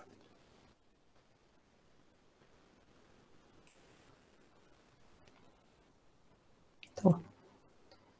Ee, RMS'i yukarıda gösteriyor. Aşağı kısımda bakın RMS, resecurt az önce benim söylediğim e, R MSE, MAE dediğimiz hata oranı, e, hataları işlemini yapma süresini buna bağlı olarak başka farklı parametreleri de burada vermiş. Yani kod yazmadan da buradaki değerleri alıp kullanabilirsiniz. Diğerlerine bakalım mesela. R kare de çok önemli bizim için. R kare 1'e yakın olduğunda ya da R'miz çok iyi demektir. Şu anda R kare mesela 0.81. Ee, R bunun kare köküdür. Çok çok daha iyidir. Sistem bayağı iyi çalışıyor şu an. 1.9 olması çok iyi. Yani R'ye bakarak bile işlemlerinizi yapabilirsiniz. Ee, R 1'e ne kadar yakınsa sistem o kadar iyidir. Bir bakalım bir şimdi burada R değerimiz kaçmış. Direkt burada göremedik. Burada R kare verilmiş. R sükürt dediği 0.81. Biz bunun kare kökünü alırsak 0.9'muş. Yani 1'e yakın %90 düzgün çalışıyor bu sistem diyebiliriz biz bunun için. Bu da tamamdır. Şimdi buradaki kodları nasıl çalıştırırsınız? Örnek anlamında. Şimdi bunun kodunu verdi. Şurada fit r3 dediğimiz bir fonksiyonumuz var. Bu e, karar ağaçlarında regresyon yapmak için kullanılan bir algoritma. Bu kodu alıyoruz. Help yazıp ana ekranda kodumuzu yapıştırıyoruz. Bu kod nasıl çalışır? MATLAB bize bununla alakalı detaylı bir doküman çıkartıyor. Ve bununla alakalı da envai çeşit örnek veriyor. Şimdi e, şuradaki bilgileri geçtim.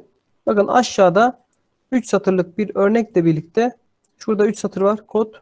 Yukarıda da öncelikle verilerin yüklenmesi, gösterilmesi ile alakalı direkt örnek kodları verdi. Bu kodları alıp direkt çalıştırdığınızda e, direkt bu karar ağaçlarını kullanabilirsiniz modelinizi. Örneğin bir tane yapalım hemen.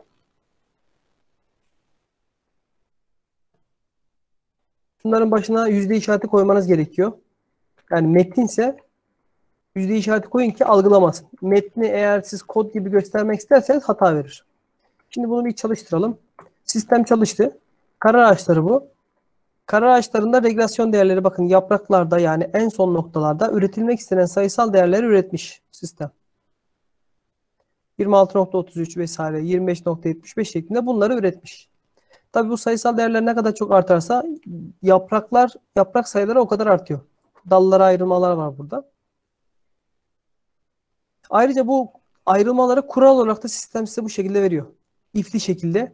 Siz bunu bir Arduino'ya bir gömülü sisteme dökmek isterseniz çok rahat bir şekilde dökebilirsiniz. Yani karar ağaçlarını kullanarak sınıflandırma algoritmaları için de geçerli bu. E, yapay zeka tabanlı bir Arduino tasarlamanız mümkün. Çok basit birkaç işlemle birlikte yapabilirsiniz.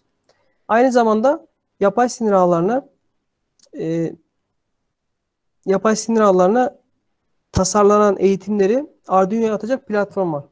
Çok basit bir makul düzeyde dosyaları gönderiyorsunuz sisteme. Arduino'ya atacak kodları çevirip size verip direkt Arduino'ya attırabiliyor. Çalıştırabiliyorsunuz.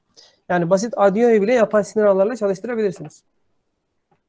Buradaki fonksiyonlarda hiçbir şey bilmiyorsanız gözle bakarak fonksiyonları herhalde bir mikro yani bir algoritma yazarsınız.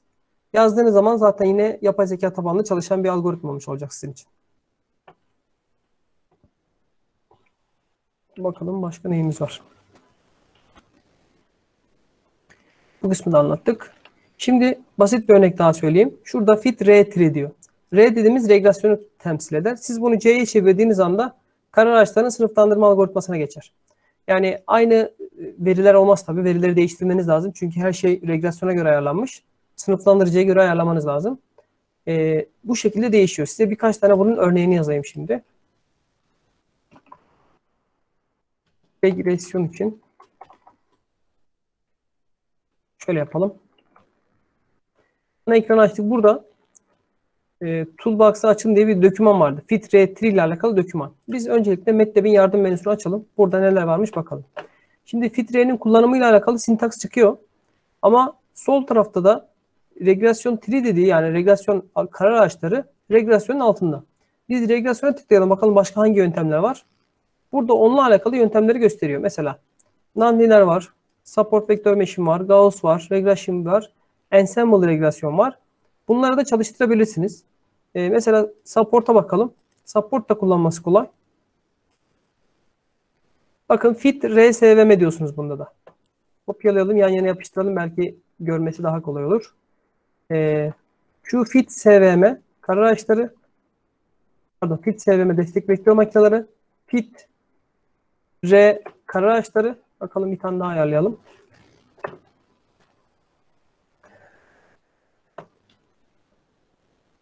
Tamam bu ikisi yeter ya. Ya da ensemble'da açalım. Yani ufacık bir kodla birlikte her şeyi değiştirebiliyorsunuz. Bit re ensemble. Yani şu yukarıdaki kodu şu normalde re'ydi zaten. Bunun yerine şunları yazdığınız zaman direkt modeliniz çat diye değişmiş olacak. Arada ekstra bir model oluşturmanıza gerek kalmıyor. Basit yöntemle. Bunun aynısını sınıflandırma için yapmak istersek kopyalayın bunu. R'lerin hepsini classification'a dönüştürdüğümüz anda şu yukarıda işte fit CSVM yerine fit C3 yazdığınız zaman direkt sınıflandırma algoritmasına pat diye dönüşüyor bu. Yani MATLAB bu anlamda kolay. Yapıyı oluşturduktan sonra sadece tek bir kodu değiştirerek bütün algoritmaları aynı anda oluşturabiliyorsunuz. Tabi birazcık e, iş yükü var. Öncelikle bir Angarya öğrenme anlamında. Öğrendikten sonra bunlar çok rahat geliyor sizin için.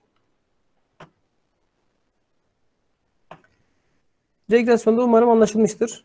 Regresyonda değerlendirme parametreleri bu şekilde. E, sistem size genelde çıkış veriyor output dediğimiz gerçek çıkışla sizin elinizdeki çıkışları karşılaştırıyorsunuz. Burada gerçek çıkış dediğimiz kısım sizin elinizde gerçekte olan veriler. Şu matris bir şey düşünelim. Açalım bakalım bunu. Bu benim oluşturduğum matristi. Buradaki en sondaki veriler gerçek çıkışlarınız. Bir de yapay zeka size bir çıkış veriyor. Onu da şöyle düşünelim. Ben hemen bir tane test oluşturalım. Test S sizin test C gerçekte sizin cevap anahtarınız ya da eğitim C diyelim. Şimdilik sadece örnek anlamında yapıyorum bunu.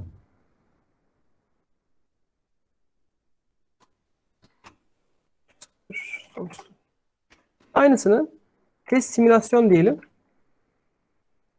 Normalde aynısı olmayacak da farklı olacak. E, amacımız artık simülasyonun cevaplarıyla gerçek cevaplar arasında matematiksel denklemlerle performans kriterlerini hesaplamak. Simülasyonu zaten bize yapay sinir ağları verecek. E, ya da işte regresyon modelleriniz verecek. Verdikten sonra bu işlemi yapacaksınız. Durum bu. Benim anlatmak istediklerim bu kadar arkadaşlar. Sorularınız varsa alabilirim. Daha sonra dersi tamamlayabiliriz bugünlük. Yani regresyon kısmı da bu kadar. Kodsuz yaptık şu anda. E, kodla yapmak istiyorsanız belli bir seviyeye geldikten sonra ilerlemek daha makul. YouTube'daki ders videoları da var. Onlardan da bakıp bir şeyler yapabilirsiniz inşallah.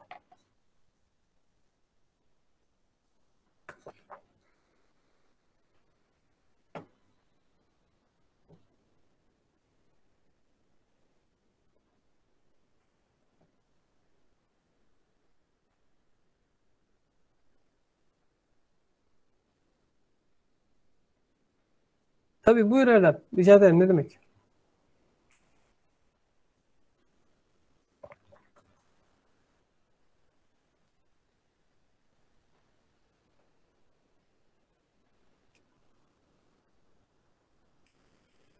Şimdi bir sistemin öğrenmeye tekrar devam etmesini istiyorsanız sistemi tasarladıktan sonra tekrar kendini eğitebilmesi için bir algoritma tasarlamanız lazım.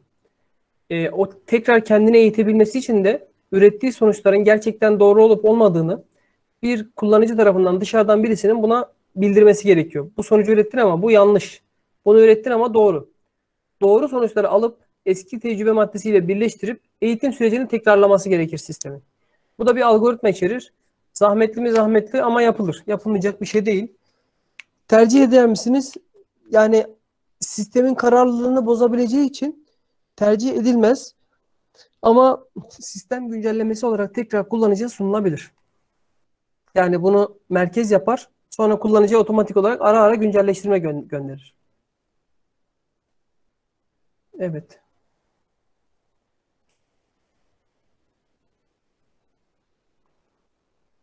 Şimdi model seçimini yaparken şöyle yapıyoruz biz. AUK'u ya da doğruluk oranını tek başına değerlendirmiyoruz. Özellikle sensitivity, specificity yani hastalık ya da sağlığı ayırt etme özellikleri testlerin ya da geliştirilen sistemlerin yüksek olmasını istiyoruz. Hem sensitivity hem specificity'nin yüksek olmasını ve buna mukabil zaten doğruluk oranı yüksek olacaktır. Sensitivity, specificity doğruluk, doğruluk oranı doğrudan etkileyen bir parametre. AUK oranı da doğrudan etkileyen bir parametre. Yani AUK'la sensitivity, specificity grafiksel olarak zaten birbirini tamamlayan şeyler. Önceki sunumda görmüşüzdür belki. Göstereyim bakayım tekrar bir. AUK'un bir taraftaki ekseni sensitivity, bir taraf specificity zaten. Bir eksi şey diye geçiyor. Heh, şu grafik. Sol taraf sensitivity'yi, bir eksi specificity y eksenini gösteriyor. Bu durumda AUK, sensitivity, specificity, doğruluk zaten hepsi birbirini etkileyen parametreler.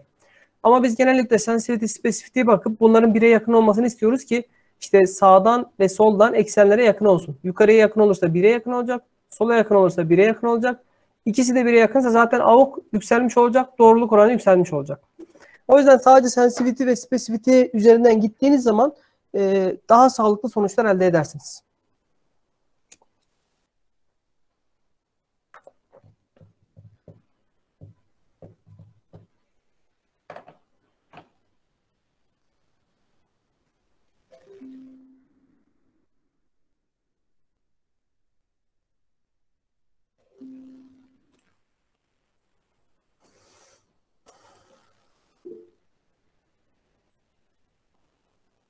Bu algoritmalar MATLAB özel değil. Algoritmalar akademisyenler tarafından gerçekleştirilir. Makalesi yayınlanır. O makaledeki algoritmalar alındıktan sonra e, kütüphaneleri yani kodlamaları yapılır, hazırlanır. Bu kodlamalar MATLAB'de olur, Python'da olur, Java'da olur, kütüphanelerde hazırdır. Kastettiğim az önce size araba kullanmayı öğrenin dediğim kastettiğim şey buydu. Siz algoritmaları kullanmayı öğrenin. Bunu A platformunda olmuş, B platformunda olmuş çok önemli değil algoritmaya hakim olduktan sonra yani kullanabildikten sonra istediğiniz yerde bu işlemi geliştirebilirsiniz. Ama süreci A'dan Z'ye kendiniz tasarlarsanız daha iyi olur. Ama kod yazmıyorsunuz unutmayın. Yapay zeka algoritmasını tekrar yazmaya başlamayın. Yani ben matematiğe girmek istiyorum falan diyebilirsiniz. O da ayrı bir zevk. Ama öğrenmek için öncelikle bir kullanmayı öğrenin. Sonra geliştirmeye bakarsınız. İkisi farklı şeyler. Durum öyle şu anda.